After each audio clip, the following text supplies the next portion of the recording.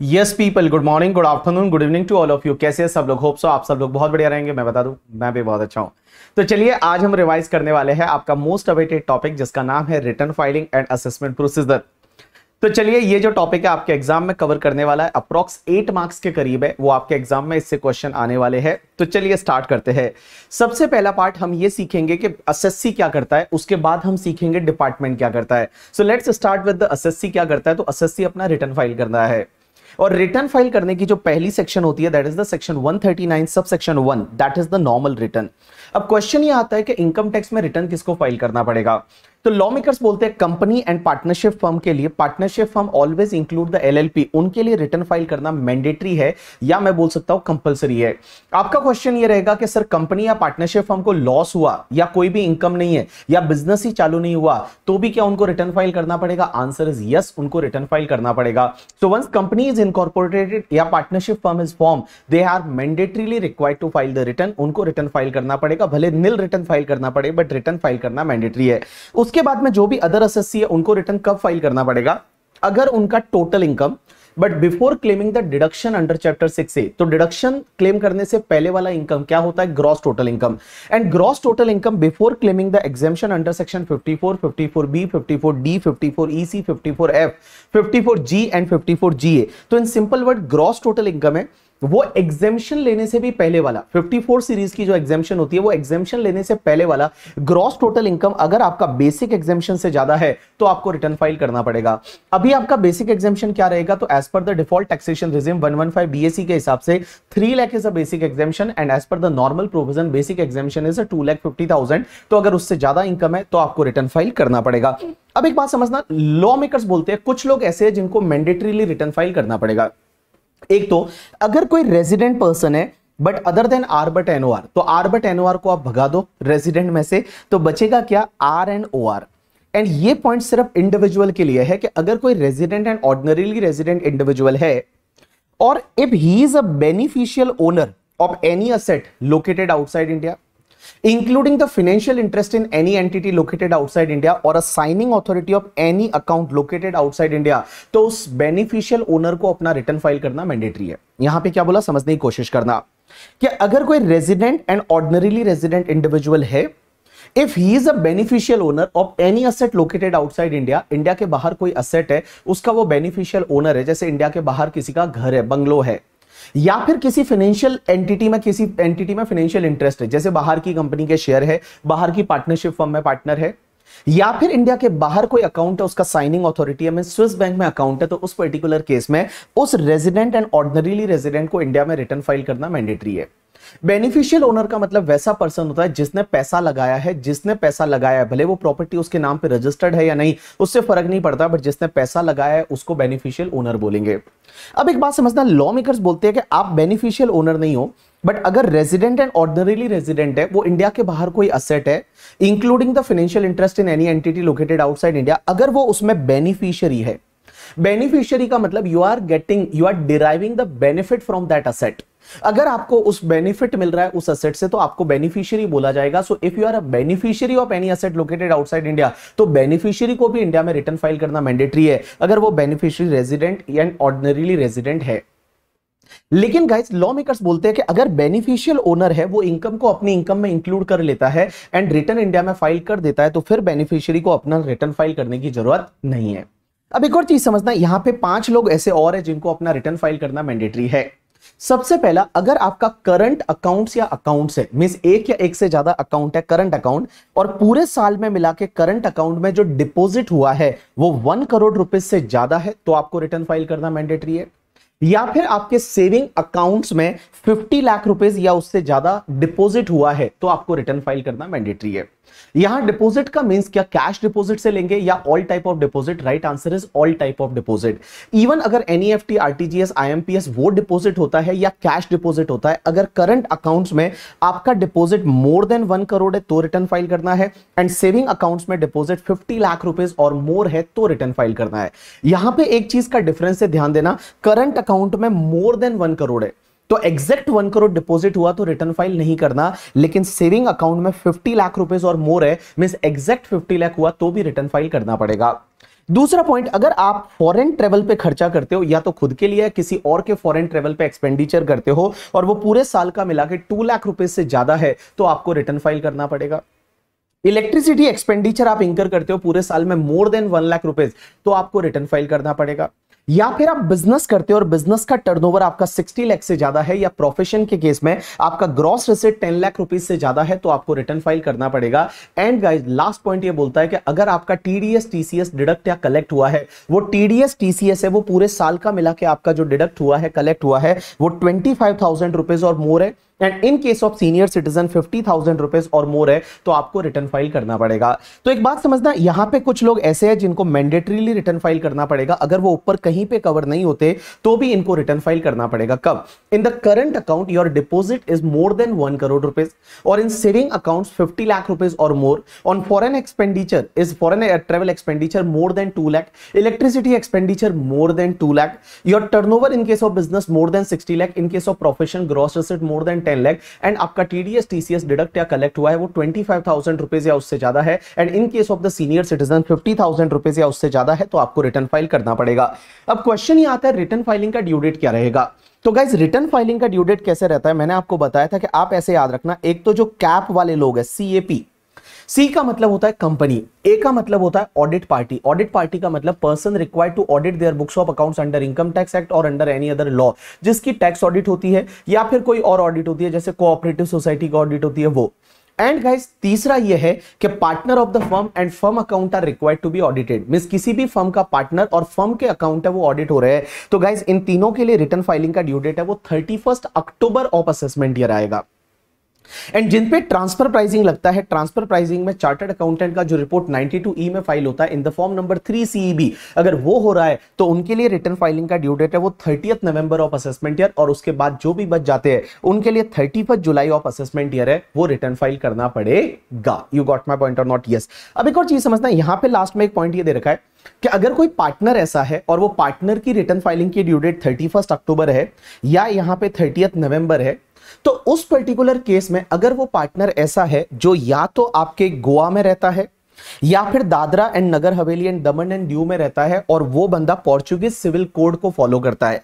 वो Portuguese civil code को follow करता है तो उस पर्टिकुलर केस में उसकी स्पाउस क्योंकि पोर्चुगीज सिविल कोड जो लगता है, उसमें हमारे इनकम टैक्स में एक सेक्शन डाल रखी है फाइव ए और फाइव ए क्या बोलती है कि जो भी इनकम होगी ना, वो हस्बैंड और वाइफ की इनकम है, वो इक्वली डिवाइड होगी दोनों में। और दोनों में इक्वली डिवाइड होगी अदर देन सैलरी इनकम तो अब एक बात समझना, जब उसका ड्यू डेट है, वो थर्टी फ़र्स्ट अक्टूबर या थर्टी नवंबर है तो उसके स्पाउस का ड्यू डेट है, वो भी थर्टी अक्टूबर या थर्टी नवंबर आ जाएगा। चलिए, उसके बाद एक सेक्शन आती है 139 1 सी 139 1 सी ये बोलती है कि हमारी सेंट्रल गवर्नमेंट के पास ये पावर है कि सेंट्रल गवर्नमेंट चाहे तो कुछ लोगों को रिटर्न फ़ाइल करने से एग्जेम्प्ट कर सकती है, कि इनको रिटर्न फ़ाइल करने की ज़रूरत नहीं है। क्वेश्चन ये आता है कि सेंट्रल गवर्नमेंट ने कुछ लोगों को रिटर्न फ़ाइल करने से एग्जेम्प्ट कर रखा है? कि आंसर इज़ यस यहाँ सेंट्रल गवर्नमेंट ने कुछ लोगों को रिटर्न फ़ाइल करने से एग्जेम्प्ट कर रखा है कि इनको रिटर्न फ़ाइल करने की ज़रूरत नहीं किसको? सबसे पहला, अगर कोई नॉन रेजिडेंट या फॉरेन कंपनी है जिसने पैसा लगाया है इन्वेस्टमेंट फंड जो कि आईएफएससी में लोकेटेड है इन्वेस्टमेंट फंड मीन आपका जो होता है alternate investment fund category one या कैटेगरी टू वाला और इन्वेस्टमेंट फंड जो है वो कहाँ लोकेटेड है? आईएफएससी में लोकेटेड है। और इन्वेस्टमेंट फंड ने जब इस नॉन रेजिडेंट फॉरेन कंपनी को कोई भी इनकम पे किया, उस इनकम पे ऑलरेडी टीडीएस काट लिया है अंडर सेक्शन 194 एलबीबी एंड वो टीडीएस काट के गवर्नमेंट को जमा करा दिया है तो उस पर्टिकुलर केस में इस नॉन रेजिडेंट फॉरेन कंपनी को अपना रिटर्न फ़ाइल करने की ज़रूरत नहीं है। इस नॉन रेजिडेंट फॉरेन कंपनी को अपना रिटर्न फ़ाइल करने की ज़रूरत नहीं है। तो देखो नॉन रेजिडेंट फॉरेन कंपनी ने क्या किया? आईएफएससी जो है गिफ्ट सिटी गांधीनगर, गुजरात में, वहाँ पे कोई इन्वेस्टमेंट फंड है, उसमें इन्वेस्ट किया है और इन्वेस्टमेंट फंड ने जो इनकम दिया, उस पर ऑलरेडी पूरा टीडीएस रेट इन फोर्स की रेट से काट चुके हैं। तो उस पर्टिकुलर केस में उस नॉन रेजिडेंट फॉरेन कंपनी को इंडिया में रिटर्न फ़ाइल करने की ज़रूरत नहीं। आगे जाके मैं बताऊँगा, उसको पेन नंबर लेने की भी ज़रूरत नहीं है। उसके बाद में एक और पॉइंट ये बोलता है कि अगर कोई नॉन रेजिडेंट फॉरेन कंपनी है, जिसको इनकम मिलता है सिर्फ़ स्पेसिफाइड फंड से। ये स्पेसिफाइड फंड क्या होता है? ये नॉन रेजिडेंट टैक्सेशन में आपको सेक्शन टेन फोर डी में आपको समझ में आएगा एंड उस पर पेन कार्ड लेने की भी ज़रूरत नहीं है। तो उस नॉन रेजिडेंट फॉरन कंपनी को इंडिया में रिटर्न फ़ाइल करने की ज़रूरत नहीं है। एंड लास्ट पार्ट अगर कोई नॉन रेजिडेंट है जो कि फॉरन इन्वेस्टर है वो क्या करता है? आईएफएससी में लोकेटेड रिकॉग्नाइज स्टॉक एक्सचेंज है। आपके गिफ्ट सिटी जो गांधीनगर में है, वहाँ पे रिकॉग्नाइज स्टॉक एक्सचेंज है और रिकॉग्नाइज स्टॉक एक्सचेंज में वो क्या करता है? कोई ऐसी सिक्योरिटी ट्रांसफ़र करता है जो section 47 clause number 7 A B में दे रखी है। और ये 47 क्लॉज नंबर 7 ए बी अगर आप देखोगे तो ये आपके कैपिटल गेन में दे रखा है और कैपिटल गेन में ये बोला हुआ है कि भैया, अगर वो नॉन रेजिडेंट है, वो आईएफएससी में लोकेटेड रिकॉग्नाइज स्टॉक एक्सचेंज में ये सिक्योरिटी ट्रांसफ़र करता है। या तो GDR of the Indian company है that is a global depository या फिर rupee denominated bonds of Indian company है डेरिवेटिव्स है। अगर वो ऐसी सिक्योरिटी ट्रांसफ़र करता है करके, ठीक है बुलियन वाला एक और है तो उसमें बहुत सारी लिस्ट है, लंबी म्यूचुअल फंड की यूनिट्स वगैरह, कि ये अगर आप आईएफएससी में रिकॉग्नाइज स्टॉक एक्सचेंज में ट्रांसफ़र करते हो तो आपको कैपिटल गेन नहीं लगेगा। तो जब कैपिटल गेन ही नहीं लग रहा तो उस पर्टिकुलर केस में उसको अपना रिटर्न फ़ाइल करने की भी ज़रूरत नहीं है। उसमें कंडीशन है कि उसको कंसिडरेशन रिसिव्ड होना चाहिए by any mode other like consideration received होना चाहिए in the foreign currency only यहाँ पे जो कंसिडरेशन है, वो फॉरेन करेंसी में ही रिसिव्ड होना चाहिए। चलिए, उसके बाद अभी ये वाला जो पॉइंट आपको था ना, ये अगर आपको ज़्यादा समझ में अभी नहीं आया तो भी चलेगा। चलिए, आगे चलते हैं सेक्शन 139 थ्री पे that is the loss return अब क्वेश्चन यहाँ बताता है कि, सर, एक बात बताइए, अगर किसी एसएससी को लॉस हो गया तो क्या लॉस के केस में भी रिटर्न फ़ाइल करना पड़ेगा? आंसर इज़ यस आपको बिल्कुल करना पड़ेगा। क्यों? क्योंकि एक सेक्शन होती है 80 और सेक्शन 80 टांग अड़ाती है। सेक्शन 80 ये बोलती है कि अगर आपको लॉस होता है under the head PGBP under the head capital gain या फिर ओनिंग एंड मेंटेनिंग रिसोर्सेज का। अगर आपका इन तीन एक्टिविटी से लॉस होता है तो आपको जिस ईयर में लॉस हुआ है ना, उस ईयर का रिटर्न आपको टाइम पे फ़ाइल करना पड़ेगा। Up to the due date under section 139 one में फ़ाइल करना पड़ेगा। अगर आपने नहीं किया तो वो लॉसेस को आप कैरी फॉरवर्ड नहीं कर सकते।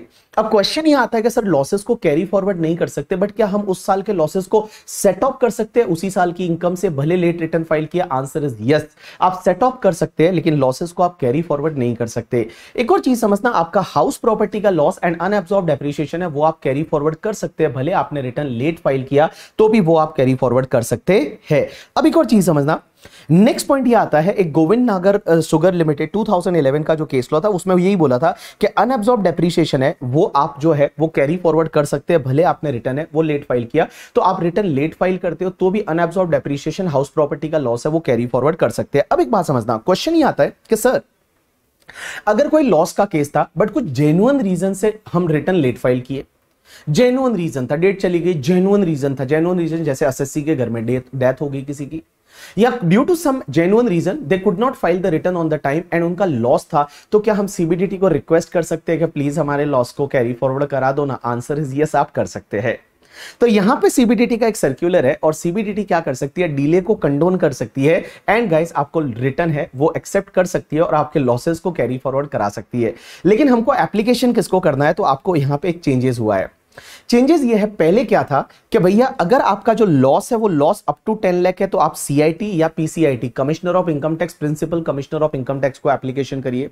If your loss is more than ten lakh up to fifty lakh तो सीसीआईटी पीसीसीआईटी को एप्लीकेशन करिए। And if your loss is more than fifty lakh तो आप सीबीडीटी को एप्लीकेशन करिए। बट गाइस यहाँ पे ये लिमिट चेंज हो गई है फ्रॉम द फ़र्स्ट जून 2023 से ये लिमिट को चेंज कर दिया है। और अब क्या है, अगर आपका रिटर्न लॉस है, वो अप टू 50 लाख है। तो आपको सीआईटी या पीसीआईटी को एप्लीकेशन करना है।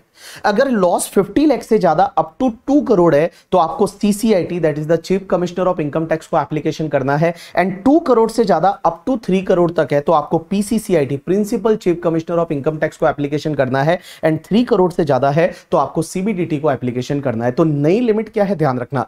अगर आपका रिटर्न लॉस है, वो return loss up to fifty lakh है तो आप सीआईटी पीसीआईटी के पास जाइए। अगर 50 लाख से लेके 2 करोड़ तक है तो आप सीसीआईटी के पास जाइए 2 करोड़ से लेके और 3 करोड़ तक है तो आप पीसीसीआईटी के पास जाइए और 3 करोड़ से भी ऊपर है तो आपको सीबीडीटी के पास जाना पड़ेगा। ये एप्लीकेशन आप कब तक कर सकते हैं? Within the six year from the end of the relevant assessment year mean जो भी असेसमेंट ईयर का लॉस था, उस असेसमेंट ईयर के एंड से छह साल के अंदर अंदर आप ये एप्लीकेशन कर सकते हैं। एंड गाइज़ अगर आपने एप्लीकेशन किया तो income tax authority will dispose that application within six month from the end of the month in which application is received जिस मंथ में उनको एप्लीकेशन रिसीव हुआ था, उस मंथ के एंड से छह महीने के अंदर अंदर वो उसको डिस्पोज ऑफ़ कर देंगे। अब एक और चीज़ समझना गाइस यहाँ पे मैं बोल रहा हूँ कि जिस ईयर में आपका लॉस होता है, उस ईयर पे रिटर्न आपको टाइम पे फ़ाइल करना पड़ेगा, तभी आप PGBP capital gain owning and maintaining resources के लॉसेस को कैरी फॉरवर्ड कर सकते हैं। अब एक बात समझना, ये जो है ना, मैं बोल रहा हूँ रिटर्न टाइम पे फ़ाइल करना है ये सिर्फ़ उसी ईयर के लिए है जिस ईयर में लॉस हुआ।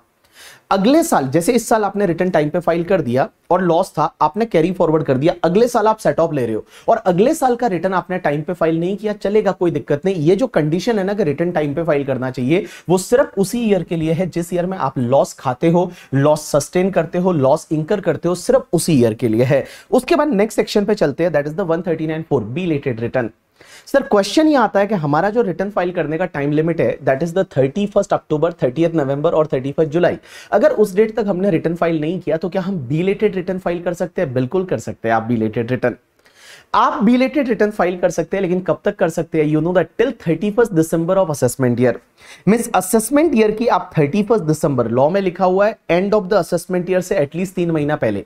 तो end of the assessment year से एटलीस्ट तीन महीना पहले mean thirty December of assessment year और before completion of assessment whichever is earlier है, तब तक आप बी लेटेड रिटर्न फ़ाइल कर सकते हैं। तो एक बात बताओ बी लेटेड रिटर्न फ़ाइल करने के लिए आपको कितना मंथ एक्स्ट्रा मिल गया? अगर आपकी ड्यू डेट थर्टी जुलाई थी तो आपके पास थर्टी जुलाई के बाद जुलाई के बाद अगस्त, सितंबर, अक्टूबर, नवंबर, दिसंबर फाइव मंथ मिल गया। अगर आपके पास थर्टी फ़र्स्ट अक्टूबर थी तो आपको दो महीना मिल गया, नवंबर एंड दिसंबर। एंड अगर आपकी नवंबर ही थी तो आपको एक ही महीना मिला that is the thirty first December. तब तक आपको बिलेटेड रिटर्न फ़ाइल कर सकते हैं। अब एक और चीज़ समझना, जब आप बिलेटेड रिटर्न फ़ाइल करते हैं ना तो उसमें कुछ नुकसान होते हैं। कुछ पाप लगते हैं आपके ऊपर। अब एक बात समझना, कुछ जो है, वो आपके ऊपर क्या क्या कॉन्सिक्वेंसेज हो सकते हैं? तो सबसे पहले तो मैंने अभी बताया कि आपका जो लॉस है PGBP capital gain owning and maintaining resources का, वो लॉस आप कैरी फॉरवर्ड नहीं कर सकते। दूसरी चीज़ ध्यान रखना, जो इनकम बेस्ड डिडक्शन होते हैं एटी आई से लेके एटी आरआरबी के, जो इनकम बेस्ड डिडक्शन होते हैं and guys ten double A का जो डिडक्शन होता है, वो आप नहीं ले सकते। Mean income based deduction eighty I से लेके एटी आरआरबी के एंड गाइस आपका जो टेन डबल ए का एस सेट का डिडक्शन है, वो नहीं ले सकते अगर आपने लेट रिटर्न फ़ाइल किया तो। उसके साथ साथ में आपको 234 ए का इंटरेस्ट लगना चालू हो जाता है 1% पर मंथ और पार्ट ऑफ़ द मंथ का as well as the 234 F का एक फ़ीस लगता है।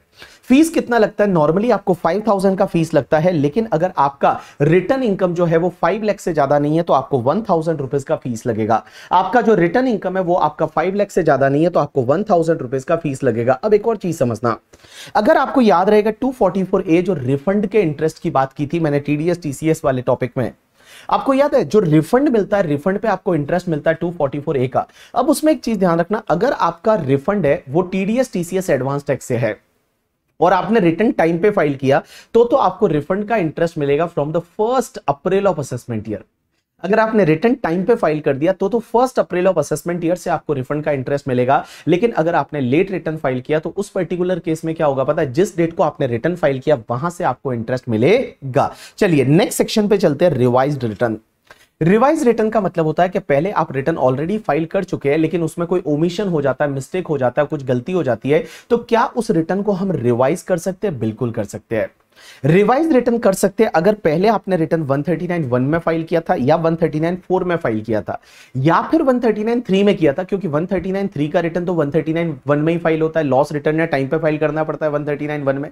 तो गाइज़ अगर आपने रिटर्न 139 वन 139 थ्री 139 फोर में फ़ाइल किया था एंड आपको कोई ओमिशन मिल जाता है मिस्टेक मिल जाता है तो आप उस रिटर्न को रिवाइज कर सकते हैं। रिवाइज करने का टाइम लिमिट है, वो वही रहेगा thirty December of assessment year और before completion of assessment whichever is earlier thirty first December of assessment year और before completion of assessment whichever is earlier अब एक और चीज़ समझना। सर हम कितनी बार रिवाइज कर सकते हैं? आपकी मर्ज़ी हो, उतनी बार रिवाइज कर सकते हैं। सुबह उठते टाइम अगर आफ्टरनून में जो लंच करने के बाद रिवाइज कर सकते हैं, अगर शाम को नींद नहीं आ रही है, तब रिवाइज कर सकते हैं, वो रिप्लाई नहीं कर रही है, तब रिवाइज कर सकते हैं। आपकी जितनी बार मर्ज़ी है, उतनी बार रिवाइज कर सकते हैं but within that time limit of the thirty December of assessment year और before completion of assessment whichever is earlier अब एक और चीज़ समझना, जब भी आप रिटर्न को रिवाइज करते हैं ना तो हर चीज़ रिवाइज रिटर्न की ली जाएगी। हर चीज़ है, वो रिवाइज रिटर्न की ली जाएगी, लेकिन date of filing of return है, वो ओरिजिनल रिटर्न की ही ली जाएगी। इसका मतलब क्या हुआ कि जैसे आपने ओरिजिनल रिटर्न टाइम पे फ़ाइल किया था और उसमें आपने इनकम बताया था लेकिन रिवाइज रिटर्न में आप लॉस बता रहे हैं। रिवाइज रिटर्न करके आप लॉस बता रहे हैं और अब आप लॉस बता रहे हैं रिवाइज रिटर्न में। तो क्वेश्चन ये आता है, ये लॉस को आप कैरी फॉरवर्ड कर सकते हैं, बिल्कुल कर सकते हैं, क्योंकि हर चीज़ रिवाइज रिटर्न की ली जाएगी, लेकिन date of filing of return है, वो ओरिजिनल रिटर्न की ली जाएगी। जो ओरिजिनल रिटर्न की डेट थी वही ली जाएगी। अब एक और चीज़ समझना क्वेश्चन ये आता है कि हमको सर इंटीमेशन आ गया। रिफंड भी मिल गया। क्या उसके बाद भी रिवाइज रिटर्न कर सकते हैं? बिल्कुल कर सकते हैं। बिकॉज़ इंटीमेशन मिलना या रिफंड मिलना that is not a completion of assessment यहाँ पे कोई असेसमेंट कंप्लीट नहीं हुआ है तो आप रिवाइज कर सकते हैं। देखो कंप्लीट असेसमेंट हो गया, जैसे स्क्रूटनी है बेड जजमेंट है इनकम एस्केपिंग असेसमेंट ऑर्डर आ गया। तो उसके बाद आप रिवाइज रिटर्न नहीं कर सकते बट अगर आपको इंटीमेशन या रिफंड मिला है, उसके बाद रिवाइज रिटर्न कर सकते हैं, बिल्कुल कर सकते हैं। अब क्वेश्चन ये आता है कि देखो, अगर आपको कोई भी फ्रेश क्लेम लेना है फ्रेश क्लेम का मतलब जो क्लेम आपने पहले नहीं लिया था, आप अगर क्लेम लेना चाहते हैं तो उस पर्टिकुलर केस में आपको रिवाइज रिटर्न ही फ़ाइल करना पड़ेगा। इस केस में क्या Orissa rural housing development authority उस इस केस में क्या हुआ कि उसने क्या किया? रिवाइज स्टेटमेंट ऑफ़ इनकम दे दिया। क्यों रिवाइज स्टेटमेंट ऑफ़ इनकम देके आप फ्रेश क्लेम ले सकते हैं? आंसर इज़ नो अगर आपको कोई भी फ्रेश क्लेम लेना है, नया खर्चा वगैरह लेना है तो you have to file the revise return आपको रिवाइज रिटर्न फ़ाइल करना पड़ेगा। चलिए, उसके बाद छह सेक्शन आती है जो सिमिलर सिमिलर है। 139 4A 4B 4C 4D and 4E 139 4A ये बोलती है कि, सर, अपना जो चैरिटेबल और रिलीजियस ट्रस्ट होते हैं, क्या उनको रिटर्न फ़ाइल करना पड़ेगा या नहीं? मैंने इसके पहले का जो रिवीजन लेक्चर ट्रस्ट टॉपिक का दे रखा है। आप सुनना, बहुत मज़ा आएगा आपको। तो एक बात समझना ट्रस्ट को अपना रिटर्न फ़ाइल करना पड़ेगा या नहीं? तो लॉ मेकर्स बोलते हैं कि, अगर ट्रस्ट का income before claiming exemption under section eleven and twelve जो 11 12 का एग्जामेशन लेते हैं ना, अपन 15 परसेंट एटी परसेंट में से applied and all corpus donation exempt हो जाता है एंड ऑल तो वो एग्जेम्पन लेने से पहले वाला income mean in simple word मैं बोल सकता हूँ ग्रॉस रिसिट ग्रॉस रिसिट अगर बेसिक एग्जेम्पन से ज़्यादा है तो ट्रस्ट है, वो ट्रस्ट को अपना रिटर्न फ़ाइल करना पड़ेगा। अगर ट्रस्ट लेट रिटर्न फ़ाइल करता है ट्रस्ट की रिटर्न फाइलिंग की ड्यू डेट थर्टी अक्टूबर हो जाएगी, क्योंकि ऑडिट होती है तो थर्टी अक्टूबर हो जाएगी। अब एक चीज़ समझना ट्रस्ट अगर लेट रिटर्न फ़ाइल करता है तो ट्रस्ट को टू थर्टी फोर एफ़ का पाँच हज़ार का पेनल्टी तो लगेगा ही लगेगा। उसके साथ में इनको एक और पेनल्टी लगता है that is two seventy two A का पेनल्टी लगता है, जो five hundred rupees per day है। तो जितना ट्रस्ट लेट रिटर्न फ़ाइल करेगा, हर दिन का उनको पाँच सौ रुपए का पेनल्टी लगेगा under section two seventy two A and guys आपको पाँच हज़ार रुपए का फ़ीस लग सकता है under section two thirty four F उसके बाद एक सेक्शन आती है पॉलिटिकल पार्टी जितनी भी है, बीजेपी, आम आदमी पार्टी, मन से, दिल से शिवसेना जितनी भी पॉलिटिकल पार्टी है तो क्या उनको अपना रिटर्न फ़ाइल करना पड़ेगा? तो इनकी इनकम एग्जेम्प्ट होती है अंडर सेक्शन थर्टीन ए तो ये एग्जेम्पन लेने से पहले वाला इनकम अगर बेसिक एग्जेम्पन से ज़्यादा है तो पॉलिटिकल पार्टीज़ को भी अपना रिटर्न फ़ाइल करना पड़ेगा। पॉलिटिकल पार्टी की भी ऑडिट होती है तो रिटर्न फाइलिंग की ड्यू डेट थर्टी अक्टूबर हो जाएगी। अगर पॉलिटिकल पार्टी ने लेट रिटर्न फ़ाइल किया तो उनको भी जो पाँच का टू एफ़ का जो फ़ीस लगता है, वो लग सकता है बट उनके लिए कोई स्पेसिफिक जैसा टू ए जैसा पेनल्टी नहीं है। चलिए, उसके बाद सेक्शन आती है 139 4C 139 4C क्या बोलती है कि कुछ ऐसी इंस्टीट्यूशन होती है सर्टेन इंस्टीट्यूशन जिनको गवर्नमेंट ने एग्जेम्पन दे रखी है अंडर सेक्शन 10 एग्जांपल के लिए जैसे हमारी आईसीआई है आईसीआई की इनकम एग्जेम्प्ट होती है। म्यूचुअल फंड की इनकम एग्जेम्प्ट होती है इंफ्रास्ट्रक्चर डेट फंड की इनकम एग्जेम्प्ट होती है बड़े बड़े हॉस्पिटल्स होते हैं मेडिकल इंस्टीट्यूशन होते हैं, उनकी इनकम एग्जेम्प्ट होती है securitisation trust venture capital company venture capital fund research association news agency trade union investment production fund या फिर fund for welfare of employ and their dependent and court settlement guarantee fund guys इनकी income exempt होती है। अब question ये आता है जब इनकी इनकम एग्ज़ाम होती है तो क्या इनको रिटर्न फ़ाइल करना पड़ेगा या नहीं? तो लॉ मेकर्स ये बोलते हैं कि ये एग्जामेशन लेने से पहले वाली इनकम इनको सेक्शन 10 में एग्जामेशन मिलती है। तो एग्जामेशन लेने से पहले वाला इनकम अगर इनका बेसिक एग्जामेशन से ज़्यादा है तो इनको भी रिटर्न फ़ाइल करना पड़ेगा। इनकी भी नॉर्मली ऑडिट होती है तो थर्टी अक्टूबर इनकी ड्यू डेट हो जाएगी। अगर ये लेट रिटर्न फ़ाइल करते हैं तो इनको एक तो टू एफ़ का फ़ीस लगेगा फाइव का एंड अलॉन्ग विद दैट यहाँ पे टू ए का पेनल्टी भी लगेगा फाइव हंड्रेड पर डे का। तो ये फाइव पर डे का पेनल्टी एक तो यहाँ पे इंस्टीट्यूट को लग रहा है और ऊपर आपका जो ट्रस्ट है, चैरिटेबल ट्रस्ट, उसको लग रहा है करके। ठीक है, चलिए, उसके बाद में एक सेक्शन आती है 139 4D 139 4D क्या बोलती है, जो scientific research association institute college universities होती है, जो कि सेक्शन 35 में अप्रूव्ड होती है। मींस आप जब डोनेशन देते हो तो आपको डिडक्शन मिलेगा, लेकिन वो अप्रूव्ड होते हैं। तो क्वेश्चन ही आता है, उनको रिटर्न फ़ाइल करना पड़ेगा। राइट आंसर इज़ उनको रिटर्न फ़ाइल करना मैंडेटरी है। या फिर जो तुम्हारे बिज़नेस ट्रस्ट होते हैं रेट और इन्वेट करके एंड आपके इन्वेस्टमेंट फंड होते हैं category one and category two वाले गाइज़ इनको अपना रिटर्न फ़ाइल करना मैंडेटरी है। तो मैंने बोला, तीन लोगों को रिटर्न फ़ाइल करना मैंडेटरी है। एक तो ऐसी कोई कॉलेज यूनिवर्सिटी एजुकेशनल इंस्टीट्यूशन जो कि सेक्शन थर्टी में अप्रूव होती है। जो मैंने वहाँ बताया था ना Rahul ICU research association institute college university and all तो वो जो है वो अप्रूव होती है तो इनको बेटा रिटर्न फ़ाइल करना मैंडेटरी है। दूसरा बिज़नेस ट्रस्ट को मैंडेटरी है एंड तीसरा ऑल्टरनेट इन्वेस्टमेंट फंड जो कैटेगरी वन एंड टू है, उनको रिटर्न फ़ाइल करना मैंडेटरी है। उसके बाद नेक्स्ट पॉइंट पे चलते हैं section one not more important section ये सेक्शन ये बोलती है कि अगर डिपार्टमेंट चाहे तो आपसे कुछ स्पेसिफिक इनकम की डिटेल भी मंगा सकता है along with the return of income जैसे आपकी इनकम एग्ज़ाम कितनी है? आपके पास कोई स्पेसिफाइड नेचर की असेट है तो उसकी डिटेल दे दो। जैसे पर्सनल असेट वगैरह मांग सकते हैं। आपकी बैंक और क्रेडिट कार्ड की detail expenditure more than specified limit है, वो भी आपसे मांग सकते हैं रिटर्न ऑफ़ इनकम के साथ में। अब एक और चीज़ समझना सेक्शन 139 सिक्स से ये बोलती है कि अगर आप बिज़नेस करते हैं तो अगर आप बिज़नेस करते हो तो बिज़नेस के केस में इनकम टैक्स डिपार्टमेंट आईटीआर के साथ कुछ चीज़ें और मंगा सकता है। एक तो आपकी टैक्स ऑडिट होती है तो टैक्स ऑडिट रिपोर्ट मंगा सकता है आईटीआर के साथ। उसके साथ साथ में आपका जो location and style of the principal place of branches है, वो मंगा सकता है। Name and address of partner member in case of form AOPBI है, वो भी मंगा सकते हैं। अब एक और चीज़ समझना, एक कॉन्सेप्ट आता है one thirty that is the defective return defective return क्या होता है कि अगर आपने कोई रिटर्न फ़ाइल किया एंड इनकम टैक्स डिपार्टमेंट को यह लगता है कि उसमें कोई डिफेक्ट है डिफेक्ट कैसे हो सकता है? या तो रिटर्न आपने प्रिस्क्राइब फॉर्म में फ़ाइल नहीं किया।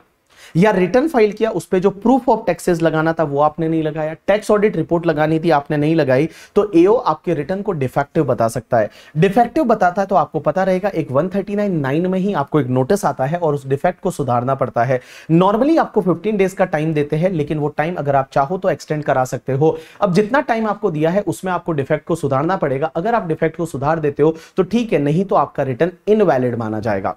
इनवैलिड का मतलब होता है जैसे आपने रिटर्न फ़ाइल किया ही नहीं है, ऐसा माना जाएगा। चलिए, आगे चलते हैं और सेक्शन आती है 139 A, that is the PAN number. Question ही आता है कि सर एक बात बताइए, पेन नंबर के लिए किस किस को अप्लाई करना पड़ता है? तो पहली चीज़ तो बड़ा सिंपल है, अगर आपकी इनकम बेसिक एग्जामेशन लिमिट से ज़्यादा हो गई, या तो three lakh basic exemption limit in case of one one five BSC otherwise two lakh fifty thousand तो आपकी बेसिक एग्जामेशन से ज़्यादा आपकी टोटल इनकम है प्रीवियस ईयर में तो आपको क्या करना पड़ेगा? Thirty first May of the relevant assessment year तक आपको पैन कार्ड के लिए अप्लाई करना पड़ेगा। तो जैसे ही previous year twenty three twenty four है, उसमें आपकी इनकम बेसिक एग्जामेशन से ज़्यादा हो गई तो असेसमेंट ईयर में टिल थर्टी फ़र्स्ट मे तक आपको क्या करना पड़ेगा? पैन कार्ड के लिए अप्लाई करना पड़ेगा। दूसरा, अगर मान लो कोई भी पर्सन ऐसा है जो बिज़नेस या प्रोफेशन करता है एंड उसका टर्नओवर या ग्रॉस रिसिट फाइव लैख से ज़्यादा हो जाए प्रीवियस ईयर में। अगर बिज़नेस या प्रोफेशन का ग्रॉस रिसिट टर्नओवर है, वो आपका फाइव लैख से ज़्यादा हो जाए तो प्रीवियस ईयर के एंड तक ही आपको पैन कार्ड के लिए अप्लाई करना है। तीसरा, जो चैरिटेबल रिलीजियस ट्रस्ट होते हैं, वो जैसे ही ट्रस्ट आपने बना दिया, उसी ईयर के एंड तक आपको क्या करना पड़ेगा? पैन कार्ड के लिए अप्लाई करना पड़ेगा। एंड उसके बाद में अगर कोई भी ऐसा रेजिडेंट पर्सन है जो इंडिविजुअल को छोड़ के mean resident company resident partnership firm be and all guys वो किसी फाइनेंशियल ट्रांजेक्शन में एंटर करते हैं और वो फाइनेंशियल ट्रांजेक्शन पूरे साल का मिला के टू लैख फिफ्टी थाउज़ेंड से ज़्यादा है तो उनको पैन कार्ड के लिए अप्लाई करना पड़ेगा till thirty first May of the assessment year and guys अगर मान लो ये रेजिडेंट पर्सन जैसे रेजिडेंट कंपनी है पार्टनरशिप फॉर्म है, वो अगर पैन कार्ड के लिए अप्लाई कर रहे हैं तो उनके जो भी डायरेक्टर रहेंगे मैनेजिंग डायरेक्टर रहेंगे पार्टनर रहेंगे, उनको भी thirty first May of the assessment year तक return sorry thirty first May तक उनको पैन कार्ड के लिए अप्लाई करना पड़ेगा। तो पैन कार्ड के लिए अप्लाई किस किस को करना है? पहला, आपकी इनकम बेसिक एग्जामेशन से ज़्यादा हो गई प्रीवियस ईयर में तो till thirty first May of assessment year तक अप्लाई करिए। अगर आपका प्रीवियस ईयर का टर्नओवर या ग्रॉस एसेट पाँच लाख से ज़्यादा है तो up to the end of the previous year आप पैन कार्ड के लिए अप्लाई करिए। अगर ट्रस्ट चैरिटेबल रिलीजियस ट्रस्ट है तो up to the end of previous year आप पैन कार्ड के लिए अप्लाई करिए। एंड अगर कोई रेजिडेंट पर्सन है, जो resident person other than individual जो फाइनेंशियल ट्रांजेक्शन में एंटर करता है, वो financial transaction two lakh fifty thousand या उससे ज़्यादा है तो till the end of the till the thirty first May of assessment year आप पैन कार्ड के लिए अप्लाई करिए। एंड उसके जो डायरेक्टर मैनेजिंग डायरेक्टर और जो उसके ट्रस्टी या उसके पार्टनर रहेंगे, उनको भी पैन कार्ड के लिए अप्लाई करना पड़ेगा till thirty first May of the assessment year अब एक चीज़ समझना। नेक्स्ट पॉइंट आता है point number six point number six ये बोलता है कि अगर मान लो आपका कोई बैंक अकाउंट है और बैंक अकाउंट में आप क्या करते हैं, पता है कैश डिपॉजिट करते हैं ट्वेंटी लाख रुपीज़ और more in a financial year या फिर आप क्या करते हैं कैश विड्रॉ करते हैं ट्वेंटी लाख रुपीज़ और more in the financial year या फिर आप करंट अकाउंट या कैश क्रेडिट अकाउंट खोलते हैं तो आपको ये ट्रांजैक्शन करने से पहले एटलीस्ट सात दिन पहले जो है, वो आपको पैन कार्ड के लिए अप्लाई करना पड़ेगा। तो देखिए, अगर आपका कोई बैंक अकाउंट है, और वो बैंक अकाउंट में आप पूरे साल में अगर ट्वेंटी लाख रुपीज़ या उससे ज़्यादा या तो कैश डिपोजिट करते हैं या कैश विड्रॉ करते हैं, या current account cash credit account खोलना चाहते हैं तो ये ट्रांजेक्शन करने से एटलीस्ट सात दिन पहले है, वो आपको पैन कार्ड के लिए अप्लाई करना पड़ेगा। चलिए, अब एक बात समझना, आपके जो पैन कार्ड होता है, वो आपको कुछ स्पेसिफाइड ट्रांजेक्शन है, उसमें आपको पैन कार्ड को लगाना पड़ेगा। सर कौन कौन से ऐसे स्पेसिफाइड ट्रांजेक्शन है? वहाँ पे पैन कार्ड को लगाना पड़ेगा। तो यहाँ पे गाइस लिस्ट दे रखी है। ये लिस्ट अगर आप पढ़ोगे तो आपको समझ में आ जाएगा। इसको एक बार रीड करके आप छोड़ दीजिएगा। इसको याद करने की ज़रूरत नहीं है at C A final level जैसे आपने कोई मोटर व्हीकल खरीदा तो मोटर व्हीकल खरीदा या बेचा other than two wheeler two wheeler को छोड़ के तो आपको वो ट्रांजेक्शन करते टाइम पैन कार्ड लगाना पड़ेगा। अगर आप कोई बैंक अकाउंट खोलते हैं, बैंक के साथ में, कोऑपरेटिव बैंक के साथ में तो आपको पैन कार्ड लगाना पड़ेगा। अगर आप कोई क्रेडिट कार्ड, डेबिट कार्ड के लिए अप्लाई करते हैं तो आपको पैन कार्ड देना पड़ेगा। अगर आप डीमेट अकाउंट खोलते हैं तो पैन कार्ड लगाना पड़ेगा। अगर आप किसी होटल, रेस्टोरेंट का कैश में बिल पचास हज़ार से ज़्यादा एट अ टाइम पे कर रहे हैं तो आपको पैन कार्ड लगाना पड़ेगा। अगर आप कोई फॉरेन करेंसी कैश में खरीद रहे हैं, पचास हज़ार से ज़्यादा का तो आपको पैन कार्ड लगाना पड़ेगा। अगर आप म्यूचुअल फंड परचेज करते हैं, या किसी कंपनी के डिबेंचर या बॉन्ड्स परचेज करते हैं, या आरबीआई के बॉन्ड्स परचेज करते हैं और वो अमाउंट फिफ्टी थाउज़ेंड से ज़्यादा है तो आपको पैन कार्ड लगाना पड़ेगा। अगर मान लो आप किसी के बैंक अकाउंट में कैश डिपॉजिट करते हैं, जो कि फिफ्टी थाउज़ेंड से ज़्यादा कैश डिपॉजिट है तो आपको पैन कार्ड लगाना पड़ेगा। एक ही दिन में फिफ्टी थाउज़ेंड से ज़्यादा का किसी के अकाउंट में भी कैश डिपॉजिट आप करने गए तो आपको पैन कार्ड लगाना पड़ेगा। अगर आप कोई भी बैंक ड्राफ्ट या पे ऑर्डर बनाते हैं और वो कैश में फिफ्टी थाउज़ेंड से ज़्यादा का बनाते हैं तो आपको पैन कार्ड लगाना पड़ेगा। अगर आप एफडी खोलते हैं एफ़ किसके साथ एफ़ कर रहे हैं पता है? या तो किसी बैंक के साथ कोऑपरेटिव बैंक के साथ पोस्ट ऑफ़िस के साथ एनबीएफसी के साथ या निधि के साथ करके, ठीक है? उसके साथ अगर आप एफडी करते हैं और एफडी का अमाउंट या तो फिफ्टी से ज़्यादा है या पूरे साल में मिला के फाइव लाख रुपए से ज़्यादा है तो आपको पैन कार्ड लगाना पड़ेगा। अगर आप कोई प्रीपेड इंस्ट्रूमेंट खरीदते हैं बैंक से प्रीपेड इंस्ट्रूमेंट मतलब प्रीपेड जो चेक होता है, प्रीपेड इंस्ट्रूमेंट होता है, वो अगर आप खरीदते हैं तो उसमें पचास हज़ार से ज़्यादा का है तो आपको पैन कार्ड लगाना पड़ेगा। अगर आप लाइफ इंश्योरेंस प्रीमियम का पे करते हैं, किसी भी इंश्योरेंस कंपनी को, और वो फिफ्टी थाउज़ेंड से ज़्यादा है इन अ प्रीवियस ईयर तो आपको पैन कार्ड लगाना पड़ेगा। आप अगर कोई भी शेयर खरीदते हैं, या कोई भी unlisted share in company unlisted share of the company खरीदते हैं मीन सेल परचेज सिक्योरिटी करते हैं या फिर कोई भी अनलिस्टेड शेयर वगैरह खरीद रहे हैं तो उस पर्टिकुलर केस में आपको खरीद बेच रहे हैं तो उसमें आपको एक लाख से ज़्यादा की वैल्यू है तो पैन कार्ड लगाना पड़ेगा। अगर आप कोई इमूवेबल प्रॉपर्टी खरीद रहे हैं या बेच रहे हैं एंड गाइज़ उसका स्टेम ड्यूटी वैल्यू या कंसिडरेशन दोनों में से एक भी अगर दस लाख से ज़्यादा है तो आपको पैन कार्ड लगाना पड़ेगा। एंड दूसरा, अगर आप कोई सेल और परचेज किसी गुड्स का कर रहे हैं या सर्विस का कर रहे हैं, और per transaction value to lakh से ज़्यादा है तो आपको पैन कार्ड लगाना पड़ेगा। तो ये वो ट्रांजेक्शन है जहाँ पे आपको पैन कार्ड लगाना पड़ता है। लेकिन एक चीज़ समझता अगर माइनर के पास में पैन कार्ड नहीं है तो चलेगा माइनर ये ट्रांजेक्शन में एंटर कर सकता है उसके पेरेंट्स का पैन कार्ड लगा के। तो जैसे मेरे बेटे के नाम पे मैंने लाइफ इंश्योरेंस पॉलिसी लिया है, उसका पैन कार्ड नहीं है तो वो माइनर क्या करेगा, अपने पापा का मतलब मेरा या मेरी वाइफ का पैन कार्ड लगा के और लाइफ इंश्योरेंस प्रीमियम का पेमेंट है, वो कर सकते हैं। अब एक और चीज़ समझना, मैंने आपको बताया था कि अगर कोई नॉन रेजिडेंट है, वो क्या करता है एआईएफ में इन्वेस्ट करता है alternate investment fund category two one या टू में, और वो आईएफएससी में लोकेटेड वगैरह है तो उस पर्टिकुलर केस में जब इनकम है, वो मिल रही है, उसको रिटर्न फ़ाइल करने की ज़रूरत नहीं तो पैन कार्ड लेने की भी ज़रूरत नहीं है। एंड नॉन रेजिडेंटेबल नॉन रेजिडेंट जो एलिजिबल इन्वेस्टर था, वो क्या करता है? आईएफएससी में लोकेटेड रिकॉग्नाइज स्टॉक एक्सचेंज में वो कुछ ऐसे सिक्योरिटी ट्रांसफ़र करता है, जो कि section 47 clause number 7 A B में दे रखी है। और उसको जो कंसिडरेशन मिल रहा है, वो फॉरेन करेंसी में मिल रहा है तो उस पर्टिकुलर केस में उसको पैन कार्ड के लिए अप्लाई करने की ज़रूरत नहीं, इसको पैन कार्ड लगाने की ज़रूरत नहीं है। अब एक और चीज़ समझना, यहाँ पे जो पॉइंट दे रखा है, इसको आप छोड़ सकते हैं। यहाँ पे इन्होंने ये बोला है कि इसके पास पैन कार्ड नहीं है बट इसको फिर क्या करना पड़ेगा?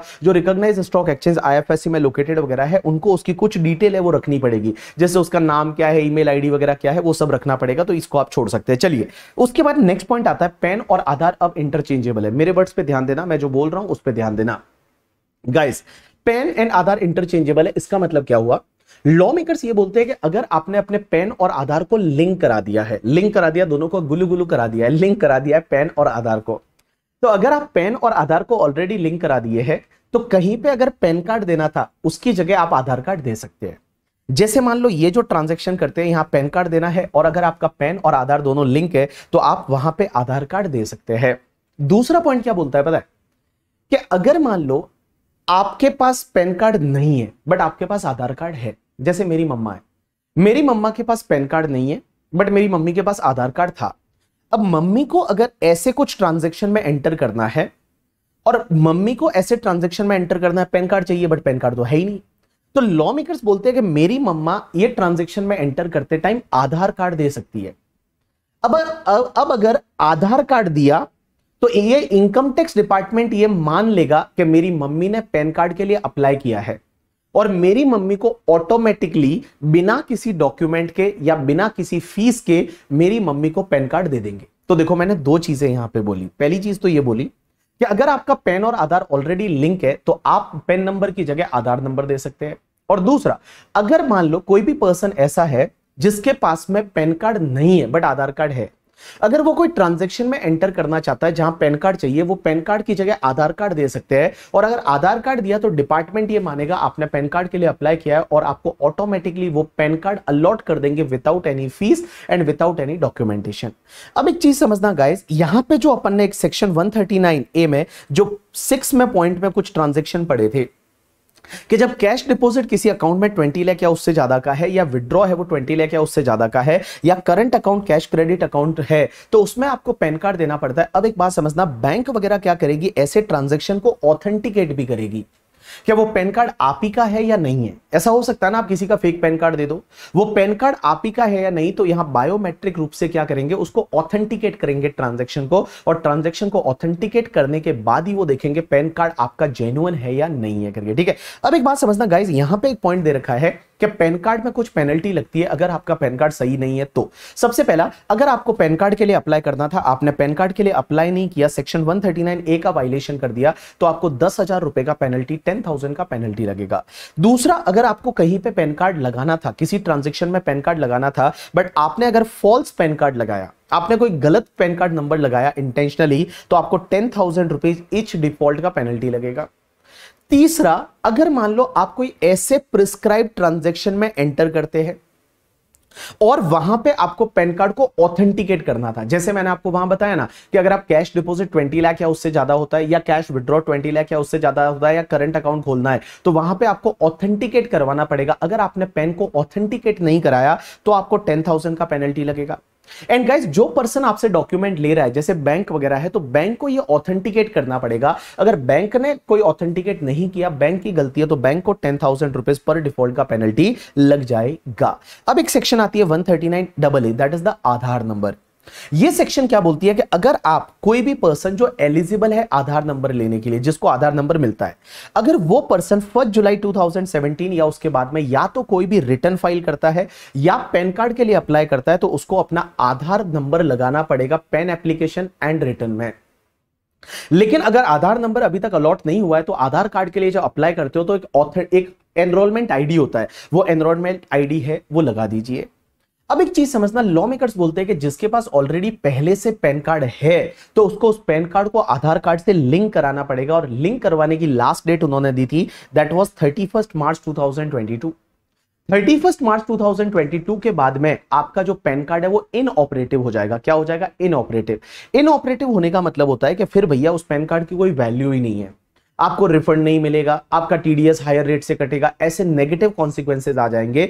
अब एक बात समझना, आपका पैन कार्ड इनऑपरेटिव हो जाएगा फ्रॉम थर्टी फ़र्स्ट मार्च 2022 के बाद में mean from first April 2022 but guys आप पे जो नेगेटिव कॉन्सिक्वेंसेज है ना, वो नेगेटिव कॉन्सिक्वेंसेज का डेट उन्होंने बढ़ा दिया था और नेगेटिव कॉन्सिक्वेंसेज का डेट है, वो फ़र्स्ट जुलाई 2023 से एप्लीकेबल हुआ है। फ़र्स्ट जुलाई 2023 से आप पे नेगेटिव कॉन्सिक्वेंसेज आने चालू हुए। उससे पहले नेगेटिव कॉन्सिक्वेंसेज नहीं थे बट अब नेगेटिव कॉन्सिक्वेंसेज आने चालू हुए। अगर आपका लिंक नहीं है तो ये माना जाएगा वो पेन इनऑपरेटिव है। बट क्वेश्चन ये आता है कि, सर, क्या अभी भी हम पेन को आधार कार्ड से लिंक नहीं कराया था? अब हम लिंक करा सकते हैं? आंसर इज़ यस जैसे ही आप लिंक कराएँगे, आपका पेन वापस से ऑपरेटिव हो जाएगा। लेकिन उसके लिए आपको 234 एच का एक फ़ीस भरना पड़ेगा। लिंक कराते टाइम वन थाउज़ेंड रुपीज़ का फ़ीस है, वो वन थाउज़ेंड का फ़ीस भरना पड़ेगा। अब एक और चीज़ समझना यहाँ पे। गाइस ये जो सेक्शन है ना, ये चार लोगों पे नहीं लगेगी। मीन चार लोग ऐसे हैं जिनके पास अगर आधार नंबर नहीं है तो ये चार लोगों पे नहीं लगेगी। पहला तो अगर कोई पर्सन जम्मू कश्मीर, मेघालय या आसाम में रहता है। दूसरा, अगर कोई पर्सन नॉन रेजिडेंट है as per the income tax act या कोई पर्सन ऐसा है जो इंडिया का सिटीजन नहीं है नॉन सिटीजन है। या कोई पर्सन ऐसा है जिसका एज 80 ईयर्स या उससे ज़्यादा हो चुका है, अरे 80 ईयर्स या उससे ज़्यादा हो चुका है तो आप अपने आप को भगवान की भक्ति में लीन कराइए, वहाँ पे लिंक कराइए, पैन और आधार वगैरह, वो सब लिंक कराने की ज़रूरत नहीं है। चलिए नेक्स्ट सेक्शन आती है 139 बी 139 बी है, जिसको अपन टीआरपी बोलते हैं टैक्स रिटर्न प्रिपेयर अब एक बात समझना, ये टैक्स रिटर्न प्रिपेयर कौन होते हैं? तो सीबीडीटी का एक स्कीम है, जिसमें क्या होता है, आपका एक छोटा सा एग्ज़ाम होता है, वो एग्ज़ाम अगर क्लियर कर लेते हो तो आपको टीआरपी बनाया जाएगा। सीबीडीटी एक डिग्री देगी टीआरपी आप लोगों की हेल्प करोगे उनके रिटर्न फ़ाइल करने के लिए।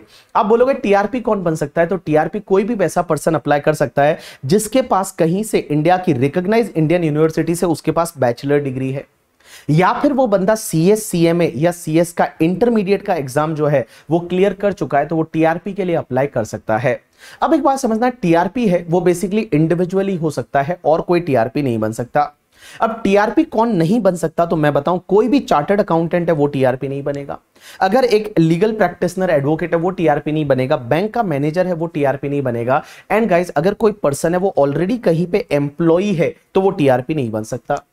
अब टीआरपी के थ्रू रिटर्न कौन फ़ाइल करा सकता है? तो कोई भी पर्सन टीआरपी के थ्रू रिटर्न फ़ाइल करा सकता है, जिसको रिटर्न फ़ाइल कराना ज़रूरी है। लेकिन गाइस दो लोग ऐसे हैं जो टीआरपी के थ्रू रिटर्न फ़ाइल नहीं करा सकते। एक तो कोई भी कंपनी है, वो टीआरपी के थ्रू रिटर्न फ़ाइल नहीं करा सकता, और दूसरा जिसकी ऑडिट होती है ऑडिट पार्टी है, वो टीआरपी के थ्रू रिटर्न फ़ाइल नहीं करा सकता। अगर आप सीबीडीटी का स्कीम जाके देखेंगे तो सीबीडीटी की स्कीम में क्लियरली लिखा हुआ है कि सिर्फ़ इंडिविजुअल एच होता है ना, वही टीआरपी के थ्रू है, वो रिटर्न फ़ाइल करा सकता है। चलिए नेक्स्ट सेक्शन आती है वन 139C 139C क्या बोलती है? एनेक्चरलेस आरओआई मीन हमारी सीबीडीटी के पास पावर है। एक बात बताइए, जो आपने खर्चे किए थे या आपने जो एटीसी का डिडक्शन ले रहे हो एटीडी का डिडक्शन ले रहे हो, क्या उसकी रिसिट आप रिटर्न के साथ में लगाते हो? आंसर इज़ नो उसकी रिसिट उसके चलांस वगैरह है, वो आपको रिटर्न के साथ में नहीं लगाने बिकॉज़ सीबीडीटी बोलती है, आप एनेक्चरलेस रिटर्न फ़ाइल करिए। मीन्स एनेक्चर आप रिटर्न फ़ाइल कर सकते हैं, लेकिन गाइस अगर मान लो, आपसे जब आपका असेसमेंट होता है और असेसमेंट के टाइम पे अगर आपसे वो डॉक्यूमेंट मंगवाए जाएँगे, तब आपको ले जाके देने पड़ेंगे या नहीं? आंसर इज़ यस जब भी सीबीडीटी है, वो आपसे बोलती है कि जब भी आपको आगे जाके अगर ये डॉक्यूमेंट मंगवाए जाते हैं तो उस पर्टिकुलर केस में आपको एओ को वो डॉक्यूमेंट देने पड़ेंगे। चलिए नेक्स्ट सेक्शन आती है 140 that is verification of return question ये आता है कि आपके रिटर्न को वेरीफाई कौन करेगा? पहले यहाँ पे साइनिंग होता था, अब यहाँ पे वेरिफिकेशन है। वेरिफिकेशन कैसे होता है? या तो आप जो है अपना आधार ओटीपी से कर सकते हो नेट बैंकिंग वगैरह से कर सकते हो तो वेरीफाई कर सकते हो। अब एक बात समझना रिटर्न को वेरीफाई कौन करेगा? तो अगर कोई इंडिविजुअल है, उसका रिटर्न वो इंडिविजुअल खुद वेरीफाई करेगा बट इंडिविजुअल अगर इंडिया में नहीं है या इंडिविजुअल जो है, वो मेंटली पॉसिबल नहीं है उसके लिए वेरीफाई करना तो कोई भी दूसरा पर्सन वेरीफाई कर सकता है उस इंडिविजुअल के बिहार पे जो कि कॉम्पिटेंट है। एक एच का रिटर्न है, वो एचयूएफ का रिटर्न करता वेरीफाई करेगा बट करता अगर इंडिया में नहीं है या करता मेंटली डिस्टर्ब है तो कोई भी मेंबर कर सकता है, लेकिन वो एडल्ट होना चाहिए। मीन माइनर नहीं हो सकता। पार्टनरशिप फर्म का रिटर्न है, वो मैनेजिंग पार्टनर करेगा वेरीफाई बट मैनेजिंग पार्टनर नहीं है तो कोई भी दूसरा एडल्ट पार्टनर है, वो कर सकता है। एल एल का रिटर्न है, वो डेजिग्नेटेड पार्टनर करेगा बट डेजिग्नेटेड पार्टनर नहीं है तो कोई भी दूसरा पार्टनर कर सकता है, या फिर any other person may be prescribe ये प्रिस्क्राइब पर्सन क्या है, मैं बताऊँगा। उसके बाद कंपनी का रिटर्न है, वो मैनेजिंग डायरेक्टर है, वो वेरीफाई करेगा बट अगर मैनेजिंग डायरेक्टर नहीं है तो उस पर्टिकुलर केस में कोई भी दूसरा डायरेक्टर कर सकता है, या एनी अदर पर्सन में भी प्रिस्क्राइब है, वो कर सकता है। अगर कंपनी लिक्विडेशन में है तो लिक्विडेटर रिटर्न को वेरीफाई करेगा। अगर कंपनी की application insolvency and bankruptcy code IBC में अगर एक्सेप्ट हुई है तो वहाँ पे जो इंसॉल्वेंसी प्रोफेशनल होता है, वो रिटर्न को वेरीफाई करेगा। एक पॉलिटिकल पार्टी का रिटर्न सीईओ करेगा, एक लोकल अथॉरिटी का रिटर्न है, वो प्रिंसिपल ऑफिसर करेगा और बाकी किसी भी पर्सन का रिटर्न है, जो पर्सन कॉम्पिटेंट टू वेरीफाई है, वो करेगा। अब एक बात समझना है, यहाँ पे ऊपर अगर आप देखोगे तो in case of the LLP and in case of the company यहाँ पे ऐसा भी लिखा हुआ था any other person may be prescribe अब ये any other person may be prescribe में क्या है? तो लॉ मेकर्स ये बोलते हैं कि अगर मान लो कोई भी कंपनी या एलएलपी है, वो मान लो एनसीएलटी में है और वो आईबीसी में है इंसॉल्वेंसी एंड बैंक करप्सी को 2016 में है एंड गाइस जो एडजुडिकेटिंग अथॉरिटी रहती है, वो एडजुडिकेटिंग अथॉरिटी ने अगर मान लो किसी भी पर्सन को अपॉइंट किया है और वो person as a interim resolution professional काम कर रहा है, या रेजोल्यूशन प्रोफेशनल काम कर रहा है, या लिक्विडेटर काम कर रहा है तो वो भी रिटर्न को वेरीफाई कर सकता है। तो in case of the company LLP अगर उसमें आईबीसी 2016 में है और एडजुडिकेटिंग अथॉरिटी ने किसी भी पर्सन को as a interim resolution professional या रेजोल्यूशन प्रोफेशनल या लिक्विडेटर अपॉइंट किया है तो वो पर्सन रिटर्न को वेरीफाई करेगा। अगर कोई रिटर्न वेरीफाई नहीं होता है तो उस रिटर्न को अपन इनवैलिड रिटर्न मानते हैं और इनवैलिड रिटर्न का मतलब होता है फिर आपने रिटर्न फ़ाइल किया ही नहीं। इनवैलिड रिटर्न का मतलब होता है कि जैसे आपने रिटर्न फ़ाइल किया ही नहीं है, वैसा माना जाता है। चलिए, उसके बाद में नेक्स्ट सेक्शन आती है 148 that is the self assessment tax ये सेक्शन ये बोलती है कि जब भी आप रिटर्न फ़ाइल करते हो ना तो रिटर्न के हिसाब से जो भी आपका इनकम आता है, उस पर जो टैक्स आता है, वो आपको पे करना पड़ेगा। मीन आपका जो भी टैक्स आता है, उसमें से आप टीडीएस टीसीएस एडवांस टैक्स वगैरह है। मैट क्रेडिट एएमटी क्रेडिट आपका 91 का रिबेट वगैरह 90 का रिबेट सब ले लीजिए। उसके बाद जितना टैक्स आता है, वो आपको पे करना पड़ेगा along with the interest and along with the fees अगर आप लेट रिटर्न फ़ाइल कर रहे हैं तो अब एक चीज़ समझना, अगर आपने शॉर्ट पेमेंट कर दिया, जितना पेमेंट करना था उतना पेमेंट नहीं किया तो हमेशा सबसे पहले एडजस्ट होगा टुवर्ड्स द फ़ीस ये माना जाएगा, पहले आपने फ़ीस पे किया है, दूसरा आपने इंटरेस्ट पे किया है एंड जो भी बचेगा वो आपके टैक्सेस के टुवर्ड्स है, वो एडजस्ट होता है। चलिए नेक्स्ट सेक्शन पे चलते हैं 139 at that is related to the updated return अब ये अपडेटेड रिटर्न की जो सेक्शन है, वो लास्ट ईयर आई थी बाय फाइनेंस एक्ट 2022 से आई थी। And guys this section is applicable from first April 2022 अब एक बात बताओ, मैंने आपको बोला था कि आप रिटर्न नॉर्मली कब तक फ़ाइल कर सकते हैं? तो जैसे आपका ये प्रीवियस ईयर है, इधर देखिए सब लोग, ये आपका प्रीवियस ईयर है फॉर एन एग्जांपल 23 24 तो प्रीवियस ईयर के एंड से आपका ये असेसमेंट ईयर होता है। तो ये असेसमेंट ईयर आपका 24 25 आया। तो असेसमेंट ईयर में आपका थर्टी दिसंबर तक आप बिलेटेड रिटर्न फ़ाइल कर सकते हैं टिल थर्टी दिसंबर 2024 अब थर्टी दिसंबर 2024 तक आप बिलेटेड रिटर्न फ़ाइल कर सकते हैं अंडर सेक्शन 139.4 लेकिन गाइस अगर ये डेट भी चली जाती है तो क्या उसके बाद भी रिटर्न फ़ाइल कर सकते हैं? आंसर इज़ यस एक कॉन्सेप्ट है अपडेटेड रिटर्न का। और अपडेटेड रिटर्न का कॉन्सेप्ट क्या बोलता है कि जैसे ही तुम्हारा असेसमेंट ईयर कंप्लीट होता है थर्टी फ़र्स्ट मार्च 2025 उसके बाद दो साल तक आप रिटर्न फ़ाइल कर सकते हैं मींस आप टिल थर्टी फ़र्स्ट मार्च 2027 तक आप अपडेटेड रिटर्न फ़ाइल कर सकते हैं। तो अपडेटेड रिटर्न का टाइम लिमिट क्या है? कि जैसे ही आपका ये, आपका ड्यू डेट चला जाता है बिलेटेड रिटर्न का भी तो उसके बाद भी आपको रिटर्न फ़ाइल करना है तो आप कर सकते हैं till 31st March 2027 means two years from the end of the relevant assessment year अब क्वेश्चन ये आता है कि सर हमने अगर मान लो पहले ऑलरेडी रिटर्न फ़ाइल कर रखा था बट फिर भी हम वापस उस रिटर्न को अपडेट करना चाहते हैं तो क्या इसमें 139 एट में अपडेटेड रिटर्न फ़ाइल कर सकते हैं? बिल्कुल कर सकते हैं। अगर आपने रिटर्न फ़ाइल किया ही नहीं था, पहला रिटर्न सीधा अपडेटेड रिटर्न फ़ाइल कर सकते हैं, क्या करना चाहते हैं, कर सकते हैं, आंसर इज़ यस बिल्कुल कर सकते हैं। लेकिन गाइस क्या होता है कि जब अपडेटेड रिटर्न फ़ाइल करते हो ना तो उसमें आपको एक्स्ट्रा इनकम बतानी पड़ती है। मीन्स अगर आपने पहले रिटर्न फ़ाइल किया ही नहीं था तो तो अपडेटेड रिटर्न में जो भी आप इनकम बताओगे, वो एक्स्ट्रा इनकम ही है। लेकिन अगर आपने पहले रिटर्न फ़ाइल किया था और उसमें जो इनकम बताई थी और अब अपडेटेड रिटर्न में आप अपनी इनकम को बढ़ा रहे हो तो जितना एक्सेस इनकम बता रहे हो that is call your excess income अब एक बात समझना जो भी आप एडिशनल इनकम बता रहे हो उस पर जो भी टैक्स आएगा अलोंग विद द इंटरेस्ट आएगा उस पर आपको लाइक like, जो टैक्स आएगा उस पर जो इंटरेस्ट है वो भी लेना है। अब एक बात समझना जो भी टैक्स है इंटरेस्ट है वो तो पे करना ही है। उसके ऊपर आपको एडिशनल टैक्स और भरना पड़ेगा। और एडिशनल टैक्स कितना भरना पड़ेगा पता है? अगर आप within one year from the end of the relevant assessment year mean assessment year के एंड से आप अगर वन ईयर के अंदर अंदर अपडेटेड रिटर्न फ़ाइल कर रहे हैं मीन आप कुल मिला के ये वाले पीरियड में कर रहे हैं तो जितना भी आपका टैक्स आता है, उसका ट्वेंटी फाइव परसेंट आपको एडिशनल पे करना पड़ेगा। एंड गाइज़ इसके बाद अगर यहाँ पे आप अगर फ़ाइल कर रहे हैं तो आपको फिफ्टी परसेंट है, वो आपको एडिशनल पे करना पड़ेगा।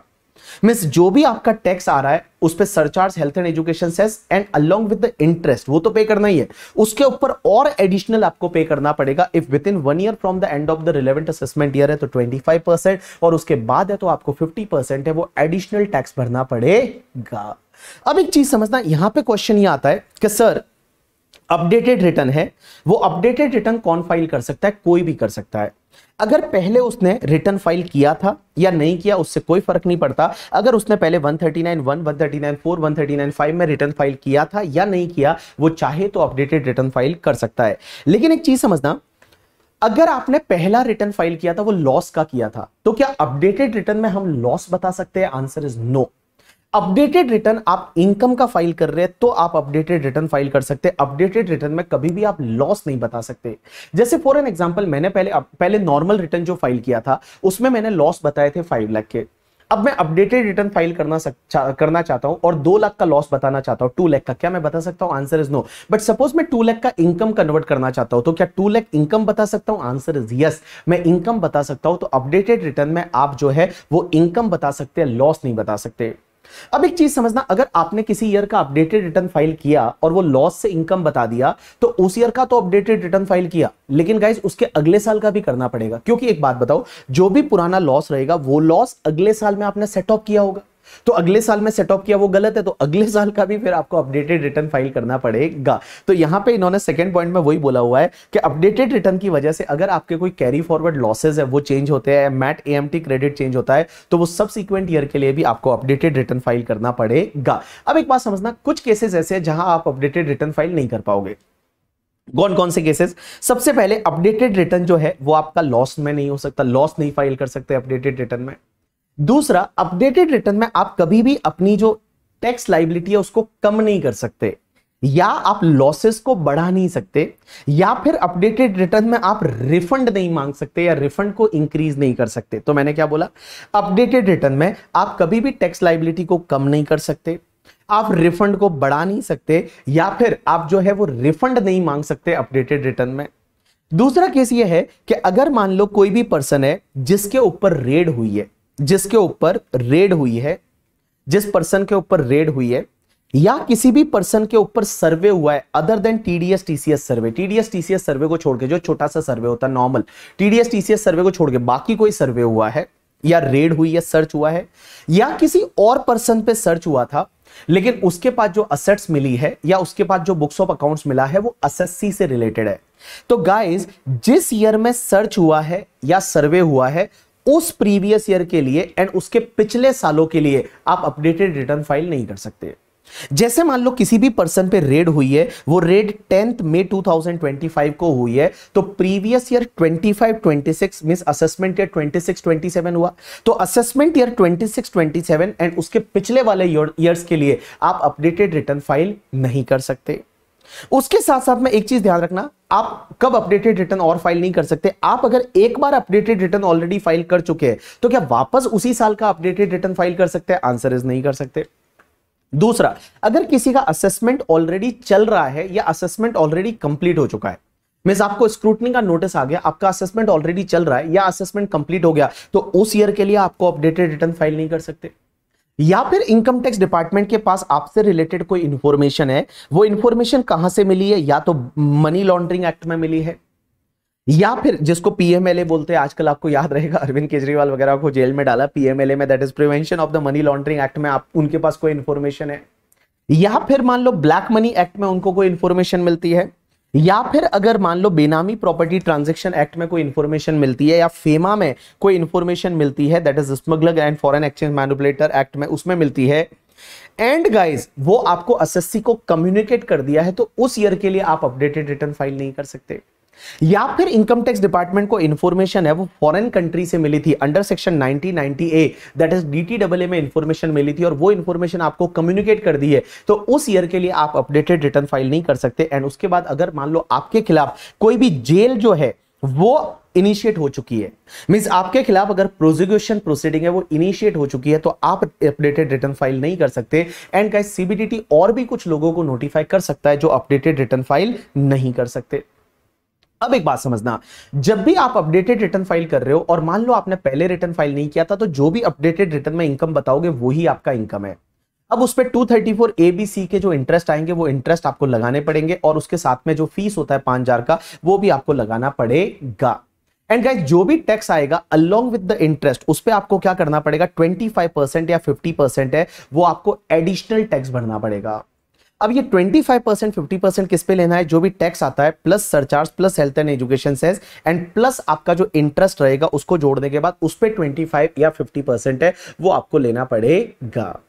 अब एक और चीज़ समझना, पहले आपने ऑलरेडी अगर रिटर्न फ़ाइल कर दिया है, अब आप रिटर्न फ़ाइल कर रहे हो तो पहले जितना इनकम बताया था फॉर एन एग्जांपल पहले आपने 10 लाख इनकम बताया था, अब आप 25 लाख बता रहे हो। तो आपको क्या करना पड़ेगा? 10 लाख पे टैक्स कितना आया था?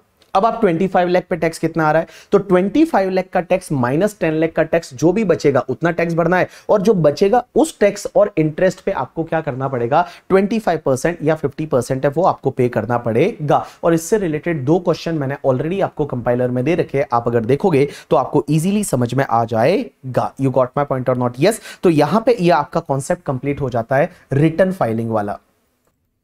नेक्स्ट पार्ट आता है कि इनकम टैक्स डिपार्टमेंट क्या होता है? तो income tax department and income tax authorities जिसको अपन बोल सकते हैं एंड उसके पावर क्या होता है, वो अपन पढ़ने वाले हैं।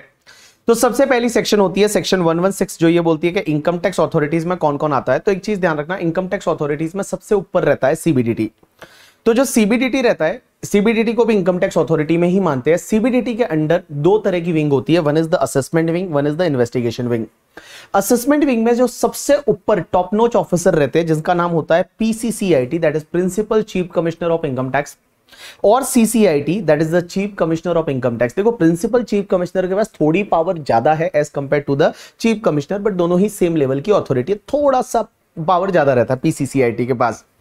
उसके बाद में उसके नीचे रहते हैं that is the principal C I T P C I T and C I T and guys उसके नीचे additional C I T and joint commissioner assistant commissioner and deputy commissioner and ITO उसके नीचे tax recovery officer and उनके नीचे होते हैं inspector of income tax तो देखिए, सबसे ऊपर PCCIT CCIT after that PCIT CIT JC ACDC ITO and TRO and inspector अब ऐसे के ऐसे इन्वेस्टिगेशन विंग में सबसे ऊपर होता है PDGIT that is principal director general of income tax वहीं पे DGIT director general of income tax वहीं पे principal DIT principal director of income tax DIT director of income tax and उसके बाद joint director assistant director and deputy director अब एक बात समझना, ये इनकम टैक्स अथॉरिटी में आते हैं, उसके साथ साथ ध्यान रखना जो सीआईटी अपील होता है। देखो, ये जो सीआईटी होता है ना, उसको बोला जाता है सीआईटी एडमिन और एक होता है सीआईटी अपील तो जो तुम्हारा सीआईटी अपील होता है, जिसको अपन commissioner of income tax appeals बोलते हैं, या जॉइंट कमिश्नर अपील होता है, वो भी इनकम टैक्स अथॉरिटी में ही आते हैं, वो भी इनकम टैक्स अथॉरिटी में आते हैं। अब क्वेश्चन ही आता है, सर, इसमें से असेसिंग ऑफिसर कौन हो सकता है? क्योंकि अपन बहुत सा, बाहर ज़िक्र करेंगे असेसिंग ऑफिसर तो असेसिंग ऑफिसर गाइज़ ये लोग हो सकते हैं एंड ये लोग हो सकते हैं। इनके अलावा कोई भी असेसिंग ऑफिसर नहीं हो सकता। तो असेसिंग ऑफिसर या तो तुम्हारा additional CIT JC ACDC and ITO या फिर तुम्हारा joint director additional director ADDD है असिस्टेंट डायरेक्टर डेप्यूटी डायरेक्टर यही लोग एओ होते हैं। इनके अलावा और कोई एओ नहीं होता। अब एक बात समझना, यहाँ पे कुछ सेक्शन दे रखी है। अब देखो, ये इनिशियल सेक्शन जो मैं आपको बता रहा हूँ, ये ज़्यादा एग्ज़ाम के लिए रिलेवेंट नहीं है। थोड़ा बहुत आपको याद रखना है। सबसे पहली एक सेक्शन होती है one one nine one one nine ये बोलती है कि सीबीडीटी के पास पावर है, कि सीबीडीटी चाहे तो अपनी जो सब ऑर्डिनेट अथॉरिटी रहती है। मतलब ये जितने भी ऑफिसर्स होते हैं, इन ऑफिसर्स को वो चाहे तो कोई भी ऑर्डर इशू कर सकती है, कोई भी सर्कुलर इशू कर सकती है, कोई भी इंस्ट्रक्शन इशू कर सकती है। एंड गाइस जो भी ये ऑर्डर रहेंगे, ये सब ऑर्डिनेट अथॉरिटी मतलब ये जितने भी ऑफिसर्स हैं, उन पे वो बाइंडिंग होते हैं। जैसा कि मैंने आपको बताया हुआ कि सर्कुलर होते हैं, वो डिपार्टमेंट पे बाइंडिंग होते हैं तो सीबीडीटी ने अगर कोई सर्कुलर ऑर्डर इंस्ट्रक्शन इशू किया है तो वो इन इनकम टैक्स अथॉरिटी के लिए बाइंडिंग रहेगा। लेकिन एक चीज़ समझना सीबीडीटी दो तरह के इंस्ट्रक्शन इशू नहीं कर सकती, दो तरह के ऑर्डर इशू नहीं कर सकती। एक तो ऐसा नहीं बोल सकती कि इस पर्टिकुलर एसएससी का असेसमेंट ऐसे करना है। जैसे मान लो अमित शाह का बेटा है जय शाह, कि जय शाह का असेसमेंट ऐसे करना है, वैसा नहीं बोल सकती। एंड दूसरी चीज़ ये कि कभी भी जो CIT appeal and joint commissioner appeal रहते हैं तो अपीलेट जो पावर होता है, उनका जो अपील का पावर होता है, उसमें इंटरफेयर सीबीडीटी करने जैसा कोई भी ऑर्डर इशू नहीं कर सकती। सीबीडीटी कौन से ऑर्डर वगैरह इशू कर सकती है? सीबीडीटी के पास ये पावर रहता है, जैसे आपको रिलैक्सेशन देना है रिटर्न फ़ाइल करने में, कि चलो डेट को एक्सटेंड कर दो बी रिटर्न की डेट को एक्सटेंड कर दो, वो कर सकती है। एज वेल एज किसी एसएससी का मान लो लॉस का रिटर्न है तो लॉस का रिटर्न लेट फ़ाइल किया है, उसको एक्सटेंड करना जैसा अपन ने 139.3 में पढ़ा था, वैसा सीबीडीटी कर सकती है करके, ठीक है? चलिए, अब उसमें क्वेश्चन ही आता है कि सीबीडीटी सर्कुलर इशू करके क्या लेजिस्लेटिव प्रोविज़न जो लॉ का प्रोविज़न है, उसको अमेंड कर सकती है? आंसर इज़ वो नहीं कर सकती, ऐसा एसपी गोपाल राय में यहाँ पे सुप्रीम कोर्ट ने बोला। एक और केस लॉ है मद्रास हाईकोर्ट का that is the reason power tech private limited अब एक बात समझना, एक एसएससी है चार्टेड अकाउंटेंट जो है, वो उसकी ऑडिट कर रहा था, लेकिन चार्टेड अकाउंटेंट ने ऑडिट के लास्ट डेट पे बोला कि मैं तेरी ऑडिट रिपोर्ट साइन नहीं कर सकता। क्योंकि चार्टेड अकाउंटेंट को कुछ ऑब्जर्वेशन कुछ उसमें क्या बोलते हैं, उसको क्वालिफिकेशंस थे। तो क्वालिफिकेशंस थे तो चार्टेड अकाउंटेंट ने लास्ट डे पे बोला कि मैं तेरी ऑडिट रिपोर्ट साइन नहीं कर सकता। अब हुआ क्या? बेचारा एसएससी है, वो दूसरा सीए को अपॉइंट करेगा। अब दूसरे सीए ने पहले वाले को एनओसी के लिए अप्लाई किया, पहले वाले सीए ने एनओसी दिया, उसमें बड़ा टाइम चला गया और उसकी वजह से ऑडिट लेट हुई और ऑडिट की वजह से रिटर्न लेट फ़ाइल हुआ। तो रिटर्न लेट फ़ाइल हुआ और मान लो वो टाइम लिमिट रिटर्न फ़ाइल करने का चला गया था सीबीडीटी बोलती है हम तो लाइक रिटर्न नहीं लेंगे। क्या ये जेन्युइन रीजन है या नहीं? आंसर इज़ यस ये जेन्युइन रीजन है इसमें एसएससी की कोई गलती नहीं है तो सीबीडीटी को जो डीले है उसको कंडोन करना चाहिए। एंड गाइज़ यहाँ पे जो है, वो एसएससी को अलाउ करना चाहिए लेट रिटर्न फ़ाइल करने के लिए। चलिए नेक्स्ट सेक्शन आती है 119A that is the tax payer charter tax payer charter है, कोई काम की सेक्शन नहीं है। ये सेक्शन ये बोलती है कि डिपार्टमेंट आपके लिए कमिटेड है कि आपको फेयर है। And qualities and reasonable treatment मिलेगा। आपको हमेशा ऑनेस्ट मांगना जाएगा। आपका जो मैकेनिज्म है अपील एंड रिव्यू का मैकेनिज्म आपको प्रोवाइड किया जाएगा। तो कुल मिला के ये डिपार्टमेंट आपकी कॉन्फिडेंशियलिटी रखेगा, वगैरह वगैरह चीज़ें दे रखी है गांधी जी के सिद्धांत जैसे। और आपसे ये एक्सपेक्ट करता है कि आप बड़े ऑनेस्ट रहो, आप कंप्लाइंट रहो, आप इन्फॉर्म रहो, आप कीप एक्यूरेट रिकॉर्ड रखो। आपको पता होना चाहिए आपका सी आपके बिहार पे क्या कर रहा है। आपको टाइम पे जो है वो रिस्पॉन्ड करना है और जो भी टैक्सेस वगैरह है वो आपको टाइम पे पे करने हैं। ये आपसे एक्सपेक्टेशन रहेगा, कोई काम की सेक्शन नहीं है। सेक्शन 120 है that is jurisdiction of income tax authority income tax authority का जुरिस्डिक्शन कैसे होता है? तो गाइस वो पिन कोड वाइज हो सकता है कि जैसे मान लो इस पर्टिकुलर एरिया का एओ ये रहेगा, इस एरिया का एओ ये रहेगा तो पिन कोड वाइज हो सकता है, या फिर कंपनी जैसे क्लास ऑफ़ पर्सन वाइज हो सकता है कि कंपनी जितनी भी कंपनीज़ है, उनके एओ ये है। इंडिविजुअल के एओ ये है, या फिर क्लास और क्लास ऑफ़ इनकम वाइज भी हो सकता है कि सैलरी के रिटर्न इस एओ के पास फ़ाइल होंगे, इस इनकम के रिटर्न इस एओ के फ़ाइल होंगे, या फिर क्लास ऑफ़ केसेस वाइज भी हो सकता है, जैसे सीए के लिए ये एओ डॉक्टर के लिए ए एओ ऐसा हो सकता है बट आज की डेट में बेटा पिन कोड वाइज है, वो आपका जुरिस्डिक्शन होता है। तो जयपुर के जितने भी केस है, वो जयपुर के एओ के पास होते हैं, जोधपुर के जितने केस है, वो जोधपुर के एओ के पास होते हैं। अब एक बात समझना असेसिंग ऑफिसर का जो जुरिस्डिक्शन अगर एक बार आ गया, कि एओ के पास जुरिस्डिक्शन हो गया आपके एरिया का तो एओ क्या कर सकता है। एओ का जोरिस्डिक्शन कहाँ माना जाएगा? एक तो उस पर्टिकुलर एरिया में जो भी बिज़नेस कर रहा है प्रोफेशन कर रहा है, वहाँ उसका जोरिस्डिक्शन है।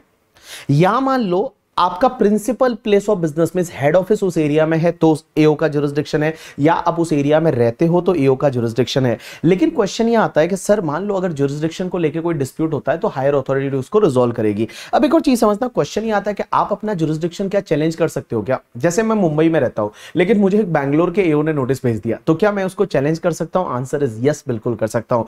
कब तक कर सकते हैं? अगर मैंने रिटर्न फ़ाइल किया था और मान लो बैंगलोर के एओ ने मुझे नोटिस भेज दिया, मैं बोलूँगा, वो एओ ही मेरा नहीं है, गलत नोटिस भेज रहा है करके, ठीक है तो क्या मैं जुरिस्डिक्शन को चैलेंज कर सकता हूँ? आंसर इज़ यस कर सकता हूँ। कब तक कर सकता हूँ?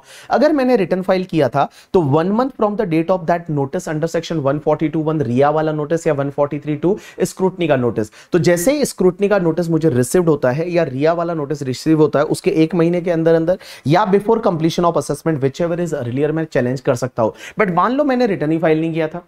और मुझे नोटिस मिलता है या तो 142 का रिया वाला रिटर्न फ़ाइल करने के लिए, या 148 का 148 का इनकम एस्केपिंग असेसमेंट के लिए, या फिर 144 का मुझे शोकोज नोटिस मिलता है। तो उसमें जितना टाइम लिमिट दे रखा है, उस टाइम के अंदर अंदर मुझे उसको चैलेंज करना पड़ेगा। चलिए, उसके बाद में एक सेक्शन आता है 127 क्वेश्चन ये आता है कि क्या डिपार्टमेंट आपका केस एक एओ से दूसरे एओ को ट्रांसफ़र कर सकते हैं? आंसर इज़ यस कर सकते हैं। आपको अपॉर्चुनिटी ऑफ़ बीइंग हर्ड देंगे अगर एक सिटी से दूसरी सिटी में ट्रांसफ़र किया जा रहा है। जैसे मान लो मेरे केस में क्या हुआ कि पहले मेरा पैन कार्ड राजस्थान में था तो मेरे को नोटिस राजस्थान से आते थे, बट राजस्थान में जैसे ही मेरा असेसमेंट चालू हुआ, उन्होंने क्या किया, मेरा केस मुंबई में ट्रांसफ़र कर दिया। क्योंकि जितने भी मेरे जो प्रॉपर्टीज़ है, या मान लो मैं जो पढ़ाता हूँ, मैं जो काम करता हूँ, वो मुंबई से करता हूँ, मेरा घर वगैरह मुंबई में है तो उन्होंने क्या किया, पूरे मेरे केसेस को मुंबई ट्रांसफ़र कर दिया, मुंबई के एओ को ट्रांसफ़र कर दिया क्या ऐसा कर सकते हैं आंसर इज़ यस बट जब एक सिटी से दूसरी सिटी में ट्रांसफ़र कर रहे तो उनको अपॉर्चुनिटी ऑफ़ बीइंग हर्ड देना पड़ेगा। अब एक और चीज़ समझना, अगर कोई इनकम टैक्स अथॉरिटी चेंज हो जाती है सेक्शन 129 क्या बोलती है कि जैसे मान लो आपका एओ चेंज हो गया तो जब भी नया एओ आएगा, वो कहाँ से काम करना चालू करेगा? वो वहाँ से करेगा जहाँ पुराने एओ ने छोड़ा था। मतलब पुराने एओ ने जितना काम किया था, उसके बाद में जो है, वो नया एओ अपना काम करना चालू करेगा। लेकिन आप उससे बोल सकते हो कि, सर, मुझे अपॉर्चुनिटी ऑफ़ बीइंग रीहर्ड दो। वो आपसे पूछेगा, अगर आपको चाहिए। रीहर्ड का अपॉर्चुनिटी में पुराने एओ ने ऑलरेडी जो सुना था, वापस आप दूसरे वाले को एक्सप्लेन करना चाहते हो तो अपॉर्चुनिटी ऑफ़ बीइंग रीहर्ड का अपॉर्चुनिटी आपको मिलेगा। अब एक बात समझना, एक सेक्शन होती है 130 that is the faceless jurisdiction of IT authority ये जो भी मैंने आपको बताया ना पिन कोड वाइज वगैरह, आजकल क्या होता है डायनामिक जुरिस्डिक्शन होता है। जो भी आपको नोटिस आते हैं, वो दिल्ली से आते हैं, हर चीज़ है, वो दिल्ली से आती होती है। तो मैं बताऊँ, जितनी भी ये सेक्शन आपने ऊपर पढ़ी है, आज की डेट में ज़्यादा रिलेवेंट नहीं है, क्योंकि डायनामिक जुरिस्डिक्शन है और जो भी होता है, वो दिल्ली से होता है और नेशनल फेसलेस असेसमेंट सेंटर वहीं से आपको नोटिस वगैरह आते हैं, ऐसा सेक्शन 130 बोलती है। उसके बाद नेक्स्ट सेक्शन आती है 131 131 बोलती है power of income tax authority यहाँ से ध्यान देना, इसके ऊपर वाली सेक्शन पे ध्यान नहीं दोगे तो चलेगा, यहाँ से ध्यान देना। इनकम टैक्स अथॉरिटी के पास क्या क्या पावर है? तो मैं बताऊँ जो इनकम टैक्स अथॉरिटी जो भी हमने पढ़ा ना उनके पास पावर है कि आ, जो और ऐसे पावर है जो सीपीसी 1908 में 8 में 1908 में जजेस को दे रखे हैं। इनकम टैक्स अथॉरिटी कभी भी डिस्कवरी एंड इंस्पेक्शन कर सकती है। डिस्कवरी एंड इंस्पेक्शन क्या होता है? किसी भी प्लेस पे जाके और देख के आना इंस्पेक्शन करना। जैसे मैं बोलता हूँ मैंने एक घर बनाया तो क्या इनकम टैक्स अथॉरिटी आके चेक करके जा सकती है सच में घर बनाया नहीं? आंसर इज़ यस कर सकती है। या फिर किसी भी पर्सन को बुला के और उसको ओथ पे ले सकती है। किस पे ले सकती है? ओथ पे ले सकती है और आपसे बुक्स ऑफ़ अकाउंट्स भी मंगा सकती है। तो किसी भी पर्सन को ओथ पे ले सकती है। उसके बाद कंपेलिंग बुक्स ऑफ़ अकाउंट्स वो आपसे बुक्स ऑफ़ अकाउंट्स भी मंगा सकती है। And guys books of accounts है, वो अपने पास में 15 वर्किंग डेज़ के लिए रिटेन करके भी रख सकती है। एंड उसके साथ साथ में आपको समन भी इशू कर सकती है। समन का मतलब होता है, बेटा समन में अगर आपने कंप्लाई नहीं करते हो ना तो आपके ऊपर सीधा रेड हो जाता है सर्च हो जाता है। तो देखिए, मैंने यहाँ पे चार पावर बोले। यहाँ पे जो ये कंपेलिंग बुक्स ऑफ़ अकाउंट्स है ना, इसको आप अगला पॉइंट है, वो मान सकते हो दिस इज़ यहाँ पे स्पेस आना चाहिए था। तो देखिए, मैंने क्या बोला, चार पाँच पावर है, सबसे पहले डिस्कवरी इंस्पेक्शन कर सकती है, किसी भी पर्सन को बुला के उसको ओथ पे ले सकती है, उसके बाद में किसी भी पर्सन से बुक्स ऑफ़ अकाउंट्स मंगा सकती है एंड 15 वर्किंग डेज़ के लिए अपने पास रिटेन करके भी रख सकती है एंड उसके साथ साथ में किसी को भी समन इशू कर सकती है कमीशन इशू कर सकती है, और समन इशू करती है तो आपको पर्सनल वहाँ पे अटेंडेंस देनी पड़ती है। चलिए, उसके बाद में एक सेक्शन होती है वन थर्टी क्या बोलती है कि इनकम टैक्स अथॉरिटी के पास पावर है। कि इनकम टैक्स अथॉरिटी बैठे बैठे आपसे कोई भी इंफॉर्मेशन मंगा सकती है। वो इंफॉर्मेशन आपसे रिलेटेड है या किसी और पर्सन से रिलेटेड है, आपसे रिलेटेड इंफॉर्मेशन मंगा सकती है। एग्ज़ाम्पल के लिए मान लो क्वेश्चन ही आता है कि इनकम टैक्स डिपार्टमेंट को मेरा असेसमेंट करना था। तो मेरे से रिलेटेड इंफॉर्मेशन है, वो क्या मेरे कोटक बैंक से मंगा सकती है? आंसर इज़ यस मंगा सकती है। मेरा मतलब शेयर ब्रोकर है, मान लो जीरोदा तो उससे मेरे से रिलेटेड इंफॉर्मेशन मंगा सकते हैं आंसर इज़ यस मंगा सकते हैं। तो यहाँ पे एक चीज़ समझना ये सेक्शन में बहुत पावर है। इनकम टैक्स अथॉरिटी चाहे तो किसी भी पर्सन से इंफॉर्मेशन मंगा सकती है, किसी भी दूसरे पर्सन से रिलेटेड इंफॉर्मेशन अब एक चीज़ समझना यहाँ पे एक चीज़ ध्यान रख देना, ये इंफॉर्मेशन कोई भी इनकम टैक्स अथॉरिटी मंगा सकती है, लेकिन एक चीज़ ध्यान देना कि अगर कोई इंफॉर्मेशन मंगाई जा रही है, और जिस पर्सन से रिलेटेड है, उसका असेसमेंट अगर पेंडिंग नहीं है अगर असेसमेंट पेंडिंग नहीं है, जैसे मान लो मेरा असेसमेंट नहीं चल रहा और मेरे से रिलेटेड कोई इन्फॉर्मेशन इनकम टैक्स अथॉरिटी मंगा रही है तो उसको क्या करना पड़ेगा? सीआईटी पीसीआईटी लेवल का जो बंदा है सीआईटी पीसीआईटी डीआईटी पीडीआईटी से परमिशन लेना पड़ेगा, तभी उसका लोअर लेवल का बंदा मंगा सकता है। जैसे मान लो एओ है। एओ का मतलब आपका आईटीओ एसीडीसी है या जेसी है एडिशनल कमिश्नर है, वो अगर इंफॉर्मेशन मंगा रहे हैं और मान लो उस पर्सन से रिलेटेड मंगा रहे हैं जिसका असेसमेंट पेंडिंग नहीं है तो उसको क्या करना पड़ेगा? अपने बॉसेस से that is the CIT DIT PCIT CIT DIT PCIT या पीडीआईटी उससे प्रायर अप्रूवल लेना पड़ेगा, उसके बाद ही मंगा सकते हैं। लेकिन गाइस इन्वेस्टिगेशन वालों को किसी से अप्रूवल लेने की ज़रूरत नहीं है। जो इन्वेस्टिगेशन विंग में जो जॉइंट डायरेक्टर है या डेप्यूटी डायरेक्टर है या असिस्टेंट डायरेक्टर है, वो बिना हायर अथॉरिटी के अप्रूवल से भले आपका केस पेंडिंग नहीं है, क्योंकि वो तो इन्वेस्टिगेशन कर रहे हैं तो वो इंफॉर्मेशन मंगा सकते हैं। अब एक और चीज़ समझना, एक केस लॉ आता है that is the Kathiroor service cooperative bank का। इस बैंक को इनकम टैक्स डिपार्टमेंट ने एक सेक्शन वन का नोटिस भेजा और बोला कि आपके जो अकाउंट होल्डर है और वो अकाउंट होल्डर का हमको डिटेल दो। बैंक ने मना कर दिया। बैंक बोलती है, हम डिटेल नहीं देंगे, क्योंकि इनका असेसमेंट नहीं चल रहा। तो क्या बैंक ऐसा मना कर सकती है? आंसर इज़ नो इस 1336 में बहुत ह्यूज पावर है कि इनकम टैक्स डिपार्टमेंट चाहे तो इन्फॉर्मेशन मंगा सकता है, भले आपका असेसमेंट पेंडिंग है या असेसमेंट पेंडिंग नहीं है। नेक्स्ट सेक्शन होती है वन बी 133 बी क्या बोलती है कि इनकम टैक्स अथॉरिटी के पास ये पावर है कि वो किसी भी प्लेस पे जाके, जहाँ पे आपका बिज़नेस एंड प्रोफेशन कंडक्ट हो रहा है और during the business hours business hours का मतलब during the time when that place is open for conducting the business वहाँ जाके और इंफॉर्मेशन कलेक्ट करके आ सकते हैं।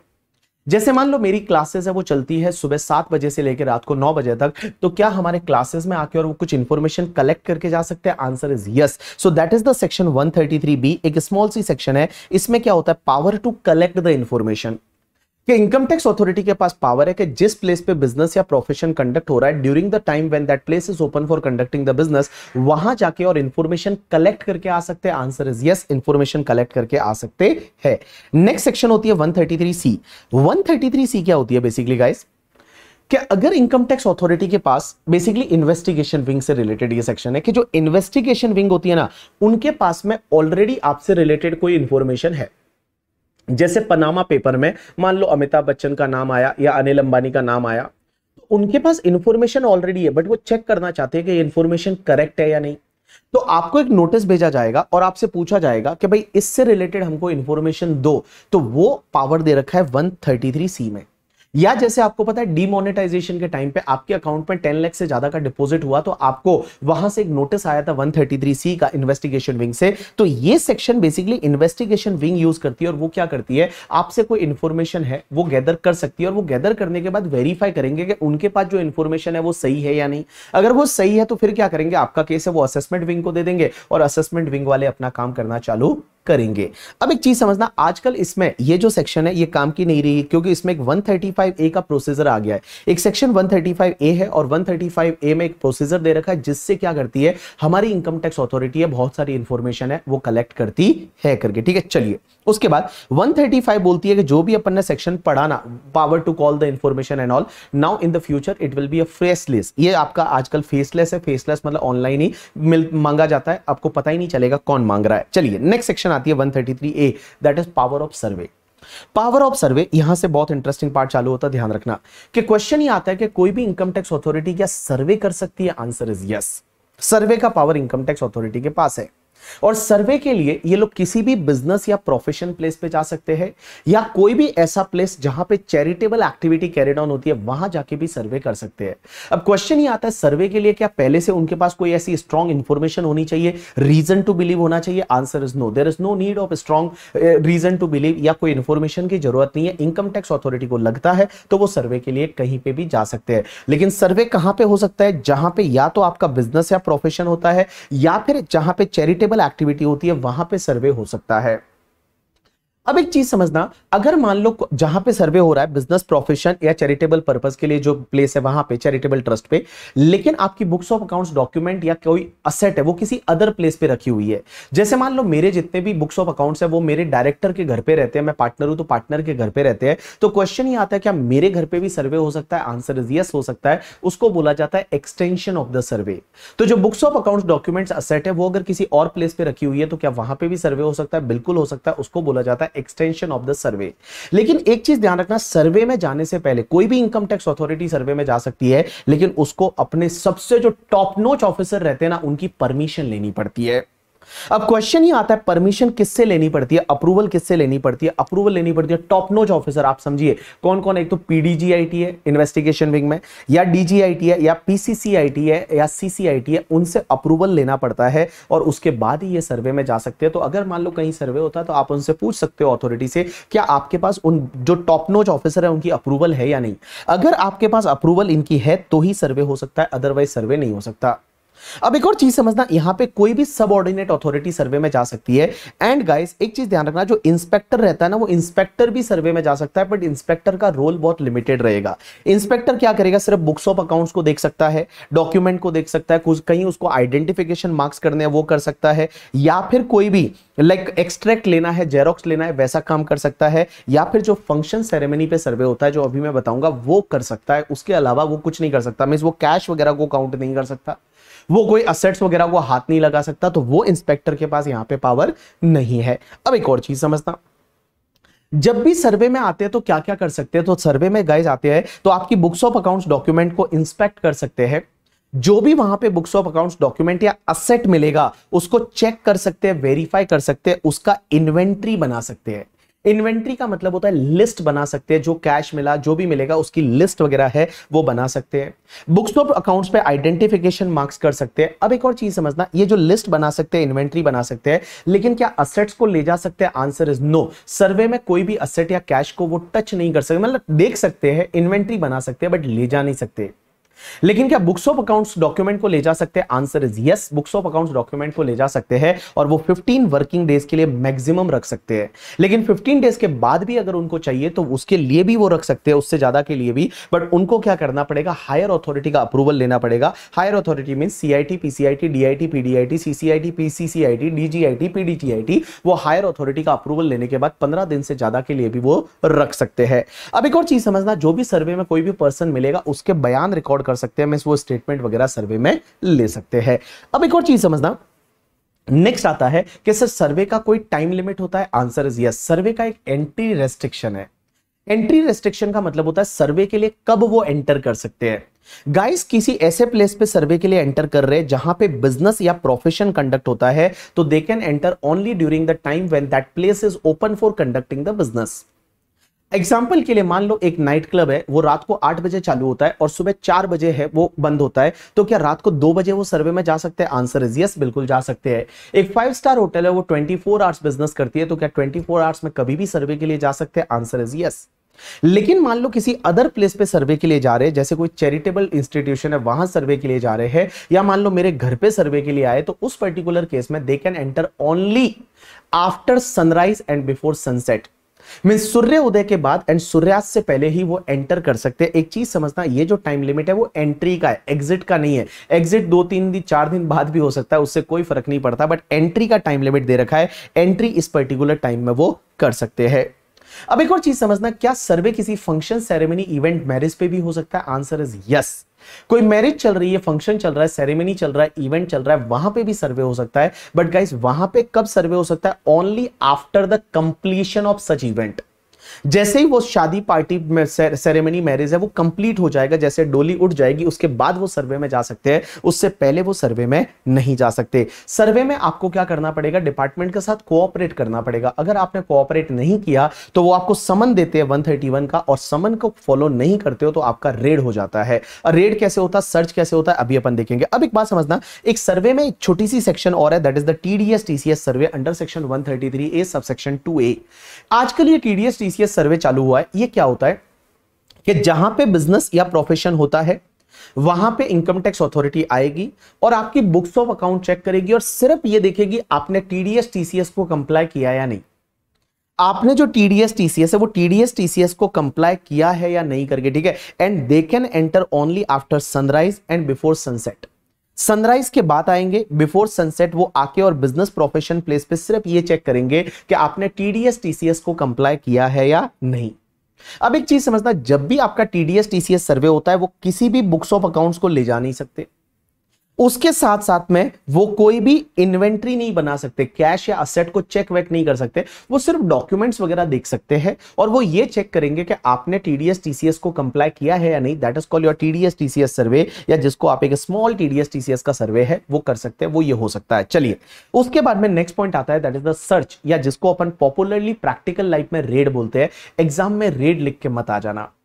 एग्ज़ाम में आप लोग सर्च एंड सीजर लिखेंगे सर्च एंड सीजर सर्च लिख सकते हैं। कभी भी एग्ज़ाम में रेड है, वो लिख के नहीं आएँगे। चलिए सेक्शन 132 बोलती है कि, सर, एक बात बताइए रेड कब हो सकती है? रेड तीन केसेस में, दो केसेस में हो सकती है। पहला, अगर मान लो इनकम टैक्स अथॉरिटी ने आपको कोई भी 142.1 का नोटिस भेजा 142.1 अभी अपन पढ़ेंगे दैट इज़ रिया वाला नोटिस या 131 का समन भेजा और आपने उसको कंप्लाई नहीं किया या फिर आपको भेजते तो आप उसको कंप्लाई नहीं करते। मीन आपको भेजा और आपने उसको कंप्लाई नहीं किया या अगर आपको भेजते तो आप उसको कंप्लाई नहीं करते। अब आप बोलोगे भेजते तो कंप्लाई नहीं करते ये कैसे पता चलेगा? आपका पा, पास्ट रिकॉर्ड ही बहुत खराब है करके ठीक है? तो अगर मान लो आपने कंप्लाई नहीं किया या नहीं करते या फिर आपकी पोजीशन में कोई ऐसा money bullion jewellery any other valuable article and things है जो आपने इनकम टैक्स में डिस्क्लोज नहीं किया या फिर डिस्क्लोज नहीं करने वाले और इनकम टैक्स डिपार्टमेंट के पास रीजन टू बिलीव है मीन इनकम टैक्स डिपार्टमेंट के पास रीजन टू बिलीव है कि आपके पास कोई money bullion jewellery any other valuable article and things है, जिसको आपने इनकम टैक्स में डिस्क्लोज नहीं किया या उसको डिस्क्लोज नहीं करोगे इन फ्यूचर में तो उस पर्टिकुलर केस में आपके ऊपर रेड हो सकती है और सर्च हो सकता है। अब एक बात समझना सर्च जिस रीजन के बेसिस पे हुआ था, उसके बाद वो रीजन जो रिकॉर्ड करेंगे इनकम टैक्स अथॉरिटी क्या वो आपको बताना पड़ेगा कि हमारे पास क्या इंफॉर्मेशन थी? आंसर इज़ नो किसी को बताने की ज़रूरत नहीं है up to the level of the ITAT जो आईटेट रहेगा आईटेट तक किसी को बताने की ज़रूरत नहीं है, लेकिन अगर हाईकोर्ट सुप्रीम कोर्ट माँगता है तो हाईकोर्ट सुप्रीम कोर्ट को बताना पड़ेगा बट आईटेट लेवल तक किसी को बताने की ज़रूरत नहीं है। अब एक बात समझना, जब भी सर्च होता है ना तो सर्च के लिए सर्च वारंट की ज़रूरत होती है। सर्च को ऑथोराइज किया जाता है क्वेश्चन ही आता है सर्च को ऑथोराइज कौन करेगा? मैं बताऊँ top notch officer top notch officer CBDT के बाद कौन होते? हैं सीबीडीटी में कौन होते? हैं सबसे ऊपर सीसीआईटी पीसीसीआईटी सीसीआईटी पीसीसीआईटी या डीजीआईटी पीडीजीआईटी ये लोग ही सर्च वारंट भेज सकते हैं या फिर सीआईटी पीसीआईटी डीआईटी पीडीआईटी ये भेज सकते हैं। अब एक बात समझना, ये जो टोटल आठ ऑफिसर हुए, वो तो सर्च वारंट भेज ही सकते हैं। लेकिन एक और चीज़ समझना, इसके जो लोअर होते हैं लोअर में कौन आएगा? या तो एडिशनल कमिश्नर या एडिशनल डायरेक्टर या जॉइंट कमिश्नर जॉइंट डायरेक्टर ये भी सर्च वारंट इशू कर सकते हैं अगर इनको सीबीडीटी ने एम्पावर किया है। अगर सीबीडीटी ने इनको एम्पावर किया है तो ये लोग भी सर्च वारंट इशू कर सकते हैं। अब एक बात समझना, जब भी सर्च होता है तो उनके पास क्या क्या पावर है? ड्यूरिंग द सर्च क्या क्या पावर है क्या क्या ड्यूरासेल है तो सबसे पहले वो किसी भी प्लेस पे, किसी भी बिल्डिंग में, किसी भी वेसल में, किसी भी एयरक्राफ्ट में वो एंटर कर सकते हैं जहाँ पे एंटर करके और वहाँ सर्च कर सकते हैं, जहाँ पे उनको सस्पेक्ट है कि यहाँ पे बुक्स ऑफ़ अकाउंट्स डॉक्यूमेंट्स या कोई असेट है, वो आपने रखा हुआ है। तो वो क्या कर सकते हैं? किसी भी बिल्डिंग किसी भी प्लेस किसी भी वेसल किसी भी व्हीकल किसी भी एयरक्राफ्ट में, जहाँ उनको सस्पेक्ट है कि यहाँ books of accounts document asset रखा हुआ है, वहाँ एंटर कर सकते हैं और उसको सर्च कर सकते हैं। उसके साथ साथ में अगर कोई भी लॉक है, कोई लॉकर है, कोई भी अलमीरा है, कोई भी बॉक्स है कंटेनर है, जिसकी चाबी अवेलेबल नहीं है तो उसको वो तोड़ सकते हैं, तोड़ने का पावर भी है। उसके बाद में अगर आपकी बुक्स ऑफ़ अकाउंट्स है, वो इलेक्ट्रॉनिक मोड में रखी हुई है तो आपसे बोला जाएगा कि उसका एक्सेस दो। आपको उसके पासवर्ड वगैरह एक्सेस वगैरह देना पड़ेगा।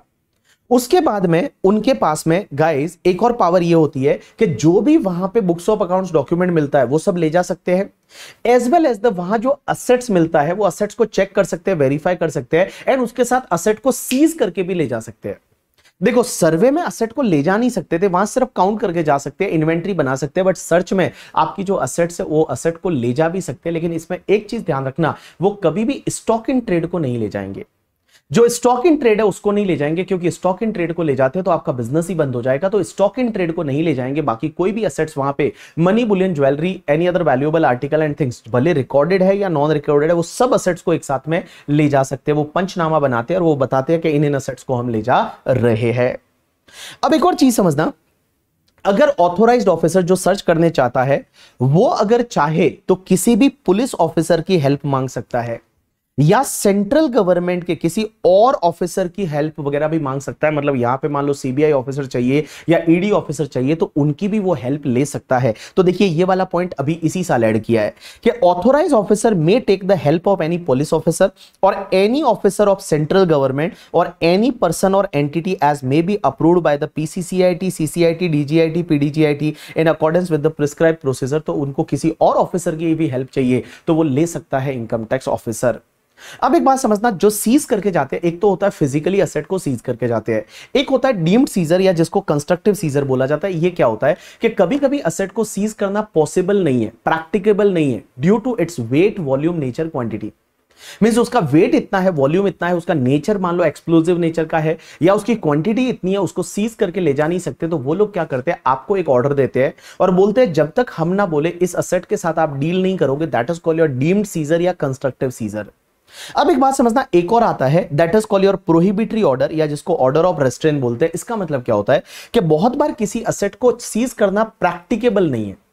और उसका रीजन जो है, वो वेट वॉल्यूम नेचर क्वांटिटी नहीं है। मिस जैसे बहुत बार क्या होता है, मान लो फॉर एन एग्जांपल आपके ऑफ़िस में रेड हुई, और आपका बॉस पे रेड हुई है बट आपके गले में गोल्ड चेन है। उसको लग रहा है बॉस को कि वो सॉरी इनकम टैक्स वालों को लगता है वो बॉस की है।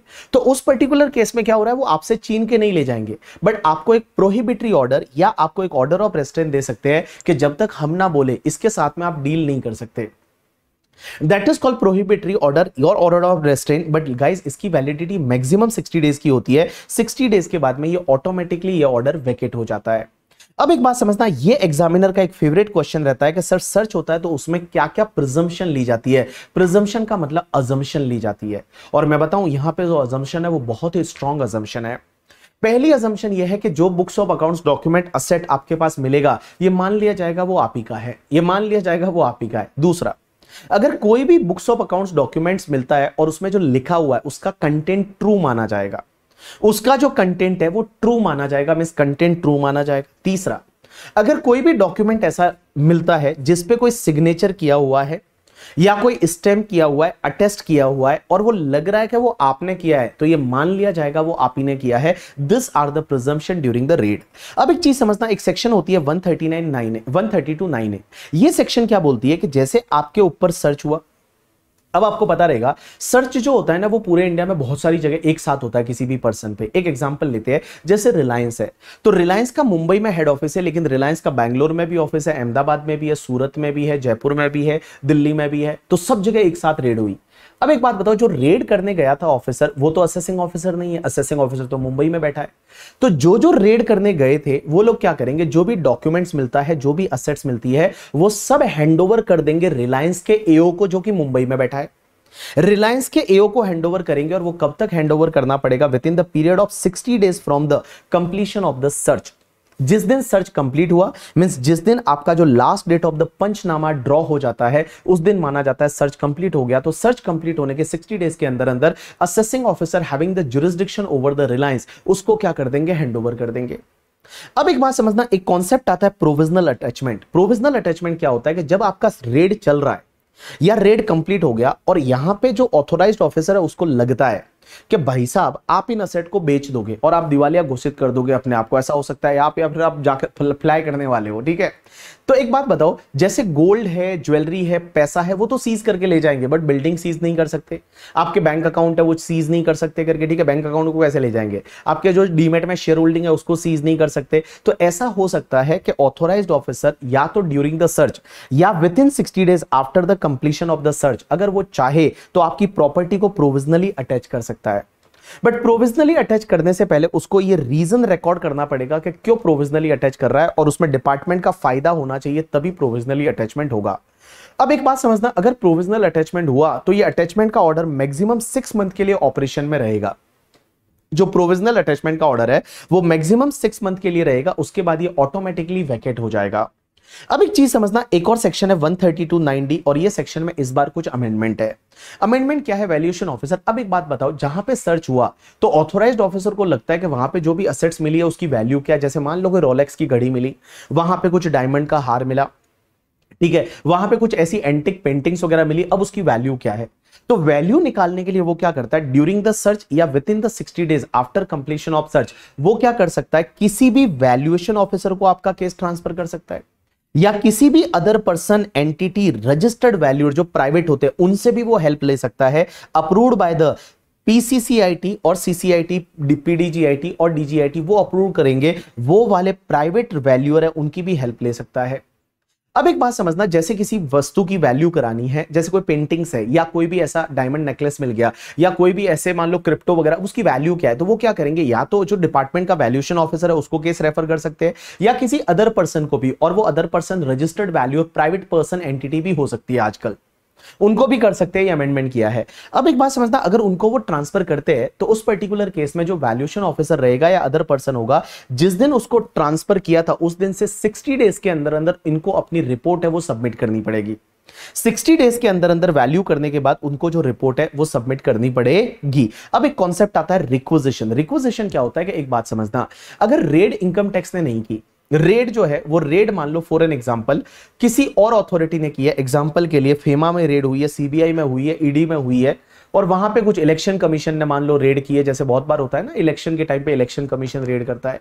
तो इसमें क्या होता है कि इनकम टैक्स अथॉरिटी जो है, वो उस अथॉरिटी को एक लेटर भेजेगी और बोलेगी कि अगर तुम्हारा काम हो गया है तो जो भी मिला है असेट्स वगैरह है, तुमने अगर इनके मज़े ले लिए है तो आप जो भी असेट्स है, या फिर जो बुक्स ऑफ़ अकाउंट्स डॉक्यूमेंट मिला है, वो हमको हैंड कर दो। तो हम उनके मज़े लेने चालू कर दे दैट इज़ कॉल्ड रिक्वेजिशन या फिर बहुत बार क्या होता है कि मान लो रेड इनकम टैक्स डिपार्टमेंट नहीं की थी, लेकिन आपकी असेट्स या आपका बुक्स ऑफ़ अकाउंट्स किसी और अथॉरिटी के पास है, जैसे जीएसटी डिपार्टमेंट के पास है तो income tax authority GST department से एक रिक्वेजिशन भेजेगी और बोलेगी कि अगर आपका काम हो गया है तो ये बुक्स ऑफ़ अकाउंट्स हमको दे दो तो हम उनका जो काम चालू कर दे that is call your requisition अब एक चीज़ समझना, जो सर्च है रेड वो कंप्लीट कब माना जाता है? तो कंप्लीट कब माना जाता है? सर्च के केस में जिस डेट को लास्ट पंचनामा ड्रॉ होता है।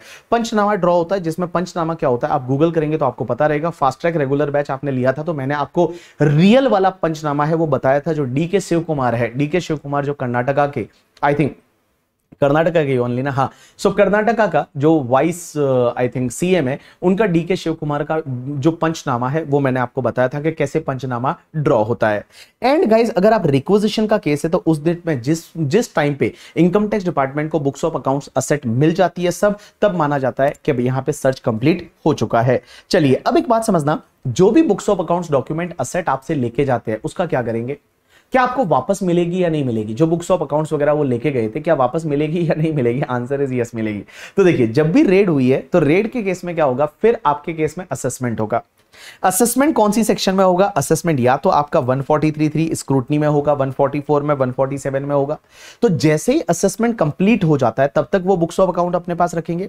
तो जैसे ही असेसमेंट कंप्लीट हो गया, वो असेसमेंट कंप्लीट होने के 30 डेज़ के अंदर अंदर आपको बुक्स ऑफ़ अकाउंट है, वो रिटर्न कर दी जाएगी। पहले अपन बुक्स की बात कर रहे हैं। तो देखो books of accounts and document आपको रिटर्न कब तक होंगे? Within thirty days from the date of completion of the assessment जो असेसमेंट कंप्लीट होगा, उसके 30 डेज़ के अंदर अंदर आपको रिटर्न रिटर्न कर दी जाएगी। बट अगर एओ को उसके बियॉन्ड भी अपने पास रखना है तो वो रख सकता है, लेकिन उसके लिए हायर अथॉरिटी की अप्रूवल लगती है।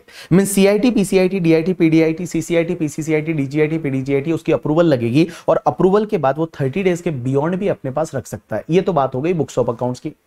लेकिन सर, एक बात बताइए, जो असेट्स लेके गए थे रेड में, उसका क्या करेंगे? असेट्स मांग सकते हैं क्या वापस? आंसर इज़ यस देखो, दो तरह की असेट होती है। एक तो होती है आपकी डिस्क्लोज असेट और एक होती है तुम्हारी अनडिस्क्लोज असेट डिस्क्लोज असेट का मतलब होता है एक्सप्लेन असेट एक्सप्लेन असेट ऐसी असेट को बोलेंगे जिसका आप एक्सप्लेनेशन दे पा रहे हो।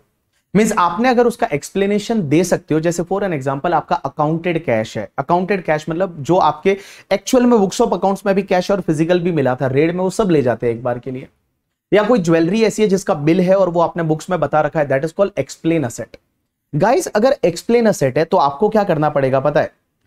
Within thirty days from the end of the month in which asset was seized जिस मंथ में असेट सीज हुआ, उस मंथ के एंड से 30 डेज़ के अंदर अंदर आपको एप्लीकेशन करना पड़ेगा अबाउट एक्सप्लेन असेट एंड आपको सोर्स बताना पड़ेगा, आपको सब बताना पड़ेगा, आपको एक्सप्लेन करना पड़ेगा कि ये असेट कैसे हमारे रिकॉर्डेड असेट है टैक्स भरी हुई, पैसे से ली हुई है। तो आपको क्या करना है? जिस मंथ में असेट सीज हुआ, उस मंथ के एंड से 30 डेज़ के अंदर अंदर आपको एप्लीकेशन करना पड़ेगा अबाउट एक्सप्लेन असेट अगर डिपार्टमेंट इसमें सेटिस्फाइड हो जाता है अबाउट एक्सप्लेन असेट तो गाइस वो एक्सप्लेन असेट को आपको रिलीज़ कर देगा। लेकिन वो रिलीज़ करेगा after adjusting the existing tax liability existing tax liability का मतलब है कि इनकम टैक्स डिपार्टमेंट ऑलरेडी आपको कोई पहले डिमांड नोटिस इशू कर चुका है।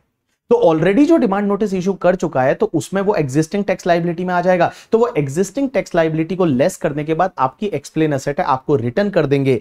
Within one days within 120 days from the date of conclusion of the search तो जैसे ही सर्च कंप्लीट हुआ था, उसके 120 डेज़ के अंदर अंदर आपको एक्सप्लेन असेट है, वो एक्सप्लेन असेट आपको रिटर्न हो जाएगी।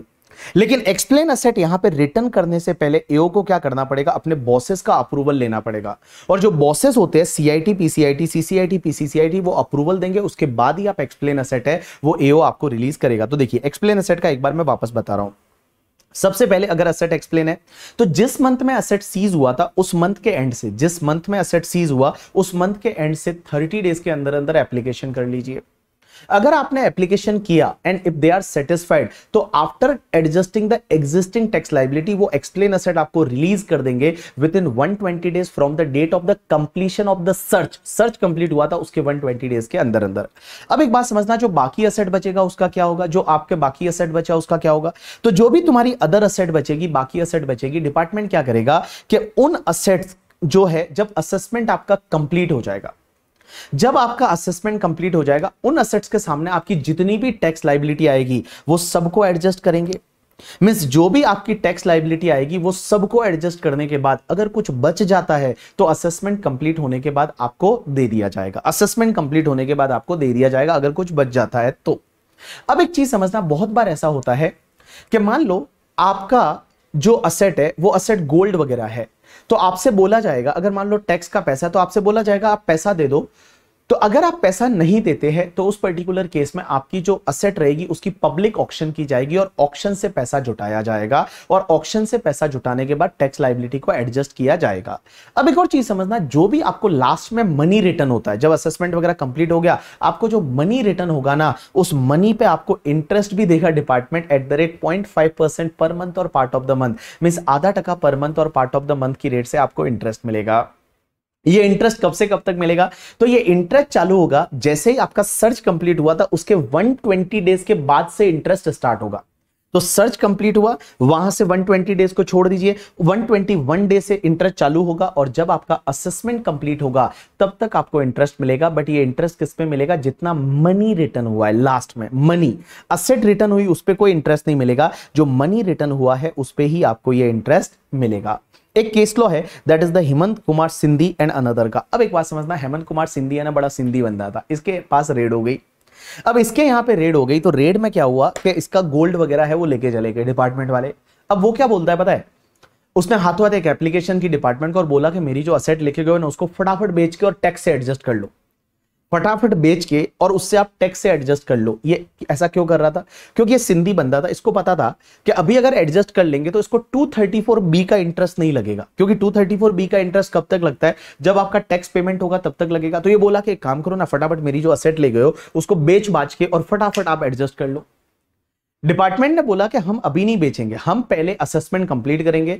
आपका लाइबिलिटी क्रिस्टली क्लियर होगा, कितना लाइबिलिटी आ रहा है, उसके बाद हम सेल ऑफ़ करेंगे। तो क्या डिपार्टमेंट सही है या हेमंत कुमार सिंधी सही है? तो अलाहाबाद हाईकोर्ट ने बोला कि डिपार्टमेंट सही है। डिपार्टमेंट को अभी बेचने की ज़रूरत नहीं है, एक बार असेसमेंट कंप्लीट हो जाएगा लाइबिलिटी सामने आ जाएगी और लाइबिलिटी जब क्रिस्टली क्लियर हो जाएगी, उसके बाद में वो असेट को बेचेंगे, उससे पहले बेचने की ज़रूरत नहीं है।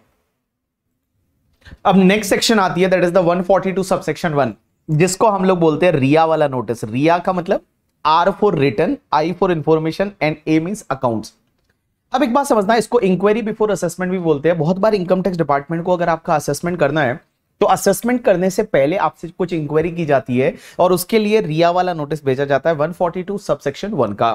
अब एक बात समझना 142 सबसेक्शन वन में दो पार्ट है। एक तो 142 subsection one clause number one and एक clause number two clause number one क्या बोलता है कि जैसे आपने कोई रिटर्न फ़ाइल नहीं किया और डिपार्टमेंट को पता लगता है कि आपको रिटर्न फ़ाइल करना चाहिए था तो वो आपको 14211 का नोटिस भेज के आपसे रिटर्न मंगा सकते हैं। आपसे बोल सकते हैं कि आपने इस साल का रिटर्न फ़ाइल नहीं किया है प्लीज़ फ़ाइल द रिटर्न दूसरा 14212 क्या होता है कि बेसिकली अगर इनकम टैक्स डिपार्टमेंट को आपसे कोई इंफॉर्मेशन चाहिए या आपके अकाउंट्स मंगाने हैं तो वो मंगा सकते हैं। अब क्वेश्चन ये आता है इन्फॉर्मेशन कौन सी मंगा सकते हैं? जो असेट एंड लाइबिलिटीज आपके बुक्स ऑफ़ अकाउंट्स में उससे रिलेटेड ही, या कोई दूसरी भी मंगा सकते हैं? Right answer is assessing officer ऐसी असेट एंड लाइबिलिटी जो आपके बुक्स ऑफ़ अकाउंट्स में नहीं है, उससे रिलेटेड भी इंफॉर्मेशन मंगा सकते हैं। लेकिन अगर वैसी इंफॉर्मेशन मंगा रहे हैं, जो assets and liabilities books of accounts में नहीं है तो उसके लिए असेसिंग ऑफिसर को ज्वाइंट कमिश्नर का अप्रूवल लेना पड़ेगा। अब देखो ज्वाइंट कमिश्नर खुद ही मंगा रहा है तो दिक्कत नहीं बट अगर आईटीओ एसीडीसी मंगा रहा है तो उसको ज्वाइंट कमिश्नर का अप्रूवल लेना पड़ेगा। आपसे बुक्स ऑफ़ अकाउंट्स मंगा सकते हैं बट बुक्स ऑफ़ अकाउंट्स कितने साल के मंगा सकते हैं? Maximum three years before the current year मतलब जिस ईयर के लिए वो असेसमेंट कर रहे हैं, उस ईयर को छोड़ के, और पिछले वाले तीन असेसमेंट ईयर से रिलेटेड आपको बुक्स ऑफ़ अकाउंट्स मंगाते हैं। एक बात समझना बेसिकली ये 142 12 का नोटिस है ना, ये कब आता है पता है? जब आपको स्क्रूटनी का नोटिस आया। अगर आपको स्क्रूटनी का नोटिस आया, या बेस्ट जजमेंट असेसमेंट या इनकम एस्केपिंग असेसमेंट का नोटिस आया असेसमेंट ऑलरेडी चालू हो गया, और उनको कुछ आपसे इंफॉर्मेशन लेनी है, या आपसे अकाउंट्स मंगाना है तो उसके साथ में ये नोटिस आता है तो 142 12 का नोटिस स्टैंड बाय नहीं आता मतलब स्टैंड अलोन नहीं आता। ये किसी ना किसी नोटिस के साथ में ही आता है। चलिए, उसके बाद एक सेक्शन आती है 142 2A और इसमें इस बार अमेंडमेंट हुआ है। And 142 2A that is related to the special audit या फिर इन्वेंट्री वैल्यूएशन ये इन्वेंट्री वैल्यूएशन कॉन्सेप्ट है, ये इसी साल से यहाँ पे ऐड किया है। अब एक बात समझना, अगर मान लो आपका असेसमेंट चल रहा था, और असेसमेंट में असेसिंग ऑफिसर को लगता है कि आपकी बुक्स ऑफ़ अकाउंट्स है, वो बुक्स ऑफ़ अकाउंट्स बड़ी कॉम्प्लेक्स है कॉम्प्लेक्सिटी इन्वॉल्व है। कॉम्प्लेक्सिटी का मतलब होता है कि हो सकता है उस बुक्स ऑफ़ अकाउंट्स में उसको करेक्टनेस को लेके थोड़ा डाउट है, या फिर बुक्स ऑफ़ अकाउंट्स का वॉल्यूम बहुत ज़्यादा है। या फिर मल्टीफिकेशन ऑफ़ द ट्रांजेक्शन है, उसको ऐसा मिल जाता है कि एक खर्चा है, उसका बिल तो एक ही है बट आपने दो तीन बार उसकी एंट्री कर रखी है। तो अगर ऐसे मल्टीफिकेशन ऑफ़ एंट्रीज मिल जाती है, या आपके बिज़नेस का नेचर ऐसा है, जब उसको लगता है कि आपका स्पेशल ऑडिट कराना चाहिए डिपार्टमेंट चाहता है कि आपका स्पेशल ऑडिट होना चाहिए तो उस पर्टिकुलर केस में क्या कर सकता है, वो स्पेशल ऑडिट करा सकता है। या फिर उसको जो इन्वेंट्री है, जो आपका स्टॉक है स्टॉक वैल्यू कराना चाहिए तो वो स्टॉक वैल्यू करा सकता है। तो असेसिंग ऑफिसर क्या कर सकता है? या तो आपको डायरेक्शन दे सकता है स्पेशल ऑडिट के लिए, या फिर इन्वेंट्री वैल्यूशन के लिए। लेकिन स्पेशल ऑडिट कौन करेगा? Special audit obviously chartered accountant करेगा एंड इन्वेंट्री वैल्यूशन कौन करेगा? जो सीएमए वाले अपने भैया लोग होते हैं, वो सीएमए वाले जो है, वो करेंगे। तो सीए का भाई सीएमए तो सीएमए है, वो करेगा इन्वेंट्री वैल्यूशन अब एक और चीज़ समझना ये डायरेक्शन देने से पहले स्पेशल ऑडिट के लिए या इन्वेंट्री वैल्यूशन के लिए, ये डायरेक्शन इशू करने से पहले, सबसे पहले उसको अपने बॉसेस का परमिशन लेना पड़ता है। मीन्स एओ परमिशन लेगा सीआईटी पीसीआईटी या सीआईटी सीसीआईटी पीसीआईटी और पीसीसीआईटी में से किसी का भी अप्रूवल लेने के बाद ही वो लोग डायरेक्शन दे सकते हैं। अब एक और चीज़ समझना डायरेक्शन देने से पहले भी एक बार अपॉर्चुनिटी ऑफ़ बीइंग हर्ड दिया जाएगा कि क्यों ना आपका स्पेशल ऑडिट कराया जाए। अब एक बात समझना स्पेशल ऑडिट कराने के लिए जो भी सीए है सीएमए है, उसको अपॉइंट कौन करेगा? तो क्या एसएससी अपॉइंट करेगा? Answer is no special audit and inventory valuation के लिए सीए और सीएमए को अपॉइंट करेंगे, वो बॉसेस करेंगे। जो सीआईटी पीसीआईटी सीसीआईटी पीसीसीआईटी है, वो अपॉइंट करेंगे, लेकिन सर उनका रेम्यूनरेशन कौन पे करेगा? रेम्यूनरेशन मोदी जी पे करेंगे मैं सेंट्रल गवर्नमेंट फंड से जाएगा। तो जो भी रेम्यूनरेशन है, वो रेम्यूनरेशन सेंट्रल गवर्नमेंट फंड से जाएगा। अब एक और चीज़ समझना, आपका ऑलरेडी पहले टैक्स ऑडिट या कोई कंपनीज़ ऑडिट में ऑडिट हो चुका है तो भी क्या स्पेशल ऑडिट करवाना मैंडेटरी आंसर इज़ यस अगर आपको स्पेशल ऑडिट के लिए डायरेक्शन मिला है तो आपको स्पेशल ऑडिट कराना ही पड़ेगा। अब स्पेशल ऑडिट की रिपोर्ट है या इन्वेंट्री वैल्यूशन की रिपोर्ट वो कब तक फ़ाइल करनी पड़ेगी? गाइज़ वो फ़ाइल करने का टाइम लिमिट जो है, वो आपको डायरेक्शन में दे रखा होगा।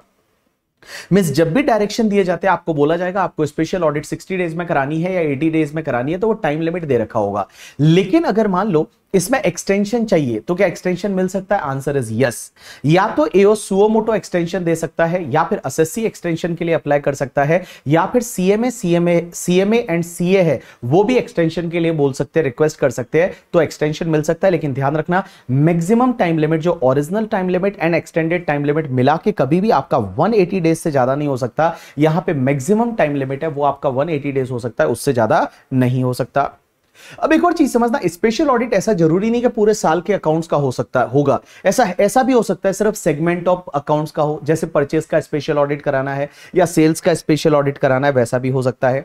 अब एक और चीज़ समझना, जब स्पेशल ऑडिट का रिपोर्ट आएगा, या इन्वेंट्री वैल्यूशन का रिपोर्ट आएगा तो उसको कंसिडर असेसमेंट में करने से पहले एक बार एसएससी को अपॉर्चुनिटी ऑफ़ बीइंग हर्ड दी जाएगी, और उसके बाद डिपार्टमेंट उसको क्या करेगा कंसिडर करेगा। अब एक चीज़ समझना, अगर स्पेशल ऑडिट या फिर आपका इन्वेंट्री वैल्यूशन में एसएससी सहयोग नहीं करता है। एसएससी कोऑपरेट नहीं करता है या एसएससी अपनी स्पेशल ऑडिट इन्वेंट्री वैल्यूशन नहीं कराता है तो गाइस आपका 144 में बेस्ट जजमेंट असेसमेंट हो जाएगा। एंड उसके साथ साथ में आपको 272 ए का टेन थाउज़ेंड रुपीज़ का पेनल्टी है, वो लगा सकते हैं। चलिए नेक्स्ट सेक्शन आती है 142 सब सेक्शन 142 ए सेक्शन का नंबर ये 142 ए ये सेक्शन बोलती है रेफरेंस टू वैल्यूएशन ऑफिसर अब एक बात समझना, अगर असेसिंग ऑफिसर आपका असेसमेंट कर रहा है, और असेसमेंट करते टाइम उसको किसी असेट का प्रॉपर्टी का या इन्वेस्टमेंट का वैल्यू निकालना है तो आपका केस वो वैल्यूएशन ऑफिसर को ट्रांसफ़र कर सकता है। अगर वैल्यूएशन ऑफिसर को रेफर किया जाता है तो वैल्यूएशन ऑफिसर क्या करेगा? उसकी वैल्यू निकाल के रिपोर्ट वापस से असेसिंग ऑफिसर को भेजेगा, लेकिन ये कब तक भेजेगा? Within six month from the end of the month in which reference was made by AO to VO तो एओ ने वीओ को जब रेफर किया, उस मंथ के एंड से छह महीने के अंदर अंदर वैल्यूशन ऑफिसर अपनी रिपोर्ट बना के और असेसिंग ऑफिसर को दे देगा। अब एक चीज़ समझना, ये जो रिपोर्ट रहेगी, क्या ये एओ पे बाइंडिंग होगी? आंसर इज़ नो एओ पे बाइंडिंग नहीं होगी एओ को अगर लगता है कंसिडर करना है तो एओ कंसिडर करेगा अदरवाइज़ उसको एओ इग्नोर भी कर सकता है। जब सब्सटेंशियल डिफरेंस होता है तो एओ कंसिडर करेगा अदरवाइज़ एओ कंसिडर नहीं करेगा। एक चीज़ ध्यान रखना आप जब ट्रांसफ़र प्राइसिंग को रिवाइज करेंगे तो वहाँ पे टीपीओ का एक रिपोर्ट ऑर्डर होता है that is transfer pricing officer का ऑर्डर वो बाइंडिंग होता है। ये बाइंडिंग नहीं है, ये जो है, ये ऑप्शनल है you can say that it is not a binding चलिए, उसके बाद सेक्शन 142 बी ये सेक्शन ये बोलती है कि जो भी आपने 142 वन पढ़ा दैट इज़ आपका दैट इज़ रिया वाला नोटिस या 142 टू ये वो भी रिया वाला हो गया। उसके बाद 142 है ये स्पेशल ऑडिट के लिए डायरेक्शन वगैरह। एक बात बताऊँ, आगे जाके ये सब फेसलेस हो जाएगा। ये सब फेसलेस होगा। आज की डेट में आपके जो असेसमेंट होते हैं, उसमें ये पूरा फेसलेस मैनर में होता है। प्रैक्टिकली आपको पता ही नहीं चलता कि यहाँ पे ये वैल्यूएशन ऑफिसर कौन है। या आपको ये पता ही नहीं चलता कि हमको स्पेशल ऑडिट के लिए डायरेक्शन किसने दिया है। वो सब पता ही नहीं चलता। तो यहाँ पे ये सब प्रोसीजर है, वो फेसलेस होता है। चलिए, आगे बढ़ते एक सेक्शन आती है 143 one that is processing of return या जिसको आप इंटीमेशन बोलते हो। आपको पता है, जितने भी आप रिटर्न फ़ाइल करते हो, या तो आपने सेक्शन 139 में रिटर्न फ़ाइल किया 139 मींस 139 1 139 3 139 4 139 5 सब आ गया 139 8 सब आ गया। 139 में रिटर्न फ़ाइल किया या 142 1 में, रिया वाला जो नोटिस था, उसके रेस्पॉन्स में आपने रिटर्न फ़ाइल किया तो गाइस वो रिटर्न आपका बैंगलोर जाता है सीपीसी और सेंट्रल प्रोसेसिंग सेंटर बैंगलोर में बता रह, बना रखा है। वो सीपीसी क्या करता है? आपके रिटर्न की प्रोसेसिंग करता है। और वो सॉफ्टवेयर के माध्यम से होती है और प्रोसेसिंग करके और आपके रिटर्न में अगर पाँच तरह की गलतियाँ हैं तो उसको सुधार देता है। पाँच तरह के चेंजेस आपके रिटर्न में होंगे। कौन कौन से? पहला तो अगर कोई अरथमेटिक एरर है तो उसको सुधार देंगे।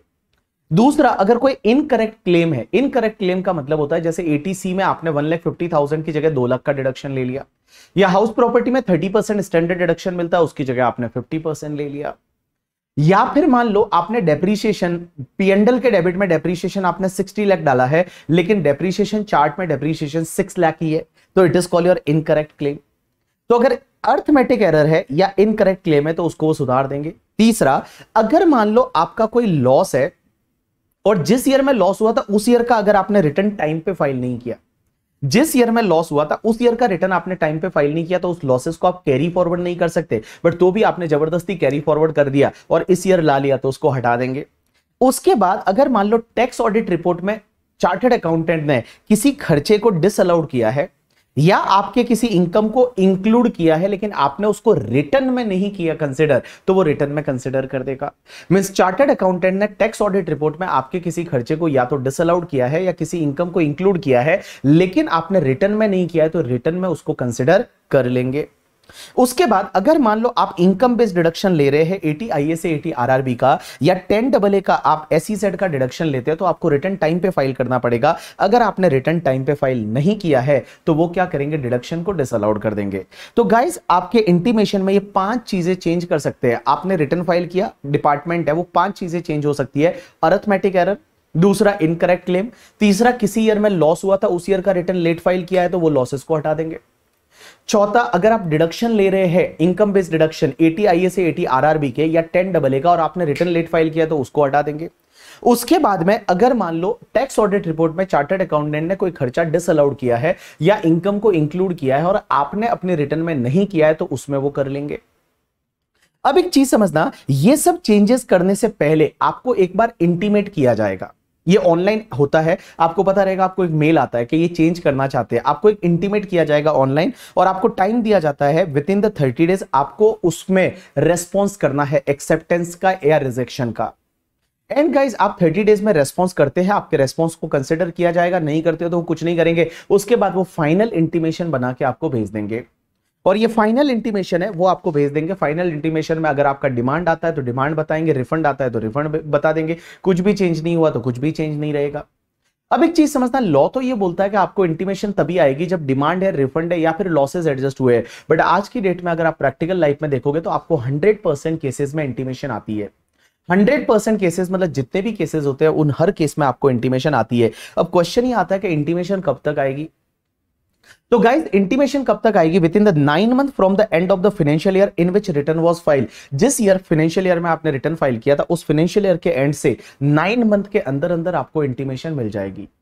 जिस फाइनेंशियल ईयर में आपने रिटर्न फ़ाइल किया था, उस फाइनेंशियल ईयर के एंड से नाइन मंथ के अंदर अंदर आपको इंटीमेशन है, वो इंटीमेशन मिल जाएगी। अब क्वेश्चन ही आता है, सर, मान लो हमको ऑलरेडी स्क्रूटनी का नोटिस आ चुका है 143.2 का तो भी क्या intimation mandatory answer is yes intimation is mandatory intimation आज की डेट में मैंडेटरी है, भले आपको नोटिस आ चुका है स्क्रूटनी का तो भी आपको इंटीमेशन है, वो इंटीमेशन आएगा। चलिए, उसके बाद अपन पहला असेसमेंट पढ़ना चालू करते हैं स्क्रूटनी असेसमेंट और स्क्रूटनी असेसमेंट होता है अंडर सेक्शन 143.3 143.3 में स्क्रूटनी असेसमेंट होता है, लेकिन उसके लिए नोटिस आता है, वो 143.2 का आता है। और 143.2 क्या बोलता है कि अगर असेसिंग ऑफिसर को या कोई भी इनकम टैक्स अथॉरिटी जो कि आईटीओ से लोअर लेवल का बंदा नहीं होना चाहिए अगर वो इंश्योर करना चाहते हैं कि भैया आपने कहीं अपनी इनकम को कम तो नहीं किया, या आपने लॉसेस को बढ़ाया तो नहीं, या आपने एक्सेसिव डिडक्शन एग्जेम्पन तो नहीं लिया तो उसके लिए वो अगर स्क्रूटनी करना चाहते हैं तो वो आपको 143.2 का नोटिस भेजेंगे। अब ये 143.2 का नोटिस आपको सर्व करवाया जाएगा, आपको मिलेगा, लेकिन ये नोटिस कब तक मिल सकता है पता है? ये नोटिस सर्व करवाया जाएगा within three month from the end of the financial year in which return was file जिस ईयर में आपने रिटर्न फ़ाइल किया था, उस फाइनेंशियल ईयर एंड होने के तीन महीने के अंदर अंदर आपको ये नोटिस सर्व हो जाएगा। जैसे मान लो फॉर एन एग्जांपल आपने लास्ट ईयर प्रीवियस ईयर 22 23 का रिटर्न अभी फ़ाइल किया। अभी मान लो, आपने previous year twenty three twenty four में रिटर्न फ़ाइल किया तो ट्वेंटी फोर का एंड होगा thirty first March two thousand twenty four तीन महीना गिनोगे तो thirty June two thousand twenty four तक है, वो आपको ये नोटिस सर्व हो जाएगा। अब जब भी आपको नोटिस सर्व हो जाता है, उसके बाद में आपसे कुछ इन्फॉर्मेशन मांगी जाती है डॉक्यूमेंट मांगे जाते हैं। आजकल तो ऑनलाइन होता है, आपको सब अपलोड करना रहता है। अब एक बात समझना जो भी आपका, आपने जो डॉक्यूमेंट दिए, जो भी उन्होंने एविडेंस गैदर किए, उसके बेसिस पे वो फिर क्या करेंगे? 143.3 में आपका असेसमेंट ऑर्डर पास करेंगे। और असेसमेंट ऑर्डर पास करके अगर आपका टैक्स पेबल आता है तो वो टैक्स पेबल निकालेंगे और अगर रिफंड आता है तो वो रिफंड निकालेंगे। अब एक चीज़ समझना, बहुत सारी ऐसी इंस्टीट्यूशन रहती है जिनको गवर्नमेंट ने एग्जामेशन दे रखी है अंडर सेक्शन टेन या 1022 बी 1023 ए 1023 बी 1023 अब एक बात समझना, ये जो ये जो एग्जामेशन रहती है ना, जैसे आईसीआई है, हमारी आईसीआई को एग्जामेशन दे रखी है 1021 में। अब एक बात समझना आईसीआई की इनकम पूरी एग्ज़ाम है, उस पर कोई भी टैक्स नहीं लगता। लेकिन गाइज़ आईसीआई को एग्जामेशन दे रखी है कुछ कंडीशन के साथ। आईसीआई को वो कंडीशन फुलफिल करनी पड़ेगी। अगर मान लो आईसीआई ने वो कंडीशन फुलफिल नहीं की तो असेसिंग ऑफिसर असेसमेंट कर रहा था और असेसमेंट करते करते एओ को लगा कि आईसीआई ने ये कंडीशन फुलफिल नहीं की। तो उस पर्टिकुलर केस में क्या वो आईसीआई का एग्जामेशन विड्रॉ कर सकता है? उसका कैंसिल कर सकता है कि एग्जामेशन मिलेगा ही नहीं? आंसर इज़ नो वो ऐसा नहीं कर सकता। अगर ऐसा कुछ भी वायलेशन है तो उसको क्या करना पड़ेगा? प्रिस्क्राइब अथॉरिटी गवर्नमेंट को लिखना पड़ेगा। एओ लिखेगा कि इन्होंने ये कंडीशन का वायलेशन किया है and he will wait for the government notification prescribe authority notification mean वो नोटिफिकेशन निकाल के अगर मान लो वो बोलते हैं इनको एग्जामेशन नहीं देना है तो एग्जामेशन नहीं देना। अगर वो बोलते हैं इनको एग्जामेशन देना है तो फिर एग्जामेशन कंटिन्यू करना पड़ेगा। अब एक और पॉइंट ये आता है। आपको पता है, मैंने आपको ट्रस्ट टॉपिक जो लास्ट वाला टॉपिक था, उसमें स्पेसिफाइड वायलेशन पढ़ाए थे। स्पेसिफाइड वायलेशन क्या होता है कि अगर ट्रस्ट की एक्टिविटी जेन्युइन नहीं है ट्रस्ट ने किसी अदर लॉ को कंप्लाई नहीं किया है। ट्रस्ट है वो स्पेसिफिक कास्ट कम्युनिटी रिलीजन के लिए काम कर रहा है। ट्रस्ट है वो प्राइवेट रिलीजियस पर्पज के लिए काम कर रहा है। तो ऐसे स्पेसिफाइड वायलेशन हुए। अब एओ क्या कर रहा था? असेसमेंट कर रहा था और एओ को असेसमेंट करते हुए लगा कि यार ट्रस्ट ने तो कुछ स्पेसिफाइड वायलेशन किए। तो एओ क्या खुद उसकी एग्जामेशन को विड्रॉ कर देगा और कैंसिल कर देगा? Registration answer is no he will ask to the CIT वो क्या करेगा? सीआईटी पीसीआईटी को एक वहाँ से रिक्वेस्ट भेजेगा और बोलेगा कि ये ये इन्होंने स्पेसिफाइड वायलेशन किए हैं। अब वो सीआईटी पीसीआईटी का ऑर्डर के लिए वेट करेगा। अगर सीआईटी पीसीआईटी उसका रजिस्ट्रेशन कैंसिल कर देते हैं तो उस केस में वो एग्जामेशन नहीं देगा। अगर वो कैंसिल नहीं करते और वो रिफ्यूज टू कैंसिलेशन का ऑर्डर पास करते हैं तो उस पर्टिकुलर केस में उनको जो एग्जामेशन है, वो कंटिन्यू रखेगा। चलिए, उसके बाद एक सेक्शन आती है 144 that is best judgment assessment या इसको अपन एक्स पार्टी असेसमेंट बोल सकते हैं। अब एक बात समझना ये असेसमेंट कब होता है जब आप डिपार्टमेंट के साथ कंप्लाई नहीं कर रहे डिपार्टमेंट के साथ कोऑपरेट नहीं कर रहे? कौन कौन से केसेस में? तो गई चार केसेस में आपका बेस्ट जजमेंट असेसमेंट हो सकता है। कौन कौन से चार केसेस सबसे पहले, अगर आपने रिटर्न फ़ाइल करना था बट आपने रिटर्न ही फ़ाइल नहीं किया अंडर सेक्शन वन वन में, या फिर आपने रिटर्न फ़ाइल नहीं किया 139 फोर में 139 फाइव में 139 एट ए में। अब एक बात समझना आपने रिटर्न फ़ाइल नहीं किया और आपका रिटर्न फ़ाइल करना बनता था तो आपका सीधा वो बैच जजमेंट असेसमेंट कर सकते हैं। या फिर आपने 142.1 का रिया का नोटिस भेजा, आपने कंप्लाई नहीं किया। या 142.2 में स्पेशल ऑडिट या वो स्टॉक वैल्यूएशन से रिलेटेड अगर रेफरेंस दिया था स्पेशल ऑडिट के लिए तो और उसने आपका कंप्लाई नहीं किया। या आपको स्क्रूटनी नोटिस भेजा था, आपने उसका कंप्लाई नहीं किया। तो चार में से कोई भी डिफ़ॉल्ट होता है डिपार्टमेंट आपका जो है वो बेस्ट जजमेंट असेसमेंट या एक्स पार्टी असेसमेंट कर सकता है। तो एक्स पार्टी असेसमेंट चार केसेस में हो सकता है। पहला आपने रिटर्न फ़ाइल नहीं किया। दूसरा, आपने 142 वन रिया का नोटिस भेजा, आपने कंप्लाई नहीं किया। आपको स्पेशल ऑडिट के लिए डायरेक्शन दिया, आपने उसका कंप्लाई नहीं किया। या स्क्रूटनी का नोटिस भेजा था, आपने उसका कंप्लाई नहीं किया तो उस पर्टिकुलर केस में आपका बेस्ट जजमेंट असेसमेंट हो सकता है। अब एक चीज़ समझना बेस्ट जजमेंट असेसमेंट करने से पहले आपको एक बार एक शोकोज नोटिस दिया जाएगा कि भाई, आपने स्क्रूटनी के नोटिस को कंप्लाई नहीं किया है, क्यों ना हम तुम्हारा बेस्ट जजमेंट असेसमेंट कर ले।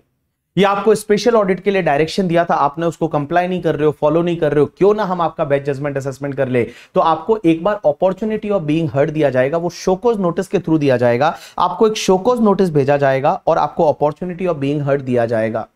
लेकिन गाइस एक केस में ये शोकोज नोटिस भेजने की ज़रूरत नहीं है। अगर आपको पहले ऑलरेडी 142 वन का नोटिस भेज चुके हैं जो 142 रिया वाला नोटिस होता है 142 वो नोटिस भेज चुके हैं तो फिर एक बार अपॉर्चुनिटी देने की ज़रूरत नहीं, क्योंकि आप ऑलरेडी डबल डिफ़ॉल्ट कर चुके हो। एक तो आपने रिटर्न फ़ाइल नहीं किया होगा, दूसरा उन्होंने 142 का नोटिस भेजा, उसका भी कंप्लाई नहीं कर रहे हो तो उस पर्टिकुलर केस में सीधा वो बैच जजमेंट असेसमेंट कर सकते हैं।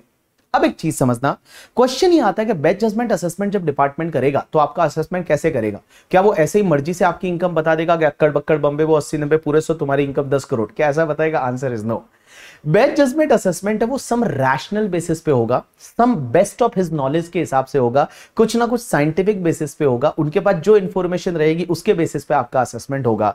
अब एक चीज़ समझना, अपन ने दो असेसमेंट पढ़े, एक तो स्क्रूटनी असेसमेंट पढ़ा, एक बेस्ट जजमेंट असेसमेंट पढ़ा। सर ये असेसमेंट कंप्लीट कब तक करने पड़ते हैं? ये असेसमेंट कंप्लीट करने पड़ते हैं within twelve month from the end of the relevant assessment year mean जैसे ही आपका असेसमेंट ईयर कंप्लीट हो जाता है, उस असेसमेंट ईयर के एंड से ट्वेल्व मंथ के अंदर अंदर आपको ये बेस्ट जजमेंट असेसमेंट डिपार्टमेंट करेगा तो बैच जजमेंट असेसमेंट कंप्लीट कब तक करेगा स्क्रूटनी असेसमेंट कंप्लीट कब तक करेगा within twelve month from the end of the relevant assessment year चलिए नेक्स्ट सेक्शन 144 ए 144 ए क्या बोलता है?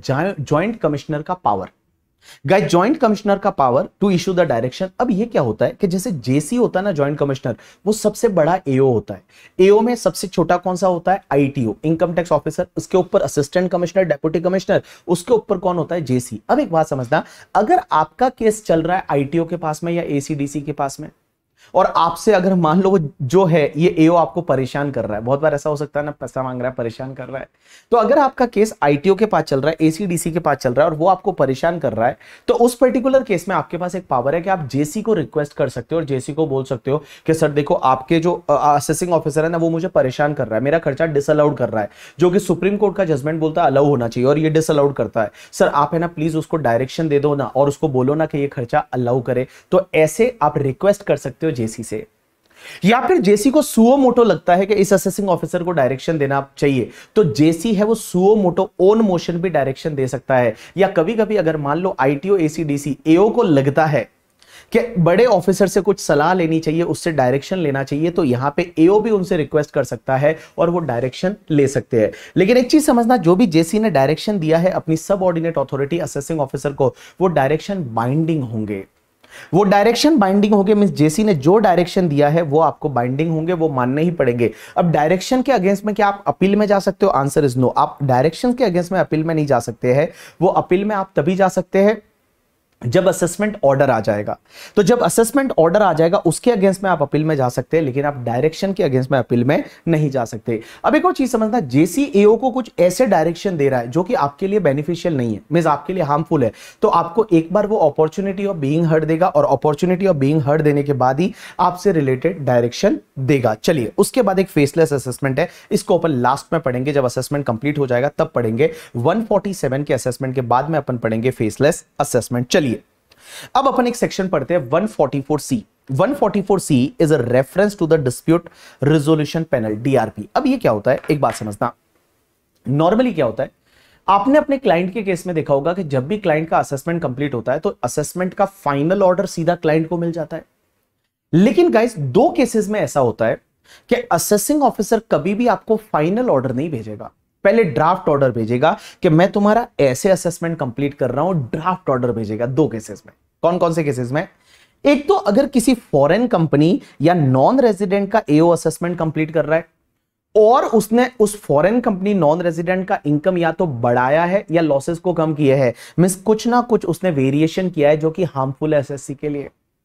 या किसी अदर एसएससी का असेसमेंट कंप्लीट कर रहा है, जिसका केस टीपीओ को ट्रांसफ़र हुआ था ट्रांसफ़र प्राइसिंग ऑफिसर को, और ट्रांसफ़र प्राइसिंग ऑफिसर के ऑर्डर की वजह से उसके लिए कुछ ना कुछ हार्मफुल हो रहा है। तो देखो बेटा नॉर्मली क्या होता है प्रैक्टिकल लाइफ में, कि जब भी एओ असेसमेंट आपका कंप्लीट करता है, सीधा आपको फाइनल ऑर्डर भेजता है। लेकिन दो केसेस ऐसे हैं जिसमें एओ आपको ड्राफ्ट ऑर्डर भेजेगा। कौन कौन से दो केसेस सबसे पहला तो अगर किसी नॉन रेजिडेंट फॉरेन कंपनी का असेसमेंट कंप्लीट कर रहा है और वो नॉन रेजिडेंट फॉरेन कंपनी का असेसमेंट कंप्लीट कर रहा है और उसमें उसने कुछ वेरिएशन किए जो कि एसएससी के लिए हार्मफुल है। या किसी अदर पर्सन का असेसमेंट कंप्लीट कर रहा है जिसमें, जिसका केस टीपीओ को ट्रांसफ़र हुआ था और टीपीओ के ऑर्डर की वजह से कुछ वेरिएशन हो रहा है। तो गाइस एओ क्या करेगा? एसएससी को ड्राफ्ट ऑर्डर भेजेगा। अब एसएससी को जैसे ही ड्राफ्ट ऑर्डर मिल जाता है एसएससी दो में से एक काम कर सकता है, या तो एक्सेप्टेंस दे सकता है कि चलो ड्राफ्ट ऑर्डर से मैं खुश हूँ। तो अगर एसएससी ने एक्सेप्टेंस दे दिया, और ये एक्सेप्टेंस कब तक देना पड़ता है? Within thirty days from the date of the receipt of the draft order तो जैसे ही आपको ड्राफ्ट ऑर्डर मिला थर्टी डेज़ के अंदर अंदर आपने एक्सेप्टेंस दे दिया।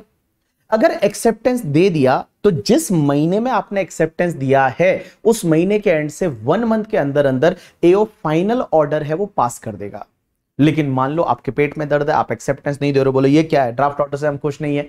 तो आपके पास एक ऑप्शन है कि आप एओ को एज वेल एज डीआरपी को ऑब्जेक्शन फ़ाइल कर सकते हैं। डीआरपी का मतलब डिस्प्यूट रेजोल्यूशन पैनल और ये ऑब्जेक्शन आपको फ़ाइल करने पड़ेंगे within thirty days from the date of receipt of draft order तो जैसे ही ड्राफ्ट ऑर्डर मिला, उसके थर्टी डेज़ के अंदर अंदर आप या तो एक्सेप्टेंस दे दो, या फिर आप ऑब्जेक्शन कर दो। ऑब्जेक्शन किसको करना है? डीआरपी को as well as assessing officer को। अगर आप ऑब्जेक्शन कर लेते हो तो फिर आपका केस डीआरपी के पास चला गया। अब डीआरपी में कौन होता है, पता है? डिस्प्यूट रेजोल्यूशन पैनल में एटलीस्ट थ्री सीआईटी का टीम रहता है। मतलब तीन सीआईटी लेवल के जो बंदे रहते हैं ना, उनका टीम रहता है, जिसको बोला जाता है डीआरपी डिस्प्यूट रेजोल्यूशन पैनल अब वो क्या करेंगे? आपके केस को देखेंगे। वो ड्राफ्ट ऑर्डर को पूरा एनालाइज करेंगे। आपसे कुछ डॉक्यूमेंट्स मंगवाना है, मंगवाएँगे। आपसे कुछ इंफॉर्मेशन मंगवाना है, मंगवाएँगे। वो एओ से कुछ इंफॉर्मेशन डॉक्यूमेंट मंगवाना है, मंगवाएँगे। उनको खुद को कुछ एविडेंसेस गैदर करने हैं, वो करेंगे। और उसके बाद डीआरपी क्या करेगा? अपने डायरेक्शन देगा किसको पता है? एओ को। एओ को डायरेक्शन देगा कि जैसा हम डायरेक्शन दे रहे हैं, ऐसे तू फाइनल ऑर्डर पास कर। तो गाइज़ डीआरपी जैसा डायरेक्शन देगा, उसके अकॉर्डिंगली एओ जो है, वो फाइनल ऑर्डर पास कर लेगा। लेकिन ये डायरेक्शन कब तक देने पड़ेंगे? इसका टाइम लिमिट रहता है nine month from the end of the month in which draft order was forwarded मतलब जिस मंथ में ड्राफ्ट ऑर्डर फॉरवर्ड किया था, उस मंथ के एंड से नाइन मंथ के अंदर अंदर डीआरपी अपने डायरेक्शन दे देगा। अब क्वेश्चन ही आता है डीआरपी के जो भी डायरेक्शन रहेंगे, क्या वो बाइंडिंग रहेंगे एओ पे? आंसर इज़ यस बाइंडिंग रहेंगे। क्योंकि एओ की क्या औकात और डीआरपी में तो तीन सीआईटी का टीम है, उन्होंने डायरेक्शन दिए तो वो डायरेक्शन एओ पे बाइंडिंग रहेंगे। AO has to follow that direction AO को वो डायरेक्शन फॉलो करने पड़ेंगे और वो डायरेक्शन मानने पड़ेंगे। अब एक और चीज़ समझना। सर जो एओ ने ऑर्डर पास किया डीआरपी डायरेक्शन से, अगर एसएससी सेटिस्फाइड नहीं है उस ऑर्डर से, जो डीआरपी के डायरेक्शन से पास हुआ है तो क्या एसएससी अपील में जा सकता है? Answer is yes SSC appeal में जा सकता है। सीधा कहाँ जाएगा? आई टेट में। सीधा इनकम टैक्स अपीलेट ट्रिब्यूनल में एसएससी अपील में जा सकता है करके। अब एक बात समझो एसएससी मान लो डीआरपी में नहीं गया था और उसके पास फाइनल ऑर्डर आ गया। उसने 30 डेज़ में ऑब्जेक्शन नहीं किया, ना एक्सेप्टेंस दिया, या एक्सेप्टेंस दिया, उसको ऑर्डर आ गया फाइनल ऑर्डर तो फाइनल ऑर्डर से सेटिस्फाइड नहीं हो तो आप सीआईटी अपील में जाओगे। लेकिन अगर डीआरपी के डायरेक्शन की वजह से कोई ऑर्डर पास हुआ है डीआरपी के डायरेक्शन की वजह से कोई ऑर्डर पास हुआ है तो बेटा आपको जो अपील करना पड़ेगा, वो अपील कहाँ पे करोगे? सीधा आई टेट में करोगे। अब एक बात समझना, ये डीआरपी वाला जितना भी प्रोसेस है ना, ये फ्यूचर में जाके आपका टिल थर्टी मार्च टू तक ये आपका पूरा फेसलेस हो जाएगा। आपको पता नहीं चलेगा डीआरपी कौन है एओ कौन है एस कौन है, वैसा हो जाएगा पूरा फेसलेस चलिए नेक्स्ट सेक्शन आती है 145 सबसेक्शन वन क्वेश्चन ही आता है कि आप मेथड ऑफ़ अकाउंटिंग कौन सी फॉलो करनी है? तो मैं बताऊँ इनकम टैक्स में पीजीबीपी के लिए एंड आईएफओएस के लिए आप कैश या मर्केंटाइल दोनों में से कोई भी मेथड फॉलो कर सकते हैं बट बाकी हेड के लिए स्पेसिफिक रूल ऑलरेडी बने हुए हैं। उसके बाद 145.2 बोलती है कि जो इनकम कंप्यूटेशन डिस्क्लोजर स्टैंडर्ड जो 10 आईसीडीएस है, अगर आप मर्केंटाइल सिस्टम फॉलो करते हो तो बिज़नेस की इनकम एंड आईएफओएस की इनकम निकालने के लिए आपको आईसीडीएस है, वो 10 आईसीडीएस फॉलो करने पड़ेंगे। अब एक बात समझना, एक सेक्शन होती है 145 सबसेक्शन 3 ये बोलती है कि तीन ऐसे केसेस है, जब एओ को लगता है तो एओ आपका बेस्ट जजमेंट असेसमेंट जैसे असेसमेंट कर सकता है। जो 144 में बेस्ट जजमेंट असेसमेंट था ना, वैसे आपका असेसमेंट हो सकता है तीन केसेस में। कौन कौन से? अगर आपकी बुक्स ऑफ़ अकाउंट्स है, वो कंप्लीट नहीं है करेक्ट नहीं है। बुक्स ऑफ़ अकाउंट्स उसने देखा कंप्लीट नहीं है करेक्ट नहीं है। या फिर आप आईसीडीएस है वो फॉलो नहीं कर रहे हो, या फिर करंट जो करेक्ट मेथड ऑफ़ अकाउंटिंग है, वो आप फॉलो नहीं कर रहे हो तो तीन केसेस में क्या होगा? तीन केसेस में क्या होगा कि आपका बेस्ट जजमेंट असेसमेंट जैसे असेसमेंट है, वो आपका डिपार्टमेंट कर सकता है। अब एक चीज़ समझना 145 ए करके method of accounting in the certain cases है, ये ऑलरेडी अपन आईसीडीएस के साथ कवर कर चुके हैं कि स्टॉक का वैल्यूशन कैसे होगा कॉस्ट और NRV which ever is lower करके, ठीक है? वो अपन ऑलरेडी वहाँ पे पढ़ चुके हैं। उसके बाद एक सेक्शन होती है one B that is taxability of certain income बड़ा सिंपल है। एक बात बताओ, अगर आपको कोई भी कंपल्सरी एक्विजिशन होता है प्रॉपर्टी का और उसका कंपनसेशन मिला, वो लेट मिला। तो आपको लेट कंपनसेशन मिलता है तो मुझे बताइए, वो लेट कंपनसेशन के केस में आपको अगर इंटरेस्ट मिलता है तो वो इंटरेस्ट आईएफओएस में टैक्सेबल होगा और वो इंटरेस्ट उस ईयर में टैक्सेबल होगा, जिस ईयर में वो इंटरेस्ट मिलता है। वो इंटरेस्ट उस ईयर में टैक्सेबल होगा। जिस ईयर में वो इंटरेस्ट आपको रिसीव्ड होता है, वो कौन से ईयर से रिलेटेड इंटरेस्ट है दैट इज़ इरिलेवेंट वो इंटरेस्ट जिस ईयर में आपको रिसीव होता है, उस ईयर में टैक्सेबल होगा।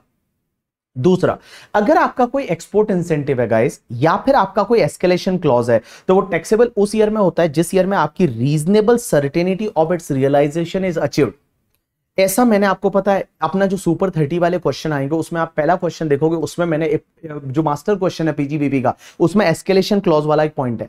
कि एस्केलेशन जो क्लॉज है उसमें आपको पता है कोर्ट का एक जजमेंट आता है और कोर्ट बोलती है कि आपको साढ़े आठ लाख का पैसा मिलेगा। अब मिला दो लाख ही था बट पूरा साढ़े आठ लाख टैक्सेबल हो जाएगा because in case of the escalation and in case of the export incentive it is going to be taxable in the year in which reasonable certainty of its realisation is achieved एक और चीज़ समझना government grant कब taxable होगा? Government grant taxable होगा in the year in which it is received in the year in which it is received और accrued whichever is earlier accrued का मतलब गवर्नमेंट ग्रांट से रिलेटेड जितनी भी कंडीशन है वो सेटिस्फाइड हो गई मतलब वो अक्रूड हो गया एंड रिसिव्ड मतलब पैसा मिल गया। दोनों में से जो अर्लियर वाला इवेंट रहेगा, तब आपका गवर्नमेंट ग्रांट है वो टैक्सेबल हो जाएगा।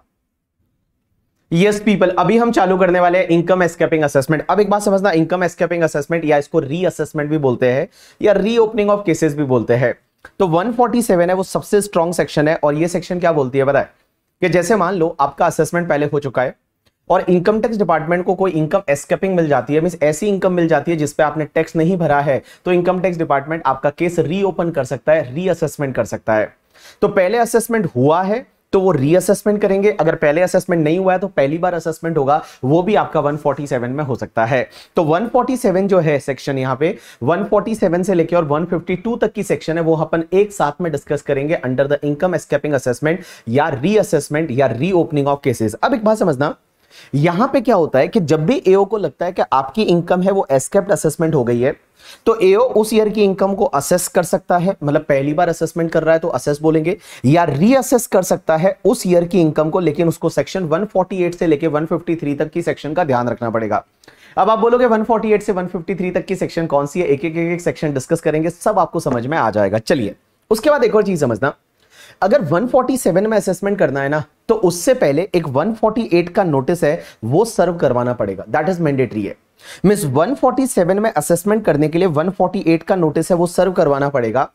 एंड 148 का नोटिस सर्व करवाने से पहले एक 148 ए में जो प्रोसीजर दे रखा है, वो फॉलो करना पड़ेगा। तो देखिए सीक्वेंस क्या रहा? सबसे पहले एक प्रोसीजर फॉलो होगा, जो कि सेक्शन 148 ए में दे रखा है। उसके बाद में 148 का नोटिस आएगा। एंड उसके बाद में आपका 147 में असेसमेंट कंप्लीट होगा।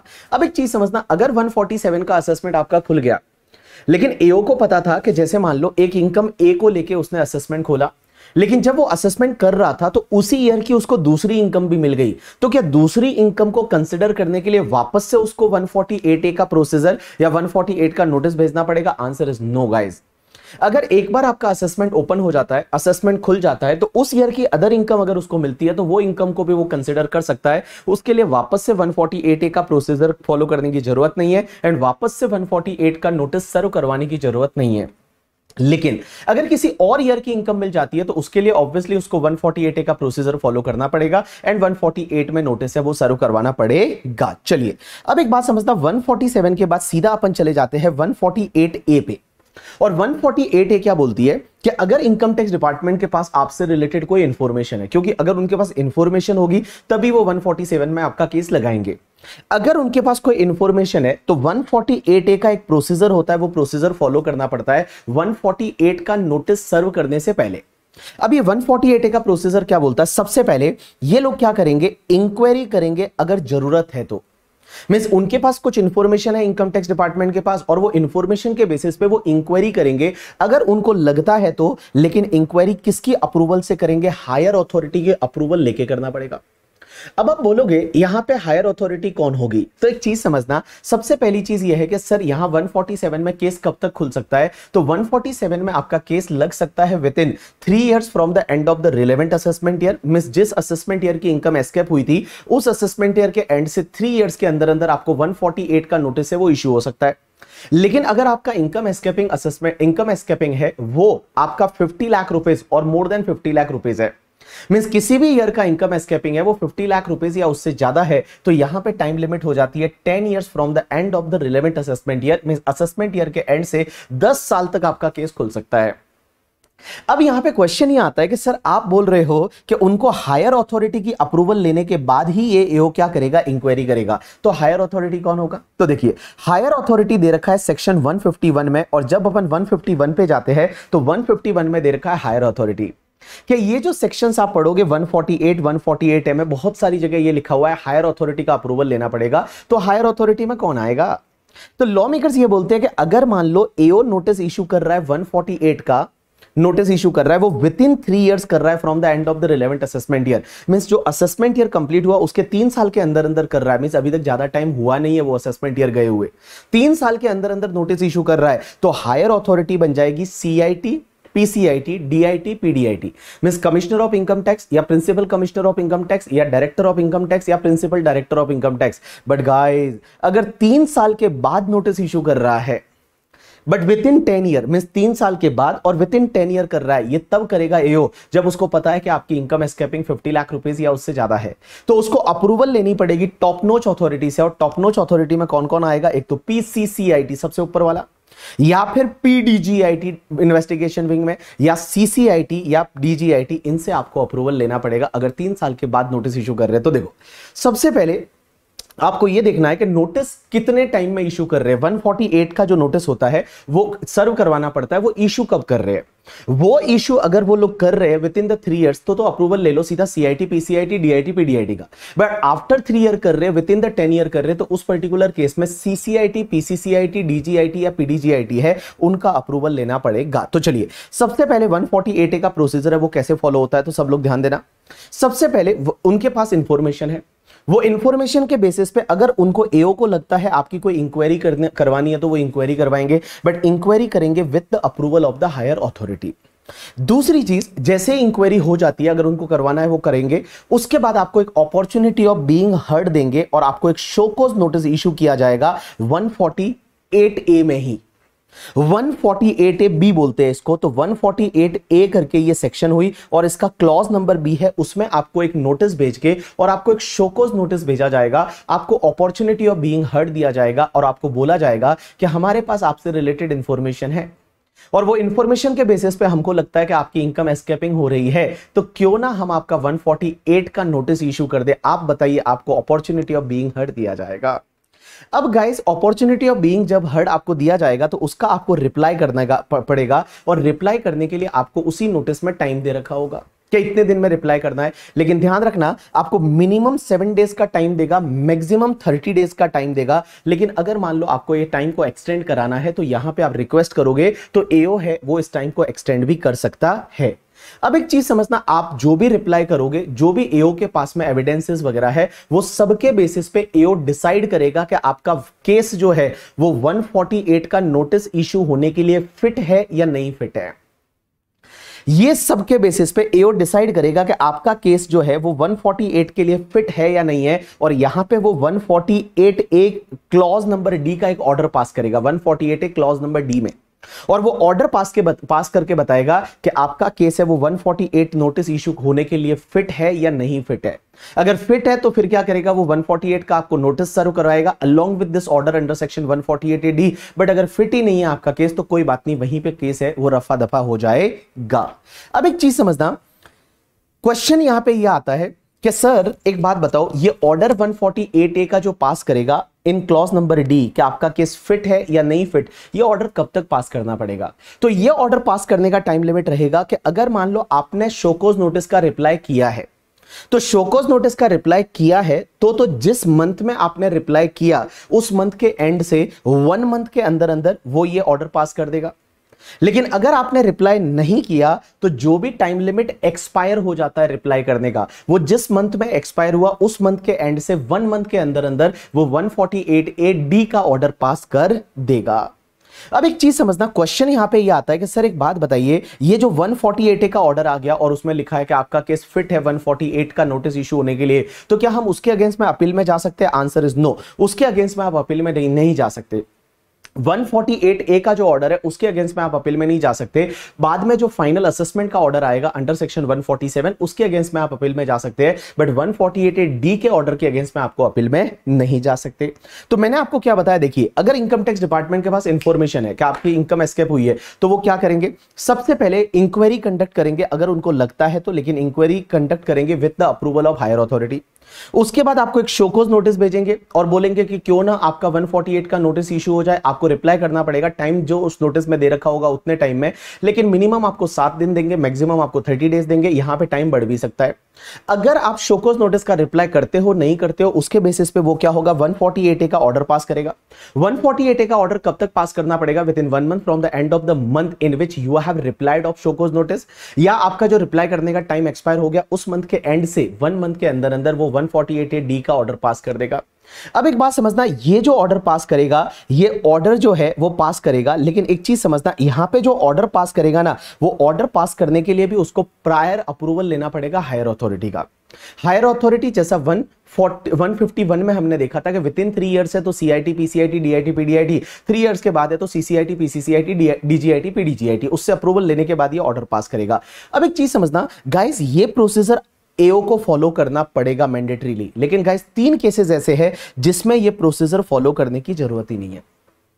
Mean there is no need to give show cause notice there is no need to give opportunity of being and heard तीन केसेस में। कौन कौन से तीन केसेस सबसे पहले, अगर मान लो आपके केस में सर्च हो गया था मीन आपके केस में रेड हो गई थी 132 में, या रिक्विजिशन हो गया था 132 ए में या फिर मान लो रेड किसी और के केस में हुई थी, रेड जो है वो किसी और के केस में हुई थी, लेकिन उसमें जो बुक्स ऑफ़ अकाउंट्स मिला उसमें जो असेट्स मिला, वो आपसे रिलेटेड है। तो बेटा, यहाँ पे ये 148 ए का प्रोसीजर फॉलो करने की ज़रूरत नहीं है। एंड तीसरा, अगर इनकम टैक्स डिपार्टमेंट को एक 135 ए की एक स्कीम होती है, और उस एक स्कीम के अकॉर्डिंगली अगर इनकम टैक्स डिपार्टमेंट को इंफॉर्मेशन मिली थी तो उस पर्टिकुलर केस में ये 148 ए सेक्शन है, वो फॉलो करने की ज़रूरत नहीं है। सीधा आपको 148 का नोटिस है, वो सर्व करवाया जा सकता है। तो देखो ये 148 का प्रोसीजर सबसे पहले होगा, अगर लगता है तो बट ये तीन केसेस में ये प्रोसीजर फॉलो करने की ज़रूरत नहीं है। चलिए, अब एक बात समझना, जैसे ये प्रोसीजर कंप्लीट हो जाता है, उसके बाद में आपको 148 का एक नोटिस इशू होगा। अब ये 148 का नोटिस है, वो सर्व करवाया जाएगा। ऐसा लिखा है कि सर्व करवाना पड़ेगा उनको। तो आपको 148 ए का नोटिस है, वो सर्व करवाया जाएगा, लेकिन क्वेश्चन ये आता है कि, सर 148 148 का जो नोटिस हमको सर्व करवाया जाएगा तो हमको क्या बोला जाएगा? तो 148 का नोटिस जब आपको आएगा 148 का बोल रहा हूँ, उसके साथ साथ में आपको 148 ए का ऑर्डर भी साथ में आएगा कि अगर आपका केस फिट है और अगर वो एप्लीकेबल था प्रोसीजर तो उसका ऑर्डर भी साथ में आएगा और 148 का नोटिस आपको आ जाएगा। उसमें बोला होगा कि आपको उस साल का रिटर्न फ़ाइल करना है। उसमें बोला होगा कि आपको उस साल का रिटर्न फ़ाइल करना है, लेकिन क्वेश्चन ये आता है वो रिटर्न हम कब तक फ़ाइल करेंगे? गाइस पहले इस सेक्शन में कुछ भी लिखा हुआ नहीं था। लेकिन इसी साल से अमेंडमेंट हुआ और ये अमेंडमेंट ये बोलता है कि आपको रिटर्न फ़ाइल करना पड़ेगा within three month from the end of the month in which notice under section 148 is issued तो 148 का नोटिस जिस मंथ में इशू हुआ है, उस मंथ के एंड से थ्री मंथ के अंदर अंदर आपको उस ईयर का रिटर्न फ़ाइल करना पड़ेगा। सर हमने अगर ऑलरेडी वो रिटर्न फ़ाइल कर दिया है तो क्या वापस फ़ाइल करना पड़ेगा? आंसर इज़ यस अगर आपने नॉर्मल कोर्स में पहले फ़ाइल किया था, तब भी आपको अब क्या करना पड़ेगा? 148 के रेस्पॉन्स में रिटर्न वापस से फ़ाइल करना पड़ेगा। अगर आप ये थ्री मंथ में फ़ाइल नहीं कर सकते तो उस पर्टिकुलर केस में क्या ये टाइम को एक्सटेंड कराया जा सकता है? आंसर इज़ यस अगर आप एओ को रिक्वेस्ट करोगे तो एओ इस टाइम को एक्सटेंड भी कर सकता है। अब एक चीज़ समझना। यहाँ पे, सर, जब आपको 148 का नोटिस आया ना और आपको बोला है रिटर्न फ़ाइल करना है तो ये मान लिया जाएगा कि you are deem to be required to file the return आप ये नहीं बोल सकते कि हमारी इनकम तो बेसिक एग्जामिशन से ज़्यादा है ही नहीं। तो 139 के हिसाब से हमको रिटर्न फ़ाइल करना ही है तो हम हम, करना ही नहीं है तो हम रिटर्न फ़ाइल करेंगे ही नहीं। क्या ऐसा बोल सकते हैं? आंसर इज़ नो आप ये माना जाएगा कि आप डीम टू बी आप required to file the return and आपको रिटर्न है, वो फ़ाइल करना पड़ेगा। अब एक चीज़ समझना। मैं अगर आपको ये बोलूँ कि ये 148 का जो नोटिस है ना, ये आपको तभी इशू हो सकता है जब तीन कंडीशन सेटिस्फाइड करनी पड़ेगी। पहली कंडीशन 148 ए का प्रोसीजर फॉलो करना पड़ेगा। दूसरी कंडीशन डिपार्टमेंट के पास इंफॉर्मेशन होनी चाहिए। और तीसरी कंडीशन गाइस ये 148 का नोटिस इशू करने के लिए भी हायर अथॉरिटी से अप्रूवल लेना पड़ेगा। तो देखिए, तीन कंडीशन अगर सेटिस्फाइड होती है तो 148 का नोटिस इशू आ सकता है। सबसे पहले एओ के पास आपसे रिलेटेड इंफॉर्मेशन होनी चाहिए। और वो इंफॉर्मेशन बताती है कि आपकी इनकम एस्केप हुई है। अब इंफॉर्मेशन में क्या क्या आएगा? सबसे पहले, अगर डिपार्टमेंट के पास में इंफॉर्मेशन है in accordance with the risk management strategy formulated by the CBDT तो सीबीडीटी की ऐसी बहुत सारी रिस्क मैनेजमेंट स्ट्रेटेजी फॉर्मुलेटेड कर रखी है और उन स्ट्रेटेजी के बेसिस पे अगर डिपार्टमेंट के पास इंफॉर्मेशन है तो वो इंफॉर्मेशन में आएगा। या फिर मान लो कोई ऑडिट ऑब्जेक्शन आया है ऑडिट ऑब्जेक्शन इसमें सीएजी करता है। जो सीएजी होता है, वो सीएजी ऑडिट ऑब्जेक्शन करता है कि किसी पर्सन का असेसमेंट डिपार्टमेंट ने सही से कंप्लीट नहीं किया। मीन असेसमेंट अगर प्रॉपरली नहीं किया है तो उस पर्टिकुलर केस में ऑडिट ऑब्जेक्शन आया डिपार्टमेंट के पास तो वो भी इंफॉर्मेशन होगा। या मान लो डी टी डबल ए में सेक्शन 1990 ए में कोई फॉरेन से इंफॉर्मेशन आई है, या फिर जो scheme notified under section 135 A है, उसके अकॉर्डिंगली कोई इंफॉर्मेशन आई है, या फिर मान लो कोई ट्राइब्यूनल या कोर्ट का ऑर्डर आया। और उस ऑर्डर से पता चलता है कि आपकी इनकम है, वो एस्केप हुई है तो उस पर्टिकुलर केस में आपका ये इंफॉर्मेशन में आएगा। तो देखिए इंफॉर्मेशन में कौन कौन सी इंफॉर्मेशन आएगी, किसके बेसिस पे 147 हो सकता है? सबसे पहले सीबीडीटी का रिस्क मैनेजमेंट स्ट्रेटेजी के हिसाब से कोई इंफॉर्मेशन आई है। दूसरा, अगर सीएजी ने ऑडिट ऑब्जेक्शन किया है, पहले यहाँ पे वर्ड सीएजी लिखा हुआ था बट वो सीएजी वर्ड अब हटा दिया है। आप ऑडिट ऑब्जेक्शन सिर्फ़ याद रखोगे। तीसरा, अगर डीटी डबल में फॉरेन कंट्री से कोई इंफॉर्मेशन आई है, चौथा स्कीम 135 ए के अकॉर्डिंगली डिपार्टमेंट के पास कोई इंफॉर्मेशन आई है, या कोई ट्राइब्यूनल या कोर्ट का ऑर्डर आया और उसके पता चलता है कि आपकी इनकम एस्केप हुई है तो उस पर्टिकुलर केस में बेटा ये इंफॉर्मेशन माना जाएगा। अब एक और चीज़ समझना। दूसरा जब भी 148 का नोटिस आपको सर्व करवाना है ना, उससे पहले हायर अथॉरिटी का अप्रूवल लेना पड़ेगा। लेकिन गाइस अगर 148 ए को फॉलो कर दिया है तो 148 ए को फॉलो किया है तो उसमें 148 डी में ऑलरेडी अप्रूवल लेके ही तो 148 ए डी का ऑर्डर बना होगा। तो जब अगर 148 ए डी का ऑर्डर बना है तो उस पर्टिकुलर केस में वापस से 148 को इश्यू करने के लिए हायर अथॉरिटी की अप्रूवल लेने की ज़रूरत नहीं है। एंड तीसरी चीज़ गाइज़ 148 ए का प्रोसेसर फॉलो करना पड़ेगा बट वो सर्च केसेस में फॉलो करने की ज़रूरत नहीं है। अब एक और चीज़ समझना। गाइज़ मैंने आपको बोला कि डिपार्टमेंट के पास इंफॉर्मेशन होती है, तभी आपका केस 147 में लग सकता है। लेकिन यहाँ पे तीन ऐसे केसेस हैं जिसमें यह मान लिया जाएगा कि डिपार्टमेंट के पास आपसे related deem to be information है। तीन केसेस ऐसे हैं जिसमें ये मान लिया जाएगा कि डिपार्टमेंट के पास आपसे related deem to be information है। भले इंफॉर्मेशन नहीं है तो भी मान लेंगे आपसे रिलेटेड इंफॉर्मेशन है और डिपार्टमेंट आपको 148 का नोटिस है, वो इश्यू कर सकता है सर्व करवा सकता है। देखो नोटिस सर्व करवाना पड़ेगा, लेकिन जो टाइम लिमिट दे रखा है, वो इशू का दे रखा है। तो अगर इशू नोटिस टाइम में कर दिया और सर्व बाद में हुआ तो भी चलेगा। अभी मैं बताता हूँ। अब एक बात समझना। तो मैं बोल रहा हूँ, तीन केसेस ऐसे है जिसमें यह मान लिया जाएगा कि डिपार्टमेंट के पास आपसे रिलेटेड इंफॉर्मेशन है। पहला अगर आपके केस में रेड हुई है सर्च हुआ है, या फिर सर्च किसी और के केस में हुआ है, लेकिन वहाँ पे जो books of accounts document asset मिला है, वो आपसे रिलेटेड है, आपको बिलोंग करता है। या गाइस आपके केस में सर्वे हुआ है बट टीडीएस टीसीएस सर्वे को छोड़ के।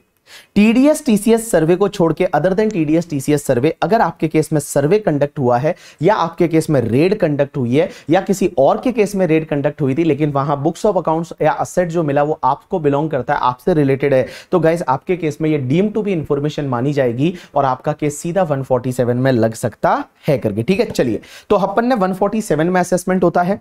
147 में असेसमेंट करने से पहले 148 का नोटिस है, वो सर्व करवाना पड़ेगा बट 148 का नोटिस सर्व करवाने पहले से 148 ए का प्रोसीजर फॉलो करना पड़ेगा। तो सीक्वेंस कैसे चलेगी? पहले 148 ए का प्रोसीजर उसमें भी क्या करना पड़ता है? कहीं कहीं हायर अथॉरिटी से अप्रूवल लेना पड़ता है। उसके बाद 148 का नोटिस है, वो आपको सर्व करवाया जाएगा और उसके बाद आपका 147 में असेसमेंट होगा। अब क्वेश्चन ये आता है, एक सेक्शन आती है 148 बी करके। ये सेक्शन ये बोलती है कि देखो, जब भी इनकम एस्केपिंग में असेसमेंट होगा ना तो बड़ा असेसिंग ऑफिसर आपका असेसमेंट करेगा। ऐसे कोई छोटो लुल्लू वगैरह नहीं करेगा करके, ठीक है? छोटा छोटा ऑफिसर नहीं करेगा, बड़ा असेसिंग ऑफिसर आप ही बताइए, सबसे बड़ा असेसिंग असेसिंग ऑफिसर में सबसे बड़ा कौन होता है? ज्वाइंट कमिश्नर होता है। तो आपका असेसमेंट है वो ज्वाइंट कमिश्नर ज्वाइंट डायरेक्टर या फिर एडिशनल कमिश्नर एडिशनल डायरेक्टर है, वो आपका असेसमेंट कंप्लीट करेगा। उसके लोअर लेवल का नहीं करेगा। बट अगर लोअर लेवल वाले बंदे को उसने अप्रूवल दिया है। Miss JC JD additional JC additional DIT अगर उसने, अगर मान लो लोअर वाले को आईटीओ को assistant commissioner deputy commissioner assistant director deputy director को अगर अप्रूवल दिया है तो लोअर वाला कर सकता है। अदरवाइज़ जो टॉप नोच असेसिंग ऑफिसर होता है, वो ही आपका असेसमेंट कंप्लीट करेगा। चलिए, अब अपन चलते हैं कि सर 149 में दे रखा है कि सर हमको ये 148 का नोटिस कब तक आ सकता है?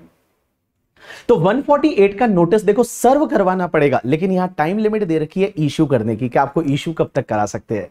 अब एक बात समझना 148 का नोटिस इशू करने का time limit normal time limit दे रखा है three years from the end of the relevant assessment year but guys अगर आपकी इनकम एस्केपिंग है, वो 50 लाख रुपीज़ या उससे ज़्यादा है तो 10 years from the end of the relevant assessment year तो नॉर्मल टाइम लिमिट क्या है? Three years from the end of the relevant assessment year but अगर मान लो आपकी इनकम एस्केपिंग 50 लाख रुपीज़ या उससे ज़्यादा है किसी साल की तो 10 years from the end of the relevant assessment year अब गाइज़ यहाँ पे एक अमेंडमेंट आया है। और ये अमेंडमेंट क्या बोलता है बताए? ये अमेंडमेंट बोलता है कि अगर किसी भी पर्सन के केस में रेड स्टार्ट हुई है, या रेड कंप्लीट हुई है, या रिक्विजिशन हुआ है, और वो 15 मार्च के बाद में हुआ है 15 March of the financial year के बाद में हुआ है या फिर डिपार्टमेंट के पास आपसे रिलेटेड कोई इंफॉर्मेशन है? और वो इंफॉर्मेशन के बेसिस पे आपको कोई समन वमन भेजा था? कोई सर्वे वगैरह हुआ था? और वो 15 मार्च के बाद हुआ है, लेकिन 31 मार्च से पहले हुआ है 15 मार्च के बाद हुआ है। एंड गाइस आपको नोटिस इश्यू करने का टाइम लिमिट अगर एक्सपायर हो रहा है थर्टी मार्च को तो वहाँ पे 15 दिन का एक्सटेंशन मिल जाएगा असेसिंग ऑफिसर को। एक एग्ज़ाम्पल लेंगे, उस एग्ज़ाम्पल से समझने की कोशिश करेंगे, आपको इजीली समझ में आ जाएगा। एक बात बताओ, कोई एसएससी ऐसा है जिसके ऊपर मान लो सर्च हुआ है 20 मार्च 2024 को? तो 20 मार्च 2024 को सर्च हुआ है तो 15 मार्च के बाद में हुआ है before 31 March mean after 15 March but before 31 March हुआ है। अब एक चीज़ समझना, जब भी सर्च होता है, उनके पास डीम टू भी इंफॉर्मेशन होती है। सर्च के केस में भले इंफॉर्मेशन नहीं तो भी मान लिया जाएगा डीम टू बी इंफॉर्मेशन और आपका 147 में असेसमेंट हो सकता है। अब एक बात समझना, जब यहाँ ट्वेंटी मार्च को हुआ है सर्च तो ये मैं बोलू थर्टी मार्च 2024 तक कौन कौन से ईयर के लिए नोटिस इश्यू हो सकते हैं? तो नोटिस इश्यू होते हैं within the three years from the end of the relevant assessment year मैं बोलूँ आपका असेसमेंट ईयर 2021 के लिए भी नोटिस इशू हो सकता है, क्योंकि 2021 कंप्लीट होगा टिल 31 मार्च 2021 और वहाँ से three years thirty first March 2024 तक। तो इस ईयर के लिए नोटिस इशू हो सकता है, इस ईयर के लिए 21 22 के लिए हो सकता है 22 23 के लिए हो सकता है 23 24 के लिए भी हो सकता है नोटिस इशू तो ये चार असेसमेंट ईयर के लिए हो सकता है। लेकिन गाइज़ एक बात बताओ, ये जो असेसमेंट ईयर 2021 है, इसका नोटिस इशू करने का टाइम लिमिट थर्टी मार्च 2024 को तो कंप्लीट हो जाएगा। लेकिन रेड कब हुई है? वो ट्वेंटी मार्च 2024 को हुई है। तो अगर 15 मार्च के बाद में हुई है एंड थर्टी फ़र्स्ट मार्च से पहले हुई है तो गाइस यहाँ पे एओ को जो टाइम है ना, वो 15 दिन का एक्स्ट्रा टाइम मिलेगा इस ईयर के लिए 148 का नोटिस इशू करने के लिए। तो इस ईयर के लिए आपका 148 का नोटिस कब तक इशू होगा पता है? नोटिस इशू होगा फिफ्टींथ अप्रैल 2024 तक। क्योंकि इस ईयर का केस टाइम बार्ड हो रहा है थर्टी फ़र्स्ट मार्च को। एंड गाइज़ रेड हुई है, वो फिफ्टीन मार्च के बाद में हुई है। तो यहाँ पे एक्स्ट्रा टाइम फिफ्टीन डेज़ का मिल जाएगा। तो यहाँ पे अप टू फिफ्टीन अप्रैल 2024 तक वो 148 का नोटिस इशू कर सकते हैं इस असेसमेंट ईयर के लिए। एंड ये मान लिया जाएगा कि उन्होंने thirty first March two thousand twenty four तक नोटिस है, वो इशू कर दिया है। अब एक और चीज़ समझना। गाइज़ एक चीज़ ध्यान देना, मैंने आपको बताया कि सेक्शन 149 बोलता है कि 148 का नोटिस इशू करने का टाइम लिमिट क्या है? थ्री इयर्स और ten year mean three years normal case में इनकम एस्केपिंग 50 लाख और मोर है तो टेन इयर्स लेकिन गाइज़ ये जो नोटिस इशू करने का टाइम लिमिट है ना, इसमें से कुछ टाइम लिमिट एक्सटेंड हो जाएगा। पहला तो आपको पता है, जो 148 ए का प्रोसीजर फॉलो करते हैं तो 148 ए का प्रोसीजर में वो शोकोज नोटिस देते हैं। कि क्यों ना आपको 148 का नोटिस इशू कर जाए और उसमें minimum seven days maximum 30 days का आपको टाइम देते हैं। तो जितना टाइम उसमें खराब हुआ, जितना टाइम आपको उसमें दिया था रेस्पॉन्ड करने के लिए, उतना टाइम है वो एओ को एक्स्ट्रा एक्स्ट्रा मिलेगा for issue of 148 also as well as guys अगर मान लो किसी कोर्ट का स्टे ऑर्डर आ गया किसी कोर्ट का स्टे ऑर्डर आ गया और वो स्टे ऑर्डर की वजह से जितना टाइम खराब हुआ 148 का प्रोसीजर चल रहा था और 148 प्रोसीजर में 148 के प्रोसीजर में अगर स्टे ऑर्डर आ गया तो जितना स्टे का टाइम है, उतना 148 के लिए नोटिस इशू करने के लिए भी एक्स्ट्रा टाइम मिल जाएगा। अब एक बात समझना एओ को जो एक्स्ट्रा टाइम मिलेगा, ये दोनों टाइम एक्सटेंड करने के बाद ये दोनों टाइम एक्सटेंड करने के बाद जो एओ को एक्स्ट्रा टाइम मिलेगा, अगर मान लो 148 ए डी का ऑर्डर पास करने के लिए जो टाइम बचता है एओ के पास, वो सेवन डेज़ से कम है तो मिनिमम सेवन डेज़ एओ को मिलेगा और अकॉर्डिंगली सेवन डेज़ से आपका 148 का टाइम लिमिट भी एक्सटेंड हो जाएगा। यहाँ पे इसको समझने के लिए मैंने आपको दो एग्ज़ाम्पल दे रखे हैं। अगर आप ये दो एग्ज़ाम्पल को समझेंगे तो आपको ईजिली समझ में आ जाएगा। अब एक चीज़ समझना नेक्स्ट कॉन्सेप्ट आता है। मैंने आपको क्या बोला? नॉर्मली नोटिस कब इशू कितने टाइम में इशू होता है? नॉर्मल केस थ्री इयर्स और अगर income escaping fifty lakh rupees और मोर है तो आपका टेन ईयर्स अब एक चीज़ समझना, ये 50 लाख किस इंडिविजुअल ईयर का देखेंगे कि किसी भी ईयर में 50 लाख या उससे ज़्यादा का इनकम एस्केपिंग है तो 10 ईयर्स का टाइम लेकिन गाइस जैसे मान लो आपने एक बिल्डिंग बनाया था और बिल्डिंग चार साल में बनाया इन द फोर ईयर्स बनाया एंड फोर ईयर्स में आपने thirty lakh thirty lakh thirty lakh thirty lakh का खर्चा किया। तो इंडिविजुअल ईयर में इनकम एस्केपिंग है, वो आपका फिफ्टी लाख से ज़्यादा नहीं है। बट चार साल का मिला के फिफ्टी लैख से ज़्यादा है तो इन्होंने यहाँ पे एक कंसेप्ट ये डाला है, इन्होंने एक कॉन्सेप्ट ये डाला है कि एओ के पास में अगर कोई ऐसी इंफॉर्मेशन है, ऐसा लाइक डिटेल है, और उसमें लगता है कि आपने जो असेट क्रिएट की है, या किसी इवेंट पे जो आपने एक्सपेंडिचर इंकर किया है वो आपने मल्टीपल ईयर में किया और वो इनकम एस्केपिंग है। इंडिविजुअल ईयर का 50 लाख से ज़्यादा नहीं है बट एग्रीगेट मिला के उस असेट को क्रिएट करने में या एक्सपेंडिचर को इंकर करने में अगर आपका 50 लाख रुपए या उससे ज़्यादा है तो सब सालों के लिए उसको 10 ईयर्स का टाइम लिमिट मिल जाएगा। ऑल ईयर्स के लिए उसको 10 लाख 10 ईयर्स का है, वो 10 ईयर्स का टाइम मिल जाएगा। यहाँ पे मैंने दो एग्जांपल दे रखे हैं। आप समझोगे तो आपको इजीली समझ में आ जाएगा कि जैसे बीबी ने एक घर 90 लाख में बनाया है।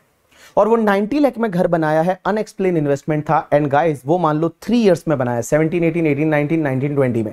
तो एवरी ईयर 30 30 30 लाख इन्वेस्ट किया। अब देखो इंडिविजुअल ईयर में तो 50 लाख या उससे ज़्यादा नहीं है, लेकिन पूरा मिला के 50 लाख या उससे ज़्यादा हो गया ना। तो यहाँ पे एओ को 10 इयर्स का टाइम लिमिट सब सालों के लिए मिल जाएगा। मीन वो तीनों सालों के लिए एओ को 10 ईयर्स का टाइम लिमिट मिल जाएगा। और इसी पे आपको आरटीपी में 2024 में एक क्वेश्चन मिलेगा करके, ठीक है? चलिए, ये वाला हो गया।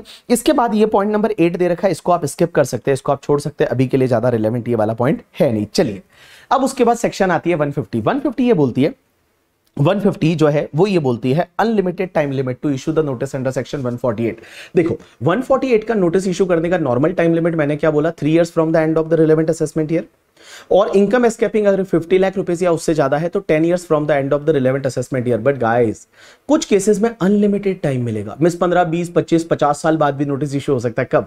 ये दो स्पेशल केसेस में होता है। एक तो अगर इनकम को किसी एक असेसी से हटा के दूसरे असेसी की इनकम में डालना है या इनकम को किसी एक असेसमेंट ईयर से हटा के दूसरे असेसमेंट ईयर में डालना है तो दो केस में डिपार्टमेंट है, वो डिपार्टमेंट को अनलिमिटेड टाइम लिमिट मिल जाएगा और वो एक असेसमेंट ईयर से हटा के दूसरे असेसमेंट ईयर में डालना है या एक असेसी से हटा के दूसरे असेसी की इनकम में डालना है due to the order of any court means CIT appeal ITAT high court supreme court या किसी अदर लॉ में किसी कोर्ट के ऑर्डर की वजह से ऐसा हो रहा है तो डिपार्टमेंट को अनलिमिटेड टाइम लिमिट मिल जाएगा। चलिए उसके बाद सेक्शन 152 सब सेक्शन वन ये बोलती है कि, सर, एक बात बताइए टैक्स रेट क्या रहेगा इनकम एस्केपिंग में? तो जैसे इनकम एस्केपिंग आपके असेसमेंट ईयर 18 19 का है तो उस इनकम पे टैक्स रेट करंट ईयर का लगाएँगे या रेस्पेक्टिव ईयर का लगाएँगे? Right answer is respective year का टैक्स रेट लगेगा। तो जिस ईयर की वो इनकम एस्केपिंग है, उस रेस्पेक्टिव ईयर का यहाँ पे आपको टैक्स रेट लगेगा। उसके बाद एक सेक्शन होती है वन फिफ्टी टू क्या बोलती है? ड्रॉपिंग ऑफ़ असेसमेंट एक बात समझना, अगर आपका वन एक बार चालू हो गया, लेकिन आप एओ के सामने एक रिक्वेस्ट करते हो और एओ को बोलते हो कि, सर अगर ये इनकम एस्केपिंग को भी आप जोड़ दो तो जितना इनकम हमारा बनता है, उससे ज़्यादा इनकम पे हम ऑलरेडी पहले टैक्स भर चुके हैं। मीन्स इनकम एस्केपिंग को आप जोड़ दो, और उसके बाद भी जितना इनकम बनता है, जिस पे टैक्स भरना है, उससे ज़्यादा पे ऑलरेडी हम पहले टैक्स भर चुके हैं। तो बेटा यहाँ पे एओ आपका केस ड्रॉप कर सकता है और बोलेगा, चलो, मैं 147 नहीं करता। इससे रिलेटेड एग्जांपल मैंने आपको fast track batch regular batch में आपको पता है मैंने एक एग्जांपल लिखवाया था, उससे आप इसको कनेक्ट कर पाएँगे, समझ पाएँगे। चलिए नेक्स्ट सेक्शन 153 टू 153 टू ये बोलती है कि, sir income escaping assessment complete कब तक होगा? आप बोलोगे, सर, आपने बताया थ्री इयर्स टेन ईयर अरे गाइस वो थ्री इयर्स टेन ईयर है ना, वो 148 का नोटिस इशू करने का टाइम लिमिट है। लेकिन सर असेसमेंट कंप्लीट करने का टाइम लिमिट क्या रहेगा? तो असेसमेंट कंप्लीट करने का टाइम लिमिट है 12 month from the end of the financial year in which notice under section 148 was serve तो 148 का नोटिस जिस ईयर में सर्व हुआ था, उस ईयर के एंड से 12 मंथ के अंदर अंदर mean within one year है, वो आपका असेसमेंट कंप्लीट हो जाएगा। ड्यू ये जो टाइम लिमिट है, ये सेक्शन 153 टू में दे रखा है। तो 12 month from the end of the financial year in which notice under section 148 was serve अब एक बात समझना, ये जो आपका 147 का असेसमेंट है 148 का नोटिस वगैरह है, ये सब आजकल फेसलेस मैनर में होते हैं। तो 151 ए बोलती है, ये सब आपका फेसलेस मैनर में हो जाएगा। तो देखो इनकम एस्केपिंग असेसमेंट है ना, इसमें कौन कौन सी सेक्शन हमने पढ़ी? अगर मैं आपको बताऊँ, देखो 147 में आपका असेसमेंट होता है 148 का नोटिस आपको सर्व करवाया जाता है असेसमेंट करने से पहले। उससे पहले 148 ए का एक प्रोसीजर होता है उसके पहले एक 148 बी जो है, वो ये बोलता है कि असेसमेंट कंप्लीट करेगा, वो सिर्फ़ joint commissioner joint director additional commissioner additional director ही कर सकता है। उसके बाद 149 है, वो टाइम लिमिट दे रखी है। 150 में कहीं पे अनलिमिटेड टाइम लिमिट है। 151 में हायर अथॉरिटी का अप्रूवल है। 152 वन में रेस्पेक्टिव ईयर का टैक्स रेट है। 152 टू में ड्रॉपिंग ऑफ़ असेसमेंट है। एंड 153 टू में टाइम लिमिट दे रखा है कि 147 का assessment 12 month from the end of the financial year in which notice under section 148 was serve हुआ था उस ईयर के एंड से 12 महीने के अंदर अंदर आपका असेसमेंट कंप्लीट होगा तो गाइस इतनी सारी सेक्शन है जब अपन रीड करेंगे तब आपको 147 का असेसमेंट है वो पूरा हो जाएगा चलिए उसके बाद एक सेक्शन आती है 154 154 बोलती है rectification of mistake rectification of mistake का मतलब होता है कि एक बात समझना गाइस अगर मान लो आपको कोई भी इनकम टैक्स डिपार्टमेंट कोई भी इनकम टैक्स अथॉरिटी ने जैसे AO CIT appeal CIT joint commissioner appeal किसी ने भी अगर कोई भी ऑर्डर पास किया है, या कोई इंटीमेशन भेजी थी आपको 143 वन की, या टीडीएस टीसीएस इंटीमेशन है, और उसमें अगर कोई मिस्टेक हो जाती है, अगर उसमें कोई मिस्टेक हो जाती है, और वो मिस्टेक अपेरेंट ऑन रिकॉर्ड है अपेरेंट ऑन रिकॉर्ड का मतलब होता है कि भाई देखते ही लग रहा है कि ये मिस्टेक है, जिसमें two plausible views are not possible ऐसी कोई मिस्टेक है तो गाइज़ उसका रेक्टिफिकेशन हो सकता है। आप उस ऑर्डर या इंटीमेशन को रेक्टिफाई करा सकते हो। अब रेक्टिफिकेशन या तो डिपार्टमेंट ओन मोशन कर सकता है सुओमोटो या फिर अगर आप एप्लीकेशन करते हो, तब डिपार्टमेंट है, वो रेक्टिफिकेशन कर सकता है। लेकिन क्वेश्चन ये आता है कि सर एप्लीकेशन करने का इसमें कोई स्पेसिफिक फॉर्म या फ़ीस लगेगा? Answer is no there is no specific form there is no specific fees कोई फ़ीस नहीं है, कोई भी फॉर्म नहीं है। आप ऑनलाइन जाके और आजकल रेक्टिफिकेशन के लिए एप्लीकेशन कर सकते हैं।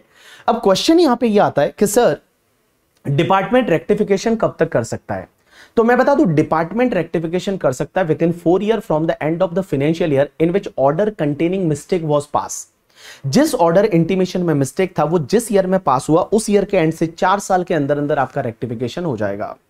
लेकिन गाइस अगर मान लो सर हम एप्लीकेशन करते हैं तो क्या हमको भी चार साल के लिए वेट करवाएँगे? आंसर इज़ नो अगर आपने एप्लीकेशन किया है, लेकिन एप्लीकेशन चार साल के अंदर अंदर होना चाहिए। Application should be made within that four year time अगर आपने एप्लीकेशन किया है तो जिस मंथ में आपने एप्लीकेशन किया, उस मंथ के एंड से विद इन सिक्स मंथ आपका रेक्टिफिकेशन हो जाएगा। अब एक और चीज़ समझना, अगर मान लो एक ऑर्डर रेक्टिफाई हुआ, और वो रेक्टिफाइड ऑर्डर में वापस मिस्टेक है तो क्या वो रेक्टिफाइड ऑर्डर वापस रेक्टिफाई हो सकता है? बिल्कुल हो सकता है। उसके लिए टाइम लिमिट क्या रहेगा? क्या वापस से फ्रेश फोर ईयर मिलेगा या ओरिजिनल वाला four year right answer is fresh four year का टाइम लिमिट रहेगा।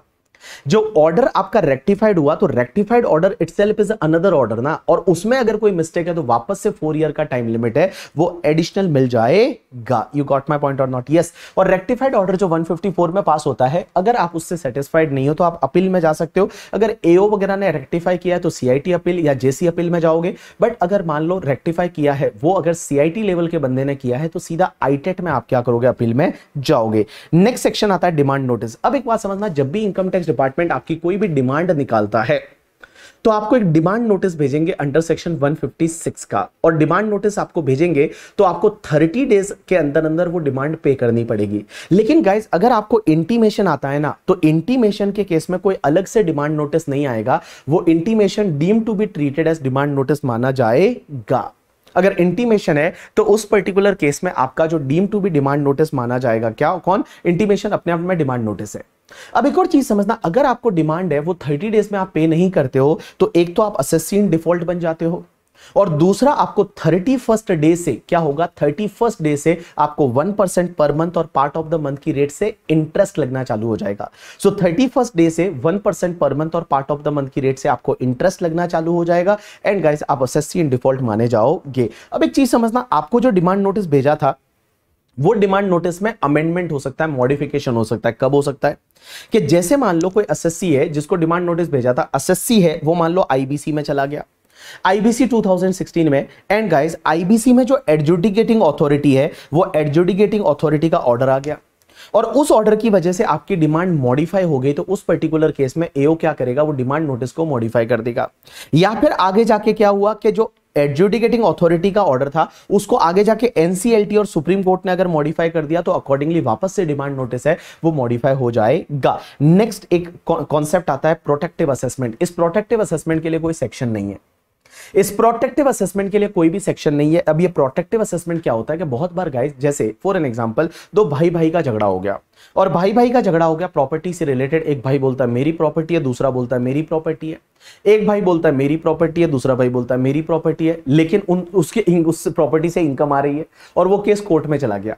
अब कोर्ट में तो इंडिया में बहुत जल्दी जजमेंट आते हैं। आपको पता है, कभी दस साल, कभी पंद्रह साल, कभी बीस साल, कभी वापस आप मर के वापस जन्म लेके भी और अपना खुद केस लड़ सकते हो, वैसी वाले सिनेरियो है।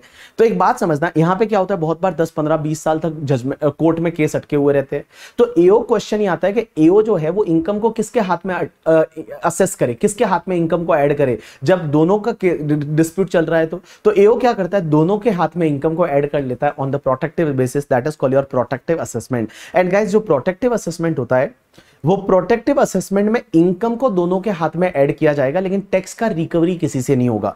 जब भी वो डिस्प्यूट रिजोल्व हो जाएगा और जिसकी वो असेट है, जिसकी वो इनकम है, उसके, उससे जो है, वो टैक्स का रिकवरी किया जाएगा। That concept is called protective assessment चलिए, उसके बाद time limit to completing assessment दे रखा है, वो अपन बाद में देखेंगे। उससे पहले मैं आपको क्या करवाता हूँ, जो फेसलेस असेसमेंट है, वो करा लेता हूँ। तो आ जाइए सीधा फेसलेस असेसमेंट पे।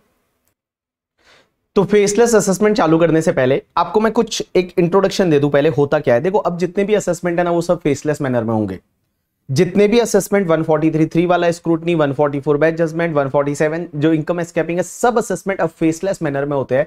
फेसलेस होते हैं, जिसमें आपको पता ही नहीं चलता कि नोटिस कहाँ से आ रहा है, क्या हो रहा है, कौन सी असेसमेंट यूनिट आपका असेसमेंट कर रही है, वैसे होता है। तो देखिए, इन्होंने क्या किया? सबसे ऊपर एक एनफेक्ट सेटअप किया है, जिसको बोला जाएगा नेशनल फेसलेस असेसमेंट सेंटर और ये दिल्ली में है। जैसे आपका सीपीसी है वो तो बैंगलोर में सेंट्रल प्रोसेसिंग सेंटर ये नेशनल फेसलेस असेसमेंट सेंटर है ना, इसको इन्होंने दिल्ली में सेटअप किया है। अब ये नेशनल फेसलेस असेसमेंट सेंटर के अंडर बहुत सारे यूनिट्स बना रखे हैं। अब जैसे क्या होता है, एक तो होता है असेसमेंट यूनिट एक होता है वेरिफिकेशन यूनिट एक होता है टेक्निकल यूनिट एक होता है रिव्यू यूनिट तो assessment unit verification unit technical unit and review unit अब नाम से पता चलता है कि असेसमेंट यूनिट का काम क्या होता होगा? असेसमेंट यूनिट आपका असेसमेंट करता होगा। तो जितने भी पॉइंट है आपके केस में असेसमेंट करने का जो मेन ज़िम्मेदारी है मेन जो काम है वो असेसमेंट यूनिट के पास होता है। जब भी आपके केस में कोई वेरिफिकेशन कराना है डॉक्यूमेंट्स वगैरह का इंक्वायरी करानी है वेरिफिकेशन कराना है तो वेरिफिकेशन यूनिट करेगी। अगर असेसमेंट यूनिट को कहीं पे कोई टेक्निकल हेल्प चाहिए टेक्निकल हेल्प मीन जैसे ट्रांसफ़र प्राइसिंग है फॉरेंसिक है अगर मान लो कोई वैल्यूएशन से रिलेटेड तो अगर कोई टेक्निकल हेल्प चाहिए तो वो टेक्निकल यूनिट हेल्प करेगी। एंड अगर एनफेक्ट को अगर लगता है कि जो भी असेसमेंट यूनिट है, वो असेसमेंट यूनिट ने असेसमेंट यूनिट ने जब असेसमेंट कंप्लीट किया तो उसमें उन्होंने जो ऑर्डर बनाते हैं, अगर उसका पहले एक बार रिव्यू कराना है तो रिव्यू यूनिट से एनफेक्ट क्या कराएगा? रिव्यू कराएगा। अब एक चीज़ समझना, आपसे जो कोऑर्डिनेट करेगा कभी भी तो वो असेसमेंट यूनिट या टेक्निकल यूनिट वेरिफिकेशन यूनिट ये आपसे कोऑर्डिनेट नहीं करेगा। आपसे हमेशा कोऑर्डिनेट है, वो एनफेक्ट करेगा नेशनल फेसलेस असेसमेंट सेंटर करेगा। तो आपको जितने भी नोटिस भेजे जाएँगे, वो एनफेक्ट भेजेगा। अब एक बात समझना एनफेक्ट क्या करेगा? आपका केस किसी असेसमेंट यूनिट को अलॉट कर देगा। अब असेसमेंट यूनिट को कुछ वेरिफिकेशन कराना है। तो क्या असेसमेंट यूनिट खुद वेरिफिकेशन यूनिट के पास जा सकती है ये वेरिफिकेशन करके देना। बोला, ऐसा नहीं होता है। असेसमेंट यूनिट को अगर वेरिफिकेशन कराना है तो असेसमेंट यूनिट किसको बोलेगा? असेसमेंट यूनिट एनफेक्ट को बोलेगा। एनफेक्ट क्या करेगा? ऑटोमेटेड अलोकेटेड सिस्टम से किसी भी वेरिफिकेशन यूनिट से वेरिफिकेशन करा सकता है। इससे करा सकता है, या फिर इससे करा सकता है, इससे करा सकता है। जहाँ जिससे लगे, उससे वेरिफिकेशन करा सकता है। कौन? एनफेक्ट और एनफेक्ट के पास में वेरिफिकेशन का रिपोर्ट आएगा, वो रिपोर्ट वापस वो असेसमेंट यूनिट को भेजेगा। अगर असेसमेंट यूनिट को कोई टेक्निकल हेल्प चाहिए तो असेसमेंट यूनिट है वो एनफेक्ट को बोलेगा। एनफेक्ट क्या करेगा? किसी टेक्निकल यूनिट को बोलेगा। टेक्निकल यूनिट है वो टेक्निकल हेल्प कर देगा और जो भी आएगा, वो वापस असेसमेंट यूनिट के पास भेजेगा। तो ऐसा अल्टीमेटली ये प्रोसीजर चलता है। तो चलिए, अपन एक काम करते हैं। सीधा इस प्रोसीजर पे जाते हैं। आप एक बार इसको ढंग से रीड करोगे, आपको समझ में आ जाएगा। मेरे को लगता है तीन चार मार्क का क्वेश्चन इससे कभी ना कभी बन सकता है करके ठीक है? चलिए, सबसे पहले प्रोसीजर क्या रहेगा? तो अभी जो भी आपका असेसमेंट होगा 143.3, 144 का या 147 का तो इस स्कीम के अकॉर्डिंग होगा। कैसे होगा? तो सबसे पहला national faceless assessment centre shall assign the case selected for the proposal purpose of faceless assessment to specific assessment unit through an automated automated system तो वो ऑटोमेटेड अलोकेटेड सिस्टम जो ए एस बेसिस पे करके double A S basis पे आपका क्या होगा? ए A S basis पे आपका ऑटोमेटेड अलोकेटेड सिस्टम बेसिस पे किसी भी असेसमेंट यूनिट को चला जाएगा। अब एक बात बताओ, मैं मुंबई का असेस हूँ तो क्या मेरा केस मुंबई वाली असेसमेंट यूनिट ही करेगी? आंसर इज़ नो हो सकता है कोलकाता वाली कर रही हो। हो सकता है तमिलनाडु में कोई चेन्नई में असेसमेंट यूनिट है, वो कर सकती है। हो सकता है लाइक क्या बोलते हैं दिल्ली वाली कर रही हो। अब एक बात समझना, दिल्ली वाली यूनिट है वो, मान लो असेसमेंट कर रही है वेरिफिकेशन हो सकता है हैदराबाद की यूनिट कर रही हो टेक्निकल हेल्प है वो हो सकता है, कोलकाता की यूनिट दे रही हो तो ऐसा नहीं होता है, यहाँ पे ऑटोमेटेड अलोकेटेड सिस्टम से पूरा ऑनलाइन होता है। तो चलिए, सबसे पहले आपका केस है, वो किसी असेसमेंट यूनिट को अलॉट हो जाएगा on the basis of automated allocated system के आपका असेसमेंट ये असेसमेंट यूनिट करेगी, वो आपको पता नहीं चलेगा। अब एक बात समझना एनफेक क्या करेगी? असएससी को बताएगी कि आपका जो असेसमेंट है, वो फेसलेस होने वाला है। आपको एक नोटिस आएगा, उसमें बोला जाएगा कि आपका असेसमेंट फेसलेस होगा। अब एक बात समझना एनफेक क्या करेगी? आपको स्क्रूटनी के लिए जो 143.2 का नोटिस सर्व करवाना है, या 142.1 का जो आपको रिया वाला नोटिस सर्व करवाना है, वो आपको एनफेक भेजेगी। और एनफेक भेजेगी और आपको अगर कोई आपका रेस्पॉन्स आता है असेसमेंट का नोटिस भेजेगी कि आपका ये असेसमेंट हो रहा है 143.2 का नोटिस भेजेगी 142.1 का नोटिस भेजेगी, आपका कोई भी अगर रेस्पॉन्स आता है तो वो रेस्पॉन्स असेसमेंट यूनिट को दे दिया जाएगा। अब एक बात समझना असेसमेंट यूनिट है, वो असेसमेंट यूनिट को अगर कोई इंफॉर्मेशन चाहिए असेसी से या किसी और पर्सन से। अगर कोई इंफॉर्मेशन चाहिए डॉक्यूमेंट चाहिए, किसको चाहिए? असेसमेंट यूनिट को। या असेसमेंट यूनिट को कोई वेरिफिकेशन कराना है, या असेसमेंट यूनिट को कोई टेक्निकल हेल्प चाहिए तो यहाँ पे एनफेक क्या करेगा? अगर एसएससी से इंफॉर्मेशन चाहिए तो वो एसएससी को एक नोटिस भेजेगा इंफॉर्मेशन के लिए डॉक्यूमेंट के लिए एविडेंस के लिए एसएससी को या किसी अदर पर्सन को। उसके साथ साथ में in fact to issue the notice to SSC SSC को नोटिस भेजेगा, किसी और पर्सन को नोटिस भेजेगा इंफॉर्मेशन के लिए डॉक्यूमेंट के लिए, और आपको एक टाइम देगा कि इतने टाइम में ये इंफॉर्मेशन डॉक्यूमेंट आप सबमिट कर लो। अगर यहाँ असेसमेंट यूनिट को क्या चाहिए था? अगर वेरिफिकेशन कराना है तो एनफेक क्या करेगा? वेरिफिकेशन कराने के लिए किसी वेरिफिकेशन यूनिट को बोलेगा कि हमको ये वेरिफिकेशन करके दो और वो ऑटोमेटेड अलोकेटेड सिस्टम से वेरिफिकेशन यूनिट को भेज देगा।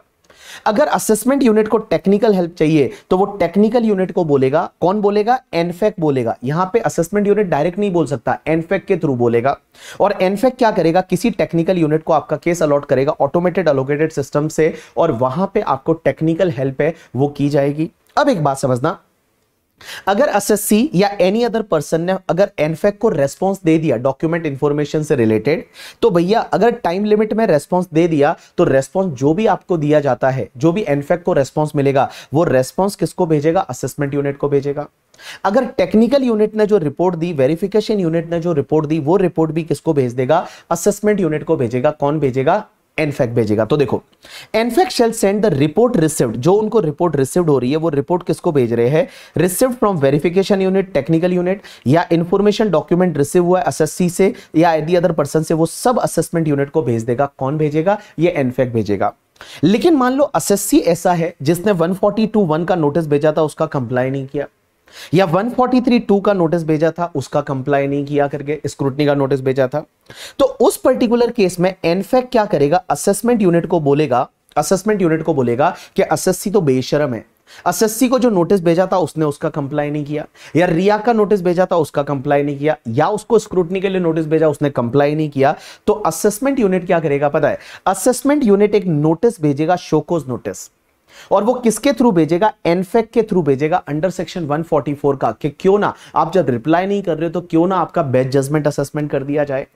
तो यहाँ पे असेसमेंट यूनिट है, वो एक नोटिस भेजेगा एनफेक के थ्रू एसएससी को भेजेगा और एसएससी को बोला जाएगा कि आप रिप्लाई नहीं कर रहे हो। आपने स्क्रूटनी का नोटिस का रिप्लाई नहीं किया या 140 टू 1 रिया का नोटिस भेजा था, उसका रिप्लाई नहीं किया। क्यों ना तुम्हारा बेस्ट जजमेंट असेसमेंट कर दिया जाए। अब एक बात समझना एसएससी अगर कोई रेस्पॉन्स फ़ाइल करता है तो वो रेस्पॉन्स एनफेक असेसमेंट यूनिट को देगा। एसएससी अगर मान लो रेस्पॉन्स फ़ाइल नहीं करता है तो वो भी असेसमेंट यूनिट को बता देगा। अब एक बात समझना असेसमेंट यूनिट क्या करेगी?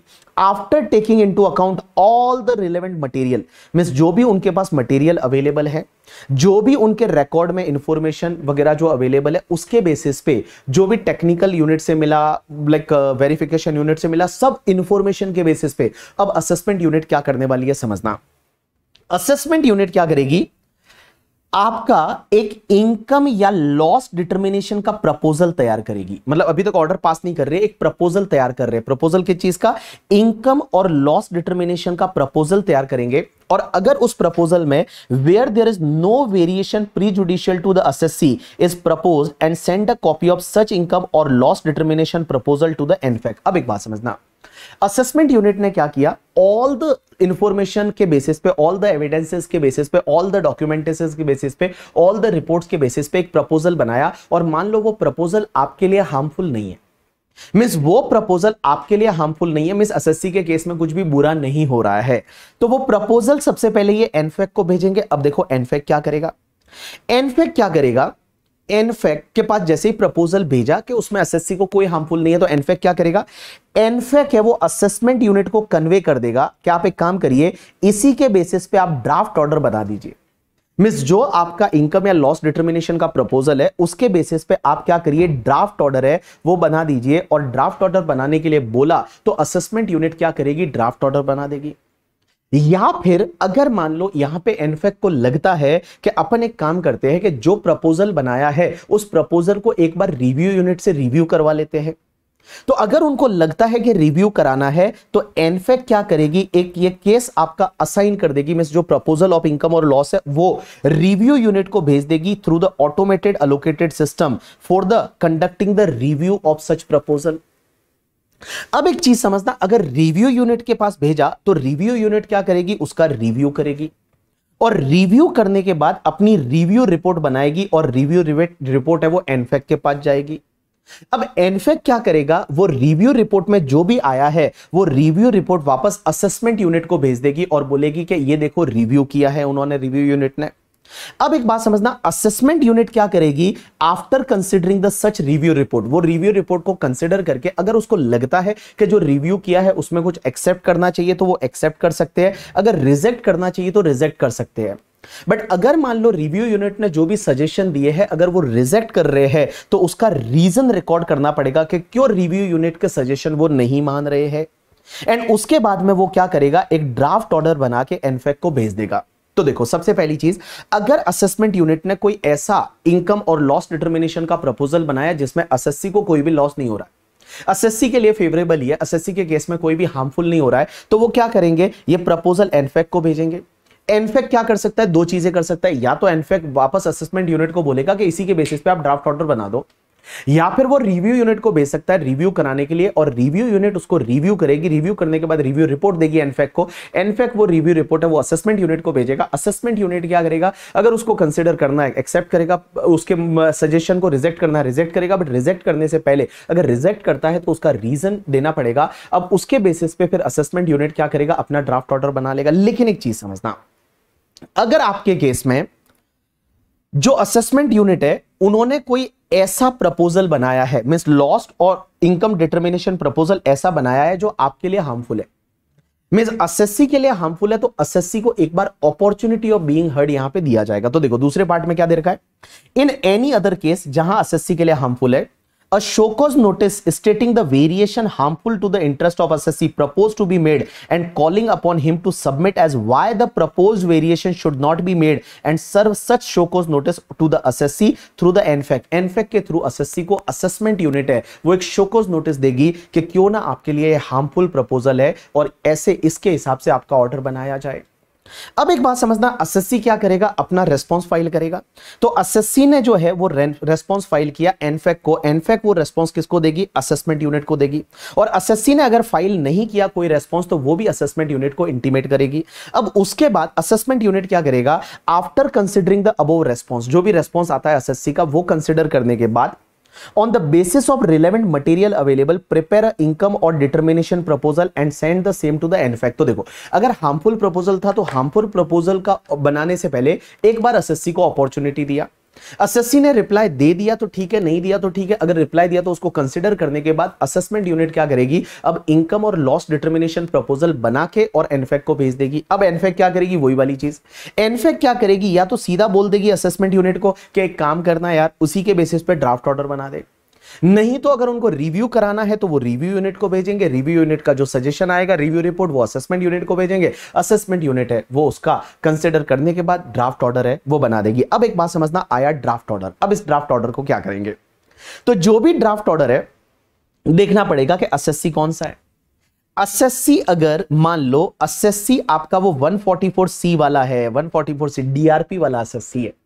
आपको पता है नॉन रेजिडेंट फॉरेन कंपनी के केस में, या फिर मान लो कोई भी ऐसा है जिसका केस टीपीओ को ट्रांसफ़र हुआ था, उसके ऑर्डर की वजह से आपके केस में वेरिएशन हुआ है तो आपको ड्राफ्ट ऑर्डर भेजा जाता है। अगर एस वो वाला है तो तो क्या होगा?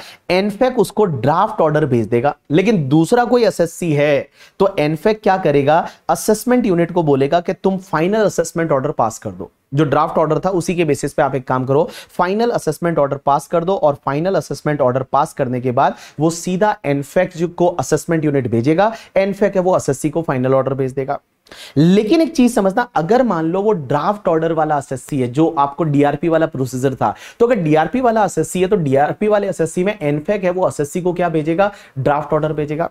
एसएससी या तो एक्सेप्टेंस दे सकता है या ऑब्जेक्शन कर सकता है। अगर ऑब्जेक्शन किया है तो केस किसको चला गया होगा? डीआरपी को डिस्प्यूट रेजोल्यूशन पैनल को चला गया होगा। और डिस्प्यूट रेजोल्यूशन पैनल से जो भी यहाँ पे आएगा सजेशन यहाँ पे एनफेक असेसमेंट यूनिट को बोलेगा कि जो डीआरपी ने सजेशन दिए हैं, जो डीआरपी ने डिस्प्यूट रेजोल्यूशन पैनल ने अपने जो डायरेक्शन दिए है, वो डायरेक्शन के हिसाब से आप एक काम करिए कि फाइनल ऑर्डर बना दीजिए और फाइनल ऑर्डर बना के और वो फिर किसको भेजा जाएगा? एसएससी को भेज दिया जाएगा। अब गाइज़ यहाँ पे समझना, जब भी असेसमेंट आपका कंप्लीट हो जाता है, जितने भी आपके इलेक्ट्रॉनिक रिकॉर्ड है, वो आपका जो जुरिस्डिक्शनल एओ है ना, उसको भेज दिया जाएगा। मान लो मेरा असेसमेंट हो रहा है, मेरा एओ जो है, वो मुंबई का है, लेकिन असेसमेंट है, वो फेसलेस हुआ है तो मेरे जितने भी इलेक्ट्रॉनिक रिकॉर्ड है, वो सब मेरे एओ को, मुंबई वाले को भेज दिए जाएँगे। अब एक चीज़ समझना, यहाँ पर ये मैंने आपको एनफेक्ट बताया असेसमेंट यूनिट बताया वेरिफिकेशन यूनिट बताया टेक्निकल यूनिट बताया रिव्यू यूनिट बताया। अब यहाँ पर एक चीज़ समझना, कुछ इंपॉर्टेंट पॉइंट और है जिसको आपको ध्यान देना पड़ेगा। सबसे पहले कि सर ये assessment unit verification unit technical unit review unit में कौन से ऑफिसर रहेंगे? तो गाइज़ इसमें असेसिंग ऑफिसर रहते हैं। जो भी ये assessment unit verification unit technical unit review unit है, उनमें बेसिकली ऑफिसर कौन से रहेंगे? या तो एडिशनल सीआईटी या एडिशनल डीआईटी या जेसी जेडी ये सबसे बड़े officer DC that is deputy commissioner DD mean deputy director assistant director assistant commissioner ITO as the case में भी इसके साथ साथ में कोई भी इनकम टैक्स अथॉरिटी या मिनिस्ट्रियल स्टाफ या एग्जीक्यूटिव या कंसल्टेंट को भी वो लोग ले सकते हैं जो कि बोर्ड को सही लगे मीन सीबीडीटी और भी लोगों को यहाँ पे रिक्रूट कर सकती है जैसे चार्टर्ड अकाउंटेंट को भी रिक्रूट करना चाहे तो कर सकती है इन यूनिट्स में अब एक बात समझना जितने भी ये कम्युनिकेशन होंगे ना जितने भी इनके बीच में कम्युनिकेशन एस के बीच में एनफेक के बीच में assessment unit technical unit verification unit review unit इन सबके बीच में जो भी कम्युनिकेशन होंगे ये जितने भी कम्युनिकेशन है ना वो इलेक्ट्रॉनिक मोड में होंगे। मीन्स जितने भी कम्युनिकेशन है, वो सब इलेक्ट्रॉनिक मोड में होने वाले हैं मीन्स आपके ऑनलाइन होने वाले हैं, कोई भी फ़िज़िकल नहीं होगा। लेकिन इसमें एक चीज़ समझना, जो वेरिफिकेशन कंडक्ट करना पड़ता है ना, बहुत बार वेरिफिकेशन यूनिट को जो वेरिफिकेशन कंडक्ट करना पड़ता है तो वेरिफिकेशन तो ऑब्वियसली फ़िज़िकल जाके भी कंडक्ट कर सकते हैं, अगर वो बोला जाए तो। उसके बाद में एक और चीज़ समझना। नेक्स्ट पॉइंट ये आता है कि जब भी आपके लिए अगर असेसमेंट यूनिट ने कोई ऐसा वेरिएशन बनाया जो आपके लिए हार्मफुल है तो आपको शोकोज नोटिस दिया जाएगा। और शोकोज नोटिस दिया जाएगा और शोकोज नोटिस में आपको भेजा जाएगा कि क्यों ना हम ये वेरिएशन है, वो आपके केस में कर ले। अब यहाँ पे एक चीज़ समझना, आप अगर वहाँ पे हियरिंग मांगते हो तो आपको हियरिंग मिलेगा। और हियरिंग जो मिलेगा मीन आप, आप, आप बोलते हो कि सर हम इसको लिख के एक्सप्लेन नहीं कर सकते हम वीडियो कॉन्फ्रेंसिंग करना चाहते हैं। तो अगर आप वीडियो कॉन्फ्रेंसिंग करना चाहते हो तो आप उसके लिए रिक्वेस्ट करोगे और रिक्वेस्ट करने के बाद अगर आप रिक्वेस्ट करते हो तो आपको वीडियो कॉन्फ्रेंसिंग का फैसिलिटी मिलेगा और वीडियो कॉन्फ्रेंसिंग से आपका चार्टर्ड अकाउंटेंट एस है वो अपने पॉइंट है वो पुट कर सकते हैं वो एक्सप्लेन कर सकते हैं करके ठीक है? अब एक बात समझना किसी भी पर्सन को यहाँ पे जो एग्जामिन किया जा रहा है कोई भी स्टेटमेंट रिकॉर्ड किए जा रहे हैं, वो भी वीडियो कॉन्फ्रेंसिंग के थ्रू ही होंगे। अब सीबीडीटी क्या करेगी? अगर आपके पास लैपटॉप वगैरह नहीं है तो सीबीडीटी बहुत सारे इनकम टैक्स डिपार्टमेंट्स में वहाँ पे वीडियो कॉन्फ्रेंसिंग का फैसिलिटी प्रोवाइड करेगी। तो आपके पास नहीं है तो आप इनकम टैक्स डिपार्टमेंट चाहिए वहाँ पे उन्होंने ऐसे रूम बना रखे, वहाँ जाके आप बैठिए और भैया आपकी वीडियो कॉन्फ्रेंसिंग है, वो वहाँ से हो जाएगी।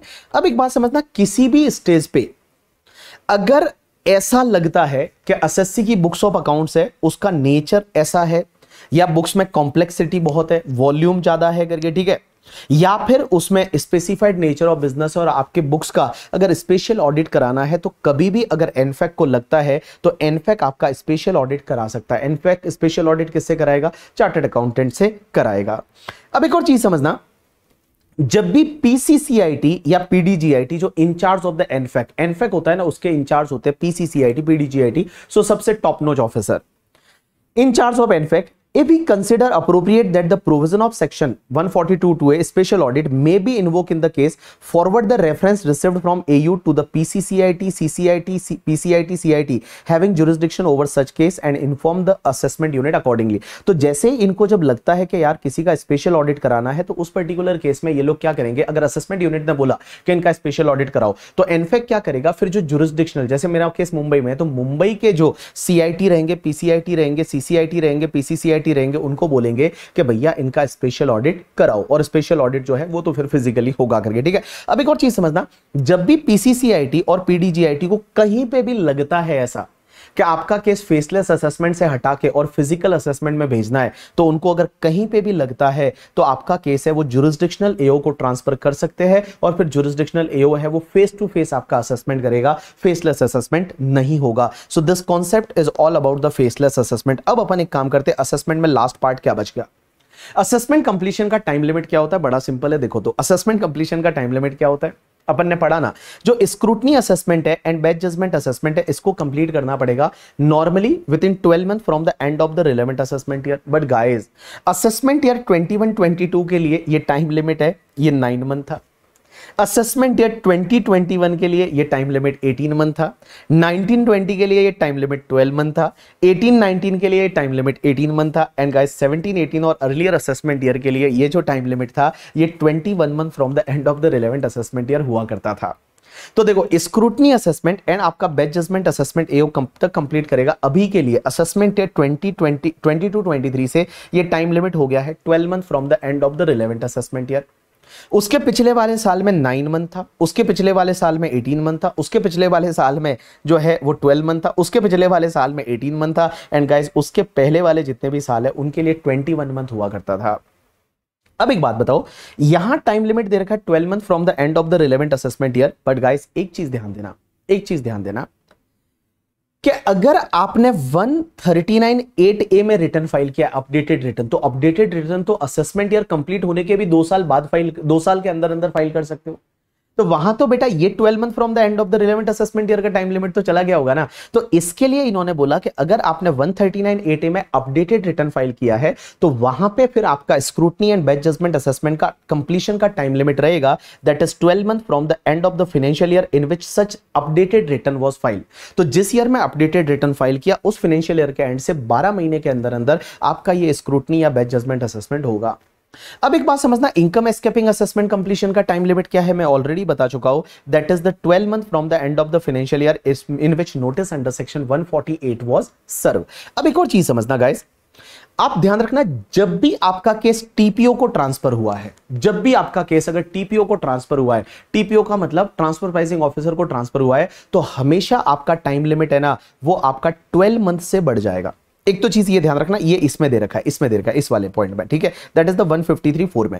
153 बोलता है कि फोर बोलता है कि आपका केस अगर टीपीओ को ट्रांसफ़र हुआ है under section 92 C in the transfer pricing तो हमेशा आपका जो टाइम लिमिट है वो 12 मंथ से बढ़ जाएगा।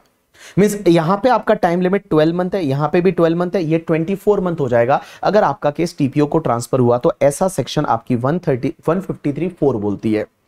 अब एक बात समझना 153 थ्री क्या बोलती है, पता है? 153.3 ये बोलती है, समझना, अगर समझ पाओ तो कि अगर आपके केस में सीआईटी अपील में या आईटेट में या तुम्हारे, क्या बोलते हैं सीआईटी अपील में सीआईटी अपील में नहीं, यहाँ पे सीआईटी एडमिन के पास अगर आपका 263 264 का कोई रिवीजन चल रहा था 263 264 revision revision appeal and revision topic में आता है। अगर वो रिवीजन चल रहा था या आईटेड के पास आपका केस चल रहा था और उन्होंने आपका असेसमेंट कैंसिल कर दिया और एओ को बोला फ्रेश असेसमेंट करके लेके आओ। ऐसा पता है?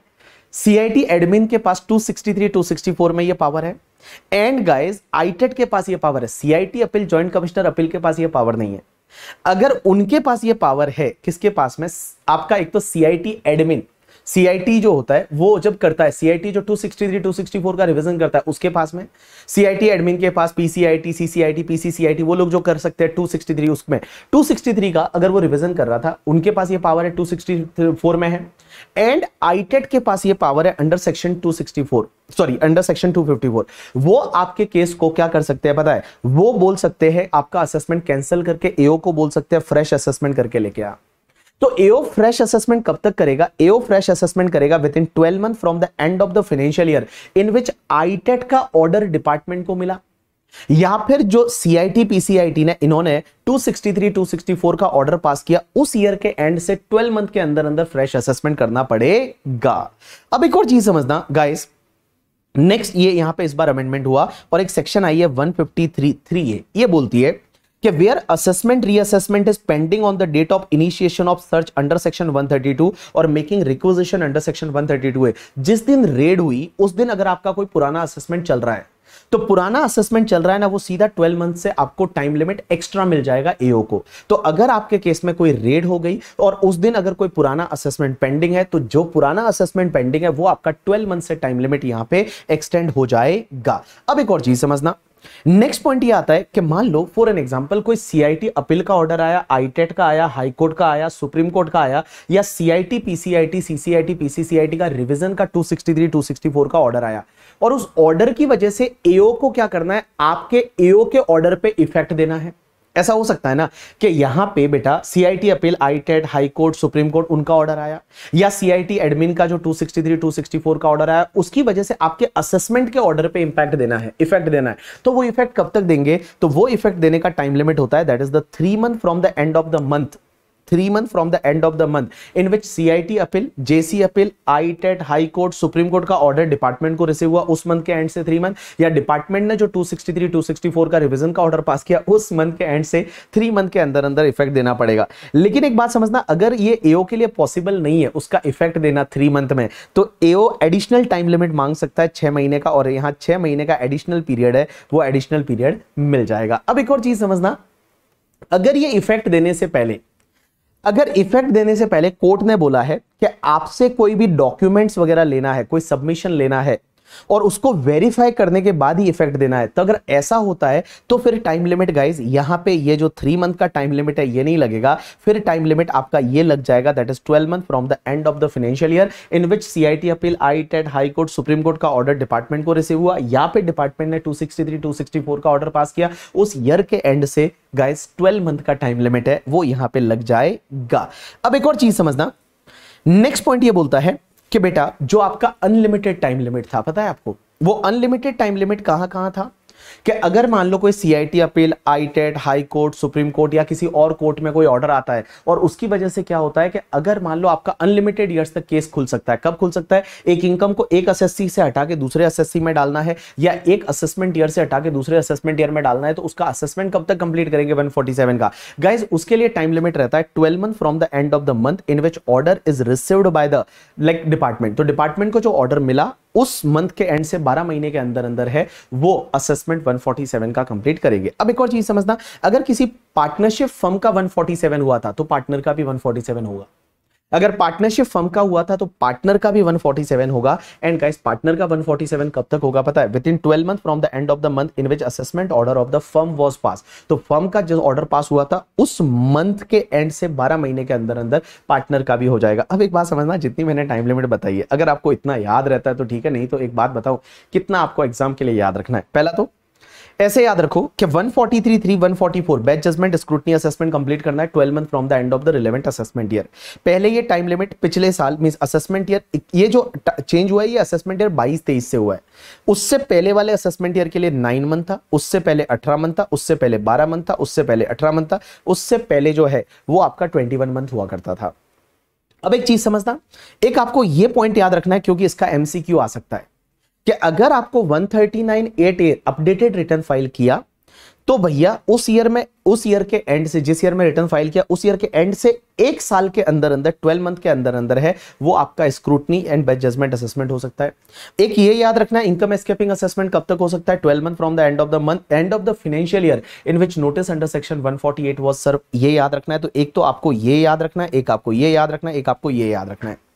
अगर ये फ्रेश असेसमेंट वाला याद रख सको तो ठीक है, नहीं तो नहीं रखोगे तो भी चल जाएगा। उसके बाद ये दो पॉइंट ज़रूर याद रखने हैं। एक तो आपका, अगर आपके केस में रेड हो जाती है, या आपके केस में कोई रिक्वजिशन होता है तो जो असेसमेंट कंप्लीशन का टाइम लिमिट जो असेसमेंट पेंडिंग चल रहे हैं, उसमें बारह महीने एडिशनल मिल जाएगा। एंड अगर आपका केस टीपीओ को ट्रांसफ़र हुआ था तो आपका जो असेसमेंट कंप्लीशन का टाइम लिमिट है, वो ट्वेल्व मंथ से बढ़ जाएगा। तो इतना ये चार पॉइंट तो आपको याद रखने पड़ेंगे। ये चार पॉइंट है, वो तो आपको याद रखने पड़ेंगे करके। ठीक है, चलिए।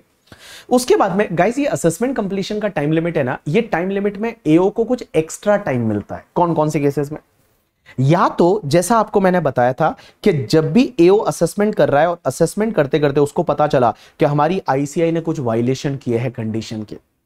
आईसीआई ने कुछ वायलेशन किया है तो आईसीआई ने वायलेशन किया है तो ये एओ क्या करेगा? सेंट्रल गवर्नमेंट को इन्फॉर्म करेगा प्रिस्क्राइब अथॉरिटी को इन्फॉर्म करेगा। तो इन्फॉर्म किया जिस दिन उसने उनको रेफर किया इन्फॉर्म किया, उस दिन से लेके और उनका वापस नोटिफिकेशन आया कि इनका तो एग्जामेशन विड्रॉ कर लो। तो जितन, जिस दिन इन्फॉर्म किया था और जिस दिन उसको नोटिफिकेशन जो आता है, एक बात बताऊँ, उसके बीच में जितना टाइम खराब हुआ, उतना एओ को एडिशनल टाइम मिल जाएगा।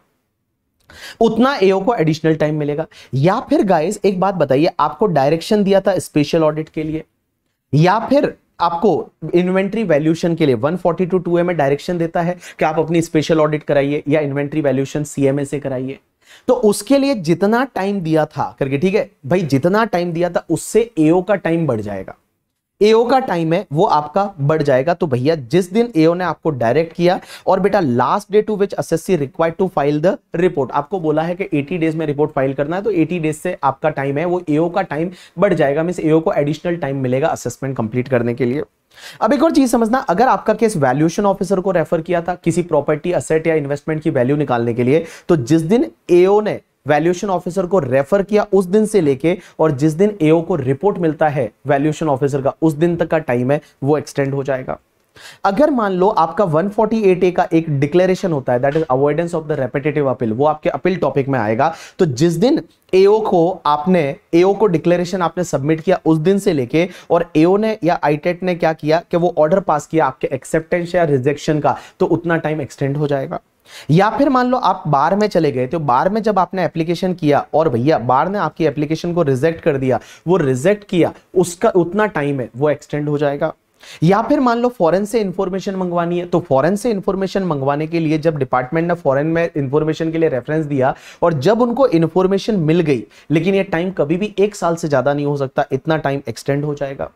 अब एक और चीज़ समझना, अगर आपके केस में सर्च हुआ है या रिक्वजिशन हुआ है आपके केस में या किसी और के केस में। एंड गाइस जब सर्च हुआ था उस दिन से लेके और date on which books of accounts document money etcetera etcetera handed over to assessing officer having jurisdiction over SSC उतना टाइम एओ को एक्सेस मिल जाएगा। एंड गाइस एक चीज़ ध्यान रखना, यहाँ पे मैक्सिमम 180 डेज़ हो सकता है, उससे ज़्यादा नहीं हो सकता। जैसे मान लो आपके केस में सर्च हुई या किसी और के केस में सर्च हुई और बेटा सर्च करने जाता है, वो तो ऑफिसर दूसरा रहता है। जैसे रिलायंस का एग्जांपल लिया था रिलायंस का एओ मुंबई का है और सर्च करने गए, वो हैदराबाद का एओ गया, दिल्ली का एओ गया, चेन्नई का एओ गया तो उसके पास जो बुक्स ऑफ़ अकाउंट्स डॉक्यूमेंट वगैरह है, वो सब मुंबई के एओ को देंगे। तो जिस डेट को सर्च चालू हुआ था रेड चालू हुई थी और जिस डेट को यहाँ पे मुंबई के एओ को सब असेट्स वगैरह मिली, उस डेट तक का जितना टाइम है, वो असेसमेंट कंप्लीट में एक्स्ट्रा मिल जाएगा एओ को। बट ये कभी भी 180 डेज़ से ज़्यादा एक्सटेंड नहीं हो सकता। अब एक और चीज़ समझना, आपको मैंने बताया था कि एओ को अगर लगता है कि जो ट्रस्ट है उसने स्पेसिफाइड वायलेशन किए हैं तो एओ क्या करेगा? ट्रस्ट का केस है, वो एओ सीआईटी को बोलेगा कि एओ ने एओ सीआईटी को बोलेगा कि ट्रस्ट ने स्पेसिफाइड वायलेशन किया है। कि trust specific caste community religion के लिए काम कर रहा है ट्रस्ट की एक्टिविटी जेन्युइन नहीं है ट्रस्ट अदर लॉ को फॉलो नहीं कर रहा। अगर ऐसा हुआ तो बेटा, जिस डेट को उस एओ ने रेफरेंस किया सीआईटी पीसीआईटी को उस दिन से लेके जिस दिन उसको ऑर्डर मिला C I T P C I T का ऑर्डर मिलता है कि इसका कैंसिल कर देते रजिस्ट्रेशन या फिर रिफ्यूज टू कैंसिल का ऑर्डर मिला, उतना टाइम एओ को असेसमेंट कंप्लीट करने में एक्स्ट्रा मिलेगा। या फिर मान लो किसी कोर्ट का स्टे ऑर्डर आ गया तो जितना स्टे पीरियड है, उतना टाइम एक्सटेंड हो जाएगा। या फिर नया एओ आया तो आपको रीहड का अपॉर्चुनिटी दिया तो रीहड की अपॉर्चुनिटी जो दी जाती है, उसमें जितना टाइम रीहड में खराब होता है, उतना टाइम एओ को एक्स्ट्रा मिल जाएगा। एंड गाइज़ ये सब टाइम एक्सटेंड जो हुआ, ये सब एक्सक्लूड करने के बाद, जितना टाइम एक्सटेंड हुआ, ये सब एक्सक्लूड करने के बाद सब एक्सक्लूड करने के बाद भी अगर एओ को 60 डेज़ से कम बचता है तो एओ को मिनिमम 60 डेज़ मिलेगा। अब एक बात समझना, जी, ये जो इससे रिलेटेड एग्ज़ाम्पल मैंने आपको क्लास में कराया था, आपके पास बुक रहेगा तो आपको पता रहेगा, यहाँ पे वो एग्ज़ाम्पल लिखा हुआ है करके, ठीक है? चलिए तो मैं आपको बताऊँ ये तुम्हारा असेसमेंट प्रोसीजर है, ये लास्ट वाला जो टाइम लिमिट वाला था, इसको आप थोड़ा ढंग से देखोगे एक दो बार तो आपको समझ में आ जाएगा। अब एक बात समझना, जब असेसमेंट प्रोसीजर टॉपिक आप करते हो ना तो असेसमेंट प्रोसीजर के साथ साथ में आपको है ना, एक और टॉपिक करना चाहिए साथ साथ में ही करके, ठीक है? और वो कौन सा टॉपिक आपको करना चाहिए, एक पता मिसलेनियस टॉपिक करके मैंने दे रखा है। ये वाला। That is miscellaneous provision of for the assessment ये वाला भी इसके साथ में आपको करना चाहिए। एक सेक्शन होती है दैट इज़ द 281 और सेक्शन 281 क्या बोलती है, पता है? कि आपके कुछ ट्रांसफ़र ऐसे हैं जो डिपार्टमेंट वॉइड डिक्लेयर कर सकता है। जैसे आपने कोई प्रॉपर्टी या किसी को बेची डिपार्टमेंट चाहे तो उसको वॉइड डिक्लेयर कर सकता है। अब ये कब करता है, कैसे करता है तो अपन एक काम करते हैं मिसलेनियस प्रोविज़न को भी अपन एक बार रिवाइज कर लेते हैं, आपको समझ में आ जाएँगे। ये सेक्शन क्या बोलती है कि अगर मान लो आपका कोई भी असेसमेंट पेंडिंग चल रहा है मीन असेसमेंट है, वो पेंडिंग चल रहा है, और असेसमेंट पेंडिंग चल रहा है, और वहाँ पे क्या हुआ आपके ऊपर कोई भी टैक्स या पेनल्टी या इंटरेस्ट या फाइन है, जो कि पाँच हज़ार से ज़्यादा है और वो एसएससी को पे करना है। Miss where any tax penalty interest और फाइन है, जो कि पाँच हज़ार से ज़्यादा है और वो आपको पे करना था। एंड गाइज़ आप क्या कर रहे हो पता है? कोई असेट बेच देते हो जो कि दस हज़ार रुपए से ज़्यादा की है। कोई असेट है, वो आप बेच देते हो during the pendency of the assessment under the act करके। जैसे मान लो आपका असेसमेंट चल रहा था, आपका कोई पे करना बाकी है, वो पाँच हज़ार से ज़्यादा का डिमांड बाकी है। और आप टेन थाउज़ेंड से ज़्यादा का असेट किसी को ट्रांसफ़र कर देते हो तो डिपार्टमेंट के पास ये पावर है कि आप जो असेट ट्रांसफ़र कर रहे हो ना, उसको ट्रांजेक्शन को वॉइड डिक्लेयर कर सकते हैं ये लोग। ट्रांजेक्शन को वॉइड डिक्लेयर कर सकते हैं, लेकिन कौन से केसेस में? यहाँ पे कुछ एक्सेप्शनल केसेस है, जहाँ ट्रांजेक्शन को वॉइड डिक्लेयर नहीं करेंगे। कब कब? सबसे पहला, अगर मान लो आप स्टॉक इन ट्रेड बेच रहे हो, अरे यार स्टॉक इन ट्रेड तो बेचोगे दूसरा, अगर मान लो कोई असेट को आपने बेच दिया, वो आपने एडिक्वेट कंसिडरेशन पे बेचा है एंड आपको पता ही नहीं था कि आपका असेसमेंट चल रहा है या कोई भी अमाउंट है, वो पेंडिंग है, आपको पता ही नहीं था। एंड तीसरा, अगर आप एओ की अप्रूवल लेके किसी असेट को बेच देते हो तो चलेगा। अब एक बात समझना, जैसे कोई एक मनोज काबरा, अलाहाबाद हाईकोर्ट का जजमेंट है, इसमें क्या हुआ कि एसएससी ने एक प्रॉपर्टी बेच दी। एक इमूवेबल प्रॉपर्टी बेच दी पेंडिंग असेसमेंट था तो क्या डिपार्टमेंट खुद ही उसको वॉइड डिक्लेयर कर सकता है? या डिपार्टमेंट को सूट फ़ाइल करना पड़ेगा कोर्ट में और कोर्ट इनवैलिड डिक्लेयर करेगी? राइट आंसर इज़ उसको क्या करना पड़ेगा? कोर्ट में फ़ाइल करना पड़ेगा। एओ क्या करेगा? एक केस फ़ाइल करेगा कोर्ट में और कोर्ट जो है, वो वॉइड डिक्लेयर कर सकती है ट्रांजेक्शन को। चलिए, उसके बाद में एक सेक्शन आती है टू बी और मैं एक बात बताऊँ, चार मार्क का क्वेश्चन इससे आता ही आता है। आप इसको लिख के ले लो, आप जब अगर कंपाइलर देखोगे तो उसमें प्रोविजनल अटैचमेंट से रिलेटेड कितने सारे पॉइंट्स दे रखे हैं। ये सेक्शन क्या बोलती है? 281 बी ध्यान देना, ये सेक्शन बोलती है कि अगर मान लो आपका कोई असेसमेंट चल रहा है, आपका कोई असेसमेंट चल रहा है मीन असेसमेंट प्रोसीजिंग प्रोसीडिंग है असेसमेंट नॉर्मल असेसमेंट या इनकम एस्केपिंग असेसमेंट है, वो आपका असेसमेंट चल रहा है।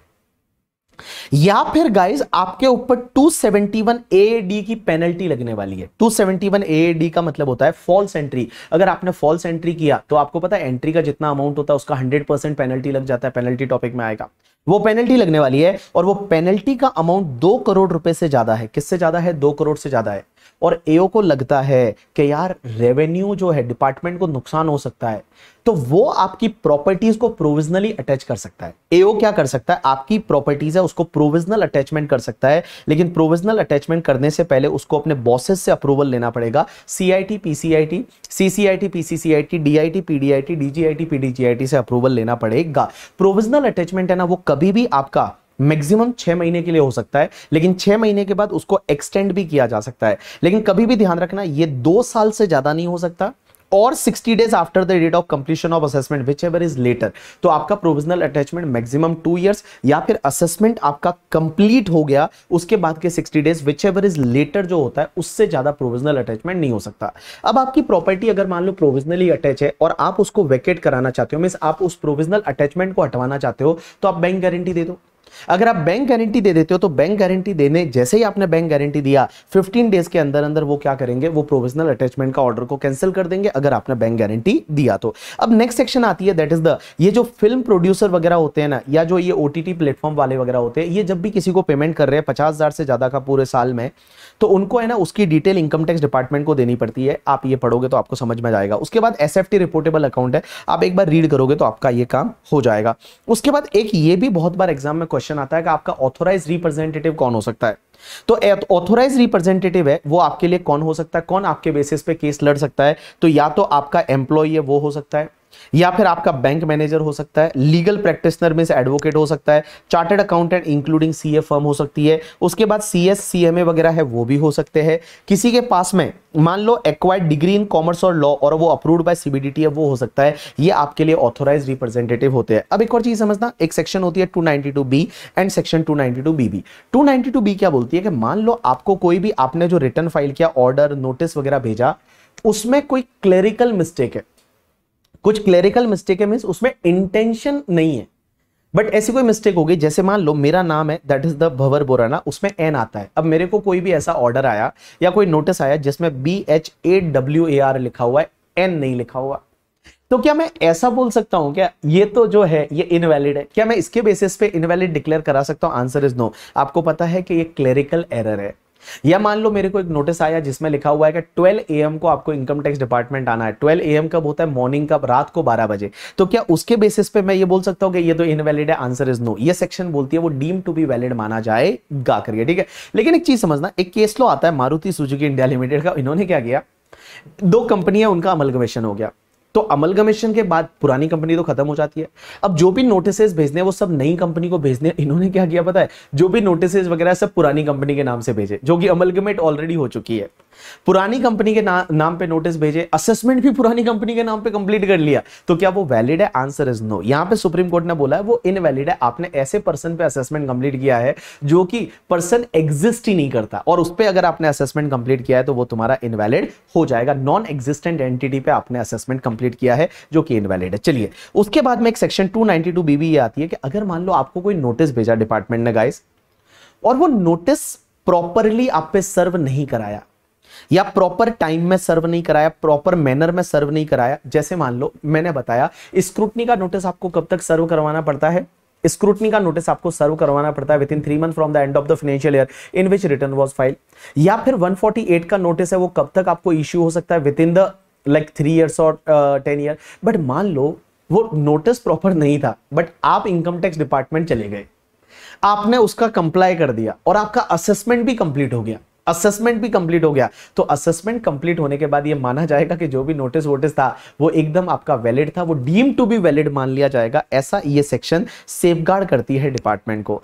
लेकिन एक केस में तो क्या हुआ, पता है? स्क्रूटनी असेसमेंट कंप्लीट कर दिया, उसके लिए स्क्रूटनी का नोटिस ही नहीं भेजा था वन में। 143.2 में स्क्रूटनी का नोटिस ही नहीं भेजा और उन्होंने स्क्रूटनी असेसमेंट कंप्लीट कर दिया। तो क्या ये क्योरेबल डिफ़ॉल्ट माना जाएगा? आंसर इज़ नो गाइस ये क्योरेबल नहीं है। ये जो है ये क्योरेबल नहीं है। अगर 143.2 का नोटिस ही नहीं भेजा अरे नोटिस तो भेजना पड़ेगा ना। नोटिस अगर प्रॉपर मैनर में नहीं भेजा तो ठीक है इस सेक्शन से सेव हो सकता है अगर असेसमेंट कंप्लीट हो गया।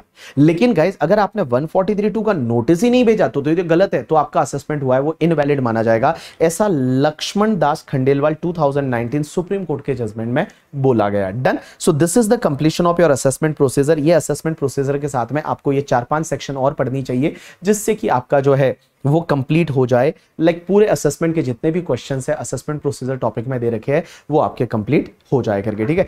चलिए गाइस तो मैंने आपको आज असेसमेंट प्रोसीजर रिवाइज कराया। तीन घंटे से ज़्यादा टाइम लगा। मैंने सोचा था कि शायद अपील भी हो जाएगा तीन घंटे में बट नहीं। तीन घंटे से ज़्यादा तो सिर्फ़ असेसमेंट प्रोसीजर को रिवाइज करने में लगा और उसमें एक घंटे का टाइम तो सिर्फ़ रिटर्न फाइलिंग में लग गया। अब आपके एग्ज़ाम में हम क्या क्वेश्चन एक्सपेक्ट कर सकते हैं? तो मैं आपको बताऊँ। एक तो एग्ज़ाम में जो जो अमेंडमेंट्स वाला पार्ट है ना, वो ढंग से देख के जाना। अमेंडमेंट्स वाले पार्ट में, एक तो 147 में, जो अमेंडमेंट्स है 147 तो आप पूरा ढंग से देख के जाओगे ही जाओगे। उसके साथ में रिटर्न फाइलिंग वाला पार्ट ढंग से देख के जाना करके, ठीक है? जिसमें वो बोलते हैं ना कि किसको रिटर्न फ़ाइल करना मैंडेटरी है, जैसे आपके करंट अकाउंट में more than one crore depot क्योंकि वो एग्ज़ाम में आ सकता है एमसीक्यूज वगैरह करके, ठीक है? और बाकी जो अमेंडमेंट हुए, जैसे इस बार स्पेशल ऑडिट के साथ साथ वैल्यूएशन वो क्या बोलते हैं उसका रिपोर्ट भी मंगा सकते हैं करके, ठीक है? रिपोर्ट इसका, क्या बोलते हैं सी सीएमए से इन्वेंट्री वैल्यूशन का रिपोर्ट। तो वो भी एग्ज़ाम में आ सकता है तो जो अमेंडमेंट वाला पार्ट है, वो आप ढंग से करके जाओगे और इस लेक्चर को अगर दो चार बार आप सुनोगे और उसके साथ में बुक से आप देखोगे तो आपको बहुत सारी चीज़ें हैं, वो आपको समझ में आ जाएगी करके, ठीक है? चलिए, अब एक बात समझना, ये जो टॉपिक है ना, ये टॉपिक अपने आप में एक महासागर है, इतना इजी टॉपिक नहीं है। मैंने मेरा यहाँ पे एफर्ट डाला, तीन घंटे में मैंने ट्राई किया कि पूरा असेसमेंट प्रोसीजर है, वो आपको रिवाइज करके और मैं दे दूँ, और मैंने मेरा प्रॉमिस कंप्लीट किया। अब आपकी बारी है। आपका प्रॉमिस ये होना चाहिए कि, सर, इसमें से कोई भी क्वेश्चन आया तो हम अटेंड कर पाएँगे। एटलीस्ट उसमें, चलो, आठ मार्क्स का क्वेश्चन आए, पूरे आठ मार्क्स नहीं आएँगे बट हम पाँच छह मार्क्स तो ले ही आएँगे। अगर इतना कॉन्फिडेंस है तो मैं बताऊँ, आपको मार्क्स मिल जाएँगे। एक और चीज़ बताओ, कभी ये टॉपिक आप बोलोगे कि ऑप्शन में छोड़ के चले जाए, नहीं जाना चाहिए। क्योंकि अगर एमसीक्यू में पूछ लिया तो आप चले जाओगे। एमसीक्यू में पूछ लिया, और अगर एमसीक्यू उसने जैसे मॉक टेस्ट पेपर में आप देखोगे तो उसमें टाइम लिमिट से रिलेटेड एमसीक्यूज बनाए हैं। तो अगर एमसीक्यू में पूछ लिया तो वहाँ पे दिक्कत आ जाएगी। तो इसके लिए मैं बोलता हूँ कि इसको आप छोड़ के मत जाइए। एटलीस्ट आप एक दो बार रिविजन लेक्चर देख लीजिए। एक एटलीस्ट एक दो बार आप बुक से गो थ्रू कर लीजिए। तो आपको क्या होगा एटलीस्ट आइडिया रहेगा कि एग्ज़ाम में अगर क्वेश्चन आता है तो उसको आप अटेम्प्ट कर पाओगे ठीक है? चलिए, बाकी उसके बाद पढ़ाई चल रही है और पढ़ाई चलनी भी चाहिए करके, ठीक है? बहुत बार ऐसा होता होगा कि कभी कभी मन कर रहा है पढ़ने का बट बहुत बार नहीं हो रहा है, मन ही नहीं कर रहा है। अगर आप पढ़ रहे तो प्रोडक्टिविटी नहीं आ रही है। ये नॉर्मल है, सबके साथ होता है।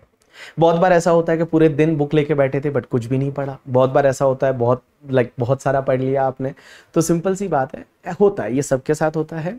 इसमें कोई नई बात नहीं है बट वही है कि उससे आप कितना जल्दी वापस बाहर निकल के और वापस से आप पढ़ाई पे फोकस करो। क्योंकि अभी तो कुछ दिन ही तो पढ़ना है। और इतने दिन अगर आपने पढ़ लिया ना, इतने जो छोटे से, जो कुछ दिन दिख रहे हैं, उतने दिन ही तो पढ़ना है। उसके बाद में लाइफ सच में सेट है। क्योंकि उसके बाद आपको पढ़ना नहीं पड़ेगा। उसके बाद आपको कमाना है। कमाना इजी है। कमा, आप आराम से सकते हो अर्न कर सकते हो अच्छा अर्न करोगे पार्टी करोगे। मज़े करेंगे, हम लोग भी पार्टी साथ में करेंगे, लेकिन उसके लिए पढ़ना तो पड़ेगा ना। दिस इज़ योर प्रोसेस ये प्रोसेस पे ध्यान देना पड़ेगा। I am a big fan of the Mahendra Singh Dhoni C S K captain और मुझे उसकी बातें याद रहती है, जो वो बोलता है कि यार, आप रिज़ल्ट मत देखो कि रिज़ल्ट क्या रहेगा। आपको क्या करना पड़ेगा ना, जो प्रोसेस है ना, उस प्रोसेस पे ध्यान देना पड़ेगा। और जो प्रोसेस है, वो आज आप कर रहे हो ना, अभी जो आप करोगे this is call your process if your process is perfect then your finish goods will be very good now आप लोग कैसे हो ना? आपका डिज़ायर तो ये है कि यार हमको पास होना है, ये करना है रैंक लाना है, वो करना है बट आप प्रोसेस पे ध्यान नहीं दे रहे हो। मेरा मानना यह है कि आप प्रोसेस पे ध्यान दो। अगर ये प्रोसेस पे ध्यान देंगे तो ऑब्वियसली आपका जो डिज़ायर रिज़ल्ट है, वो आपको मिल जाएगा करके, ठीक है? सो so गाइज़ बस आज के लिए इतना बहुत है। बाकी हम अगले रिवीजन लेक्चर में मिलेंगे और मैं बताऊँ, इस प्रोसेस पे आप ध्यान दोगे, अपने आप आपका जो डिज़ायर रिज़ल्ट है, वो आपको मिल जाएगा और अपने आप से ईमानदार रहो। अपने आप से कब तक झूठ बोलोगे? अपने आप को कब तक कंफर्ट जोन में रखोगे? अपने आप से कब तक बेईमानी करोगे? यार, कहीं ना कहीं तो कोई ना कोई तो ईश्वर है जो आपको देख रहा है कि आप अपने साथ चिटिंग कर रहे हो या अपने साथ लॉयल हो, अपने साथ ईमानदार हो या नहीं हो। अपने साथ में एटलीस्ट ईमानदार होना चाहिए। जो आप काम कर रहे हो ना, उसके साथ में आपको ईमानदार होना चाहिए। उसके साथ आपको ऑनेस्ट होना चाहिए। उसके साथ लॉयल होना चाहिए। अगर आप उसके साथ लॉयल हो तो अच्छा रिज़ल्ट मिलेगा। आप बिल्कुल टेंशन ना लीजिए। Thanks a lot people that's enough for today from my side